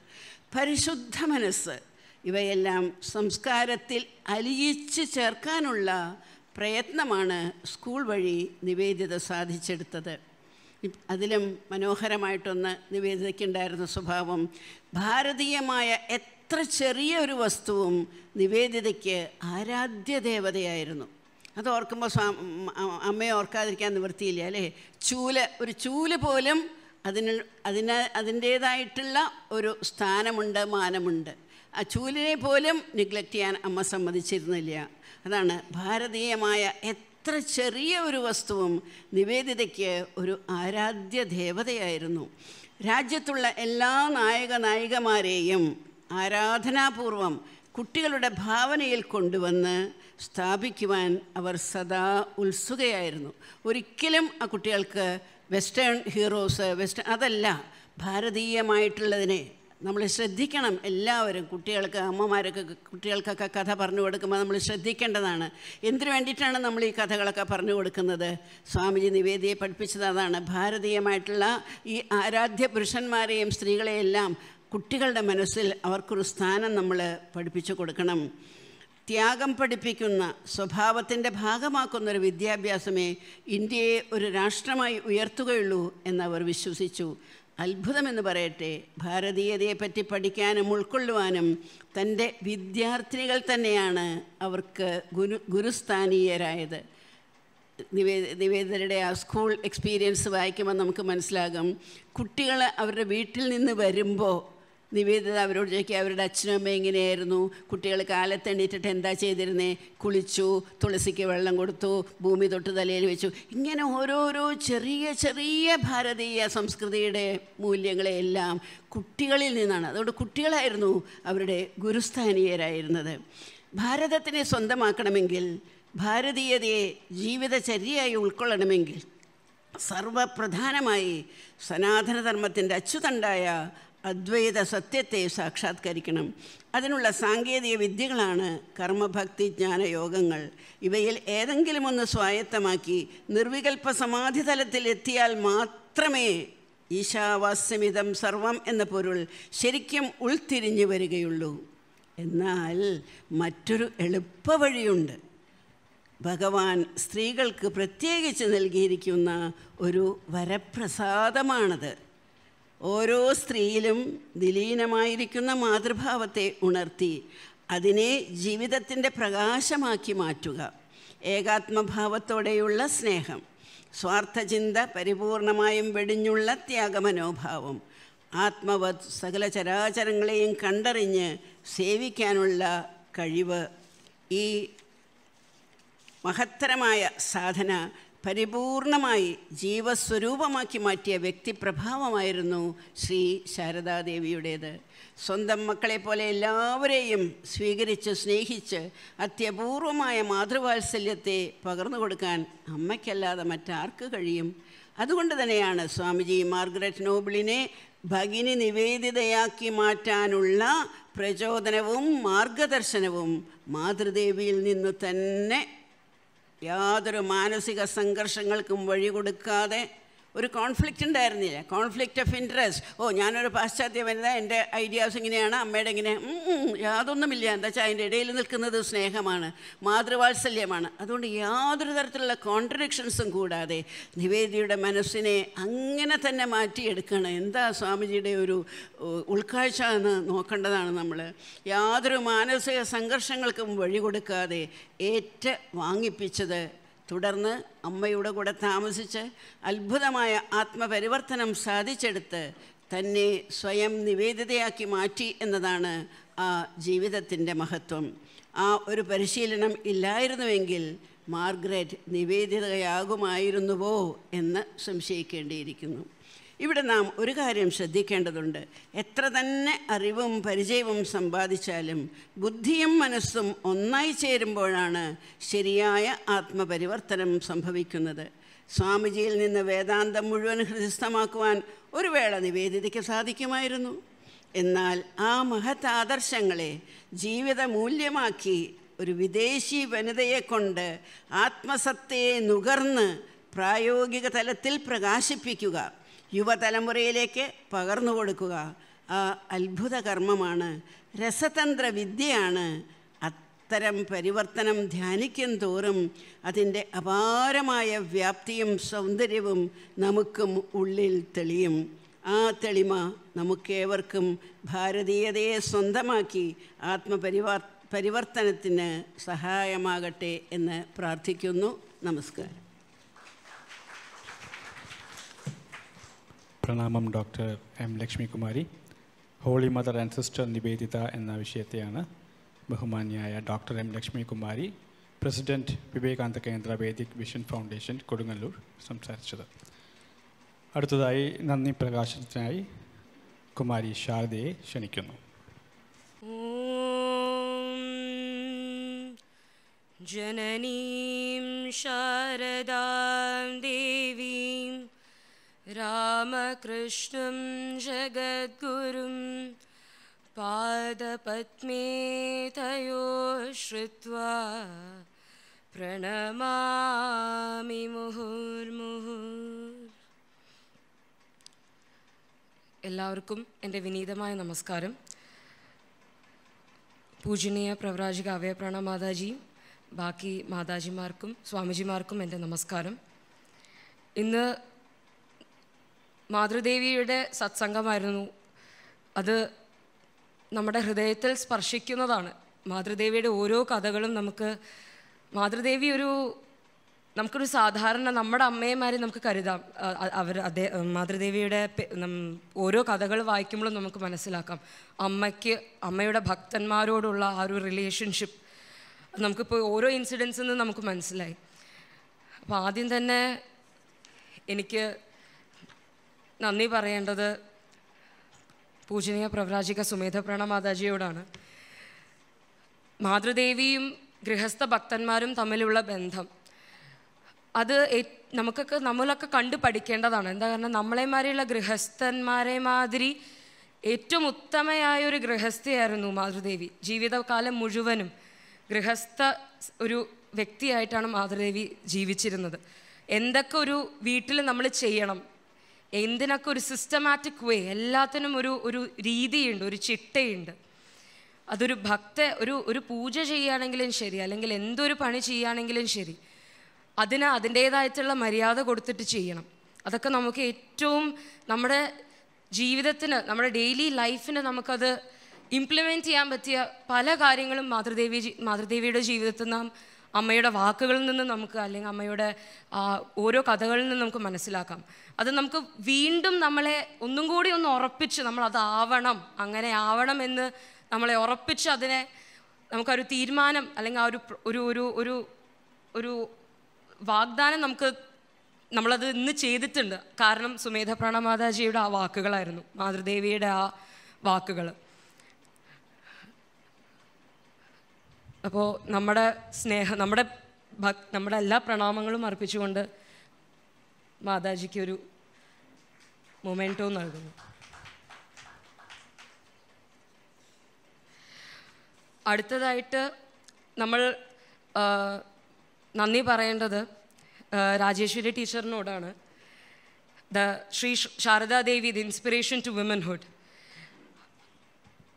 അവർക്ക് രാജേശ്വരി ടീച്ചർ ഞങ്ങളുടെ സ്നേഹോപകരമായിട്ടത് സ്വീകരിക്കണം. ഒരുപാട് നന്ദിയുണ്ട് ടീച്ചർ. കാരണം ഒരു സ്ത്രീ എങ്ങനെ ആയിരിക്കണം? ഒരു സമൂഹത്തിൽ ഒരു സ്ത്രീയുടെ വില എന്താണ്? എങ്ങനെയാണ് നമ്മൾ അങ്ങനെ ഒരു റോൾ മോഡൽ ആക്കിയിട്ടാണ് നമ്മൾ അമ്മയെ കാണുന്നത്? അത് ഒന്നും കൂടി നമുക്ക് എന്താ പറയുക പൂർണമായിട്ട് അതെ അതാണ് ശരിയെന്ന് നമുക്ക് ഉറപ്പിച്ച് നമുക്ക് വിശ്വസിക്കാൻ പറ്റി. വിശ്വസിക്കലല്ല അതാണ് സത്യം എന്നുള്ളത് നമുക്ക് ഒന്നും കൂടി നമ്മളെ ഇതാക്കിയതിന് രാജേശ്വരി ടീച്ചറിന് ഒരുപാട് നന്ദി. അടുത്തത് നവദുർഗാരൂപിണി ശ്രീ ശാരദാദേവി എന്ന വിഷയത്തിൽ കുറിച്ച് നമ്മൾക്ക് നമുക്ക് അതിനെക്കുറിച്ച് കൂടുതൽ നമുക്ക് പറയാൻ സമയമില്ല. കാരണം ദേവിയുടെ എല്ലാ ഭാവങ്ങളിലും ഭാവങ്ങളും നമുക്ക് മാതൃദേവിയിൽ കാണാൻ സാധിക്കും. ടു ബി വെരി ആക്യുറേറ്റ് എന്താ പറഞ്ഞാൽ അമ്മ തന്നെയാണ് ദേവി അമ്മ തന്നെയാണ് ദുർഗ. അത് നമുക്ക് ബോധ്യപ്പെടുത്തി അത് അതാണ് സത്യമെന്ന് നമുക്ക് കാണിച്ചു തന്നതിന് പൂജനീയ പ്രവരാജിക ചേതന പ്രണമാതാജിക്ക് പ്രണാമം. അടുത്തത് holy mother and sister Nivedita. Margaret Elizabeth Noble എന്ന് പറയുന്ന ഒരു ഐറിഷ് വനിത ഭാരതത്തിന് വേണ്ടി സ്വന്തം ജീവിതം ഒഴിഞ്ഞു വെച്ച് സിസ്റ്റർ നിവേദിതയായി മാറി സ്വാമിജിയുടെ മെസ്സേജ് സ്വാമിജിയുടെ കാഴ്ചപ്പാട് ഭാരതത്തിന് കാണിച്ചു കൊടുത്ത ആ ഒരു വ്യക്തിയുടെ പിന്നാലെയുള്ള ശക്തി അനുഗ്രഹം സാക്ഷാൽ മാതൃദേവി തന്നെയാണ്. അത് ആ ഒരു ടോപ്പിക്കിനെ കുറിച്ച് സംസാരിക്കാൻ നമുക്ക് വേറെ ഒരാളെയും നമുക്ക് തേടിപ്പോകാൻ പറ്റില്ല. പക്ഷേ ലക്ഷ്മി ദീദി മാത്രമേ ഉണ്ടാവുള്ളൂ. കാരണം ജീവിതം മുഴുവനും സ്വാമിജിക്ക് വേണ്ടി ഒഴിഞ്ഞു വെച്ച ഒരു ഗ്രേറ്റ് പേഴ്സണാലിറ്റിയാണ് നമുക്കിന്ന് ഈ ഒരു ഇതിന് വേണ്ടി സംസാരിക്കാൻ കിട്ടിയിരിക്കുന്നത്. ഒരുപാട് പ്രണാമം ഒരുപാട് നന്ദി ദീദി.